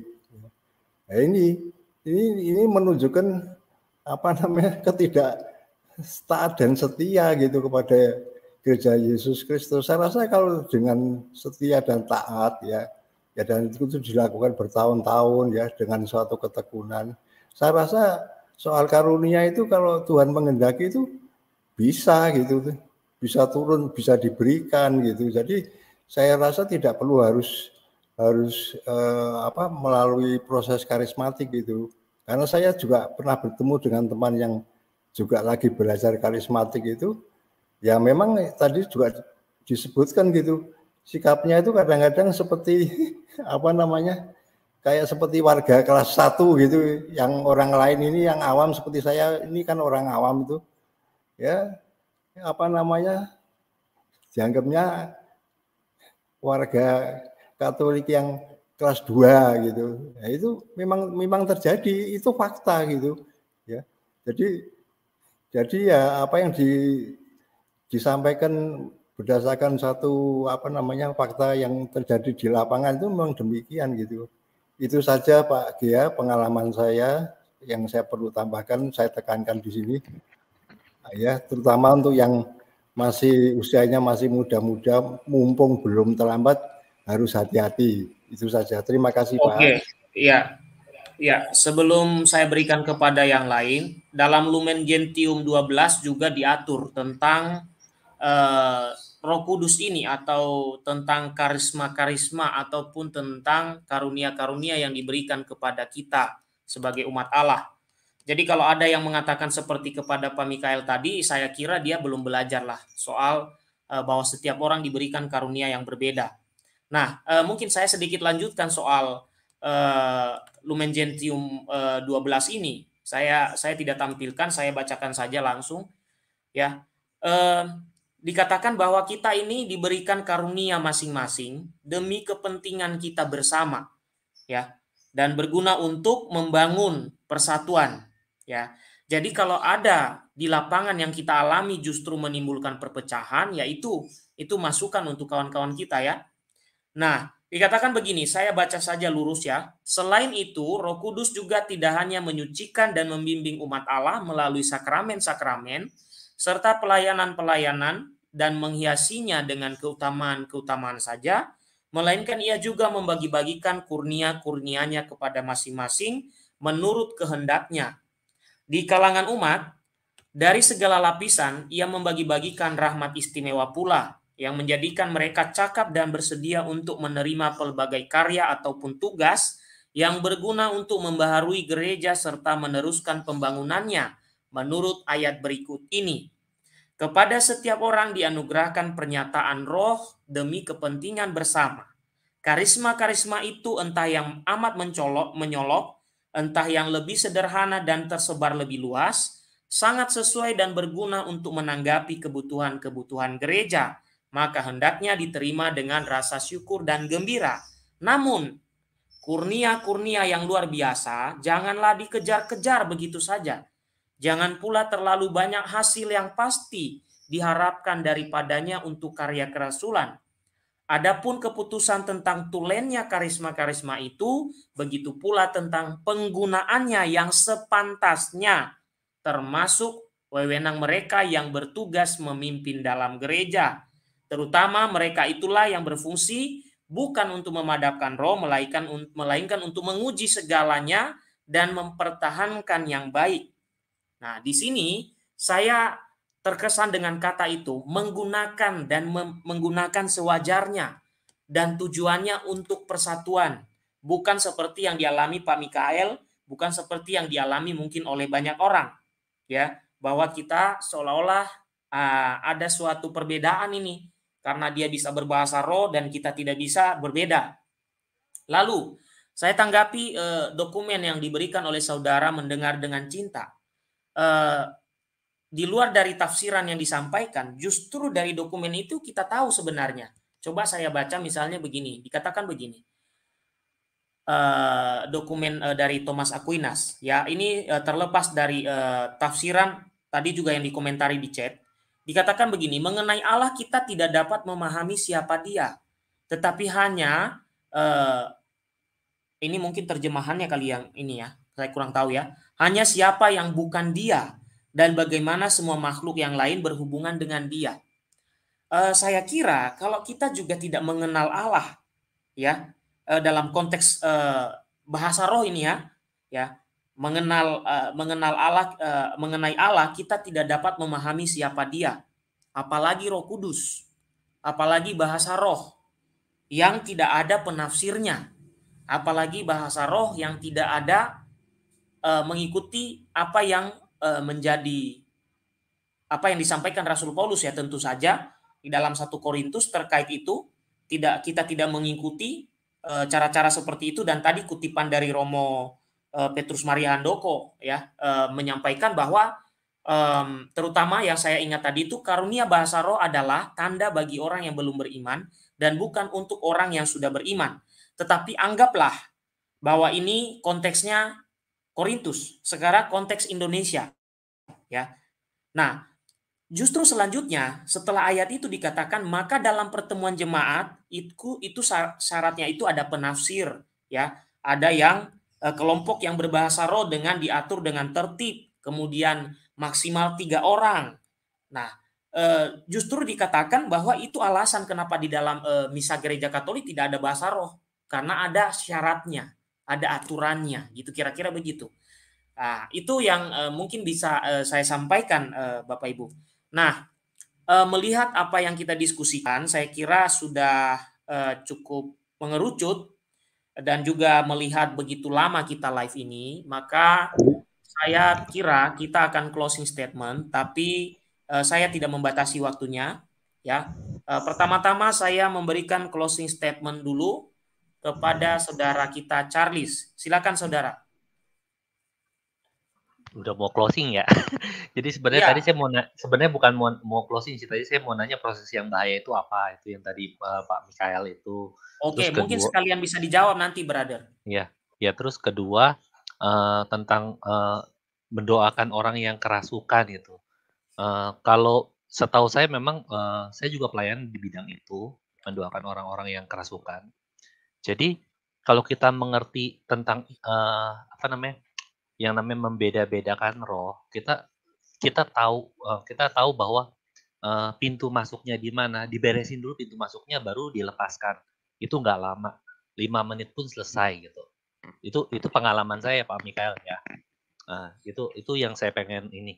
Tapi uh, kalau soal closing statementnya mungkin gini, bahasa roh itu adalah bahasa bahasa untuk berdoa. Nah, memang karunia karunia itu untuk pelayanan yang sembilan itu memang untuk pelayanan. Dan ketika berbahasa roh pun eh, orang-orang uh, di dalam karismatik pun setelah berbahasa roh pasti ada hening. Nah, saat hening itu mungkin ada satu atau dua orang atau tiga orang yang totonya ada terdorong untuk mengucapkan berkata-kata dalam bahasa roh. Dan itu biasanya pasti ada yang menafsirkan. Pasti ada yang menafsirkan satu atau dua orang. Itu yang saya tahu dan memang selama selama ini memang ada beberapa kali saya mengalami uh, menafsirkan. Menafsirkan itu berbeda dengan menerjemahkan ya. Menafsirkan itu sangat berbeda dengan menerjemahkan. Dan itu itu yang uh, saya yang saya sharingkan adalah uh, pengalaman saya sendiri uh, yang mendengarkan orang berbahasa roh dan saya mendapatkan penafsirannya dan itu memang udah beberapa kali. Dan juga memang uh, karismatik Katolik itu selalu ada romo moderatornya Romo moderator sekarang adalah Romo Chris SJ gitu. Jadi uh, ya seperti itu sih bahwa memang eh, nggak uh, liar, nggak liar dan uh, mungkin kalau ada oknum-oknum yang mungkin sombong atau apa, ya mungkin juga mereka ada jajan di gereja lain. Gitu. Itu saja sih kalau menurut saya. Terima kasih. Okay. Baik, terima kasih Saudara Charles. Sekarang uh, Saudara mendengar dengan cinta, silakan. Baik, sebenarnya Bang Gea kalau bikin satu topik khusus nggak perlu sampai tujuh jam ini Bang Gea. Itu khusus Romo Pater Kopok aja. Luar biasa nih Bang Gea channelnya nih. Waduh, saya sampai nggak mandi. Gini, nanti kalau saya soal potong nanti videonya. Saya potong nanti iya, videonya. Iya, ya. ya, harus dipotong Bang Gea. Ini topiknya agak lucu nanti kalau orang-orang gak denger kok tiba-tiba pindah alih gitu. Nah, saya pribadi kalau closing statement terima kasih Bang Gea untuk uh, waktunya buat bro-bro nih, bapak-bapak yang luar biasa ya dalam hidup rohaninya. Saya lagi cari ini nih tulisan dari bukunya Pater Niko Sukurdester nih, yang intinya dibilang adalah siapa yang dipimpin roh atau mengenakan roh Kristus, dialah yang utama gitu. Tapi saya lagi cari. Tapi saya mau apresiasi dulu untuk kritik dan sarannya untuk terhadap oknum-oknum karismatik Indonesia yang masih apa ya belang-belang lah istilahnya lah. Masih berbau protes protes apa itu. Nah tapi yang yang saya mau sampaikan adalah bang Gea dan kawan-kawan siapa pun yang mendengar ini lihat observasi dulu deh. Kalau bahasa Katolik Romanya itu inisiasi dulu deh. Sampai sedetil-detilnya sampai sebosan-bosannya sampai mengamati seluar dalamnya untuk melihat apakah karismatik itu yang Katolik Indonesia ini sungguh-sungguh taat pada hierarki, pilar gereja dan sebagainya. Karena banyak sekali yang terjadi memang di lapangan pakai bahasa raba-raba itu udah bahasa umum lah yang nggak harus tidak bisa dipungkiri yang sudah digunakan oleh para karismatik karismatik Indonesia yang sudah berbau dengan protestanisme lalu yang berikutnya adalah bagaimana teman-teman yang sungguh-sungguh mau mengenal uh, karismatik, ya dilihatlah bahwa uh, karismatik Indonesia itu salah satu metode atau sarana Allah untuk kita beribadah. mungkin selama ini kita lebih kusuk dengan tradisionalis suku tertentu atau dengan metode Latin atau misalnya uh, mohon maaf ya maksud saya bukan berarti untuk menjelekkan atau mengatakan itu bukan. Maksudnya gaya ibadahnya gitu loh. Ada yang suka meriah-meriah berdoa penyembahannya ada yang tradisionalis ada yang pembaruan karismatik. Ya silahkan ini adalah sarana Tuhan. Sehingga ketika perdebatkan untuk siapa itu yang bisa bahasa roh dan itu mohon mohon maaf. Mungkin ada yang sombong-sombong oknum-oknum karismatik, ada yang luka batin terhadap orang karismatik, ya mohon dimaafkan. Kita ini sama pengikut Kristus gitu loh. Nggak usah dilihat dia dari aliran karismatik atau apa, tapi biarlah secara manusiawi badani mereka masih lemah, uh, kesombongan roh jahatnya masih ada. Itu yang harus di harus diakui masih ada sisi-sisi uh, kelemahannya mereka walaupun ikut karismatik Katolik bisa bahasa roh mungkin mereka sombong mereka lupa Nah, ini saya mau tunjukin Bang Gea terakhir. Uh, saya buka kamera aja deh. Nah, di sini.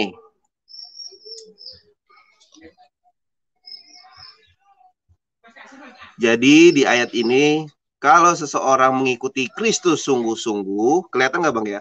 Ya, benar-benar kelihatan lah ya. Kalau nih di sini.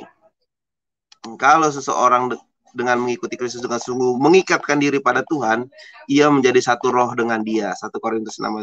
Sebab jika orang tidak memiliki roh Kristus, ia bukan milik Kristus. Kristus memberikan dirinya kepada kita melalui dan di dalam rohnya. Kalau ada roh yang tidak mewartakan Kristus sebagai Tuhan, maka roh itu bukan roh ilahi. Seperti juga tidak seorang pun dapat mewartakan Yesus sebagai Tuhan selain oleh roh kudus. Jadi di paragraf berikutnya, Barang siapa dipimpin ke dalam alam ilahi oleh roh, dibenarkan dan dikuduskan olehnya. Mungkin itu aja Bang Gea, closing statement dari saya. Mudah-mudahan okay. Bang Gea bisa bisa split Baik. ini videonya karena temanya berbeda nih, udah panjang lebar kita nih. Dan ya. terima kasih okay. buat Pak Mikael, Bro Charlie, Pak okay. Dwi. Baik. Dan closing statementnya untuk uh, saudara kita IHVC ya. Silakan saudara IHVC saya nggak ikut dari depan sih bro jadi hmm. ya tapi walaupun saya masih tadi agak bingung sedikit sih yang tentang lain kali juga kalau ada lagi kesempatan tentang yang kan diajarinnya yang pertama katanya haleluya haleluya 12 kali apakah selanjutnya ada pakai kata raba-raba apa bagaimana gitu tapi itu lain kali ya saya nggak ya. soalnya nggak ikut jadi nggak usah closing statement Oke, okay, baik. Pak Mikael, Mikael siapa? Silakan Pak Mikael, closing statementnya. Ya, saya rasa ya tadi sudah saya sampaikan itu dianggap saja closing closing statement saya gitu. Jadi ya. itu saja Pak. Terima kasih Pak kesempatannya. Oke, Pak Dwi silakan closing statementnya Pak Dwi. Singkat, padat, ya, dan jelas. Kasih, ya. ya. Terima kasih Bung Gia. Closing statement saya sederhana aja. Ya. Kalau menurut saya, saya silahkan aja karismatik PDKK apa-apa itu namanya silahkan aja. Tapi itu vitamin lah. Yang paling penting dalam Katolik itu adalah makanan pokoknya, yaitu Ekaristi. Satu itu. Kedua, tradisi suci itu bukan tradisi nenek moyang, itu lisan Kristus. Bagaimana mau dirubah? Okay. Kitab aja tidak boleh dikurangi, tidak boleh dilebih-lebihkan, apalagi ini firman langsung. Itulah tradisi suci yang ada diajarkan pada bapak-bapak gereja menafsirkan kitab suci dan lisan Kristus itu bapak-bapak gereja ini yang berhak. Kuasa mengajarnya ada pada beliau-beliau ini yaitu magisterium. Makanya magisterium mengajarkan doa rosario bagaimana bagaimana itu lebih dari semua. Okay. Itu karena apa? Kita berdoa bersama, kita berdoa bersama Bunda Maria dan orang-orang kudus, para rasul Allah itu sendiri, murid-murid Kristus itu kepada ya Sang Firman itu sendiri. Jadi kita tidak salah nih, tidak salah, tidak salah roh nih, gitu. Tidak salah karena Bunda Maria ya itu putranya yang dikandung 9 bulan, ikatan batinnya seperti apa sama beliau? Oke, Jadi Pak tidak mungkin saya ya. seorang ibu ya, ya. melihat ciri-ciri fisik putranya ya Pak Dwi ya, ya. pesan pesan uh, pesan kepada teman-teman kita yang uh, ada dalam komunitas atau kategorial uh, karismatik Katolik ini pesannya Pak singkat pada ya, pesan jelas. saya pesan saya silakan aja tapi itu sekali lagi itu vitamin yang pokoknya ini ya rosario ya pastinya makanan pokok kita itu adalah ekaristi. Nah, sekarang paling sederhana Bung Gea, paling sederhana ya. Kristus mengajar langsung setiap minggu di gereja. Kenapa kita tidak mengerti itu? Itu Kristus langsung menjelma dalam ya. gereja itu. Oke, itu kita bersama Kristus ya. gitu. Kenapa kita mesti cari-cari lagi yang lain? itu bahasa yang sangat sederhana yang kita terima. Kan begitu. Oke. Ya, oke Pak Dwi. Uh, saya kira sudah sudah tersampaikan. Uh, ya, ini uh, saya saya closing. Saya kira sudah tersampaikan apa yang Pak Dwi masuk maksud.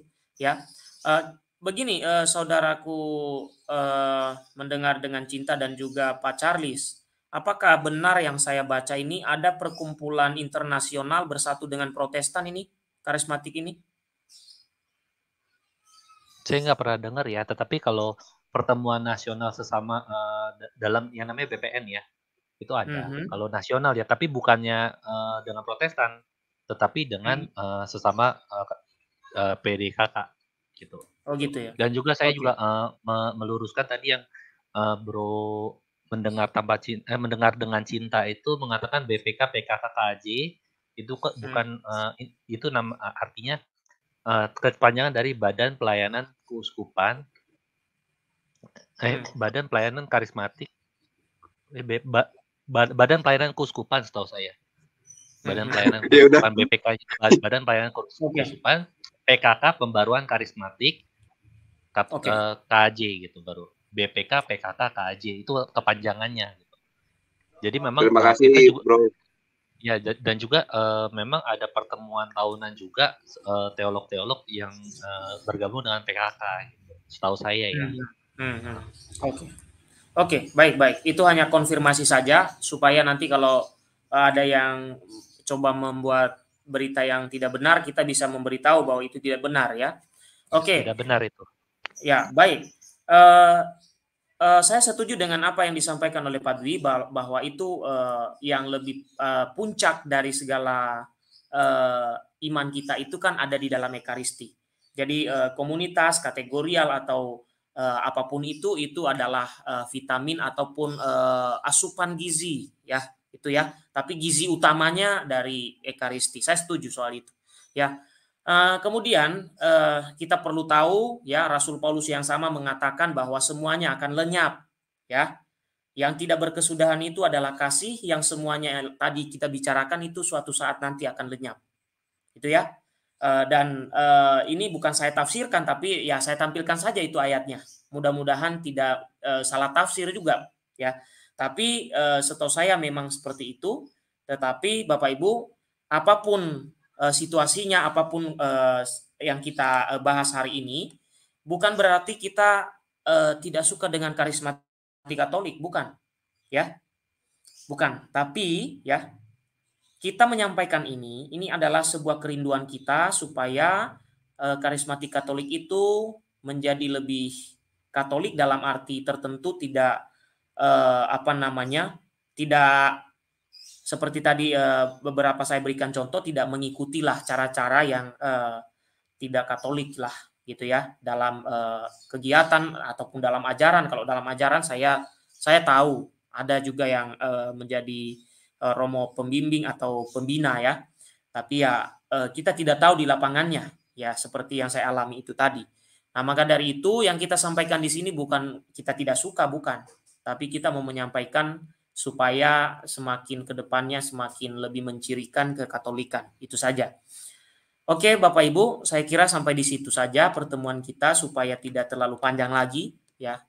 Uh, sampai jumpa di pertemuan selanjutnya. Mungkin kita buat nanti topik yang benar-benar uh, full untuk membahas uh, bahasa roh tadi.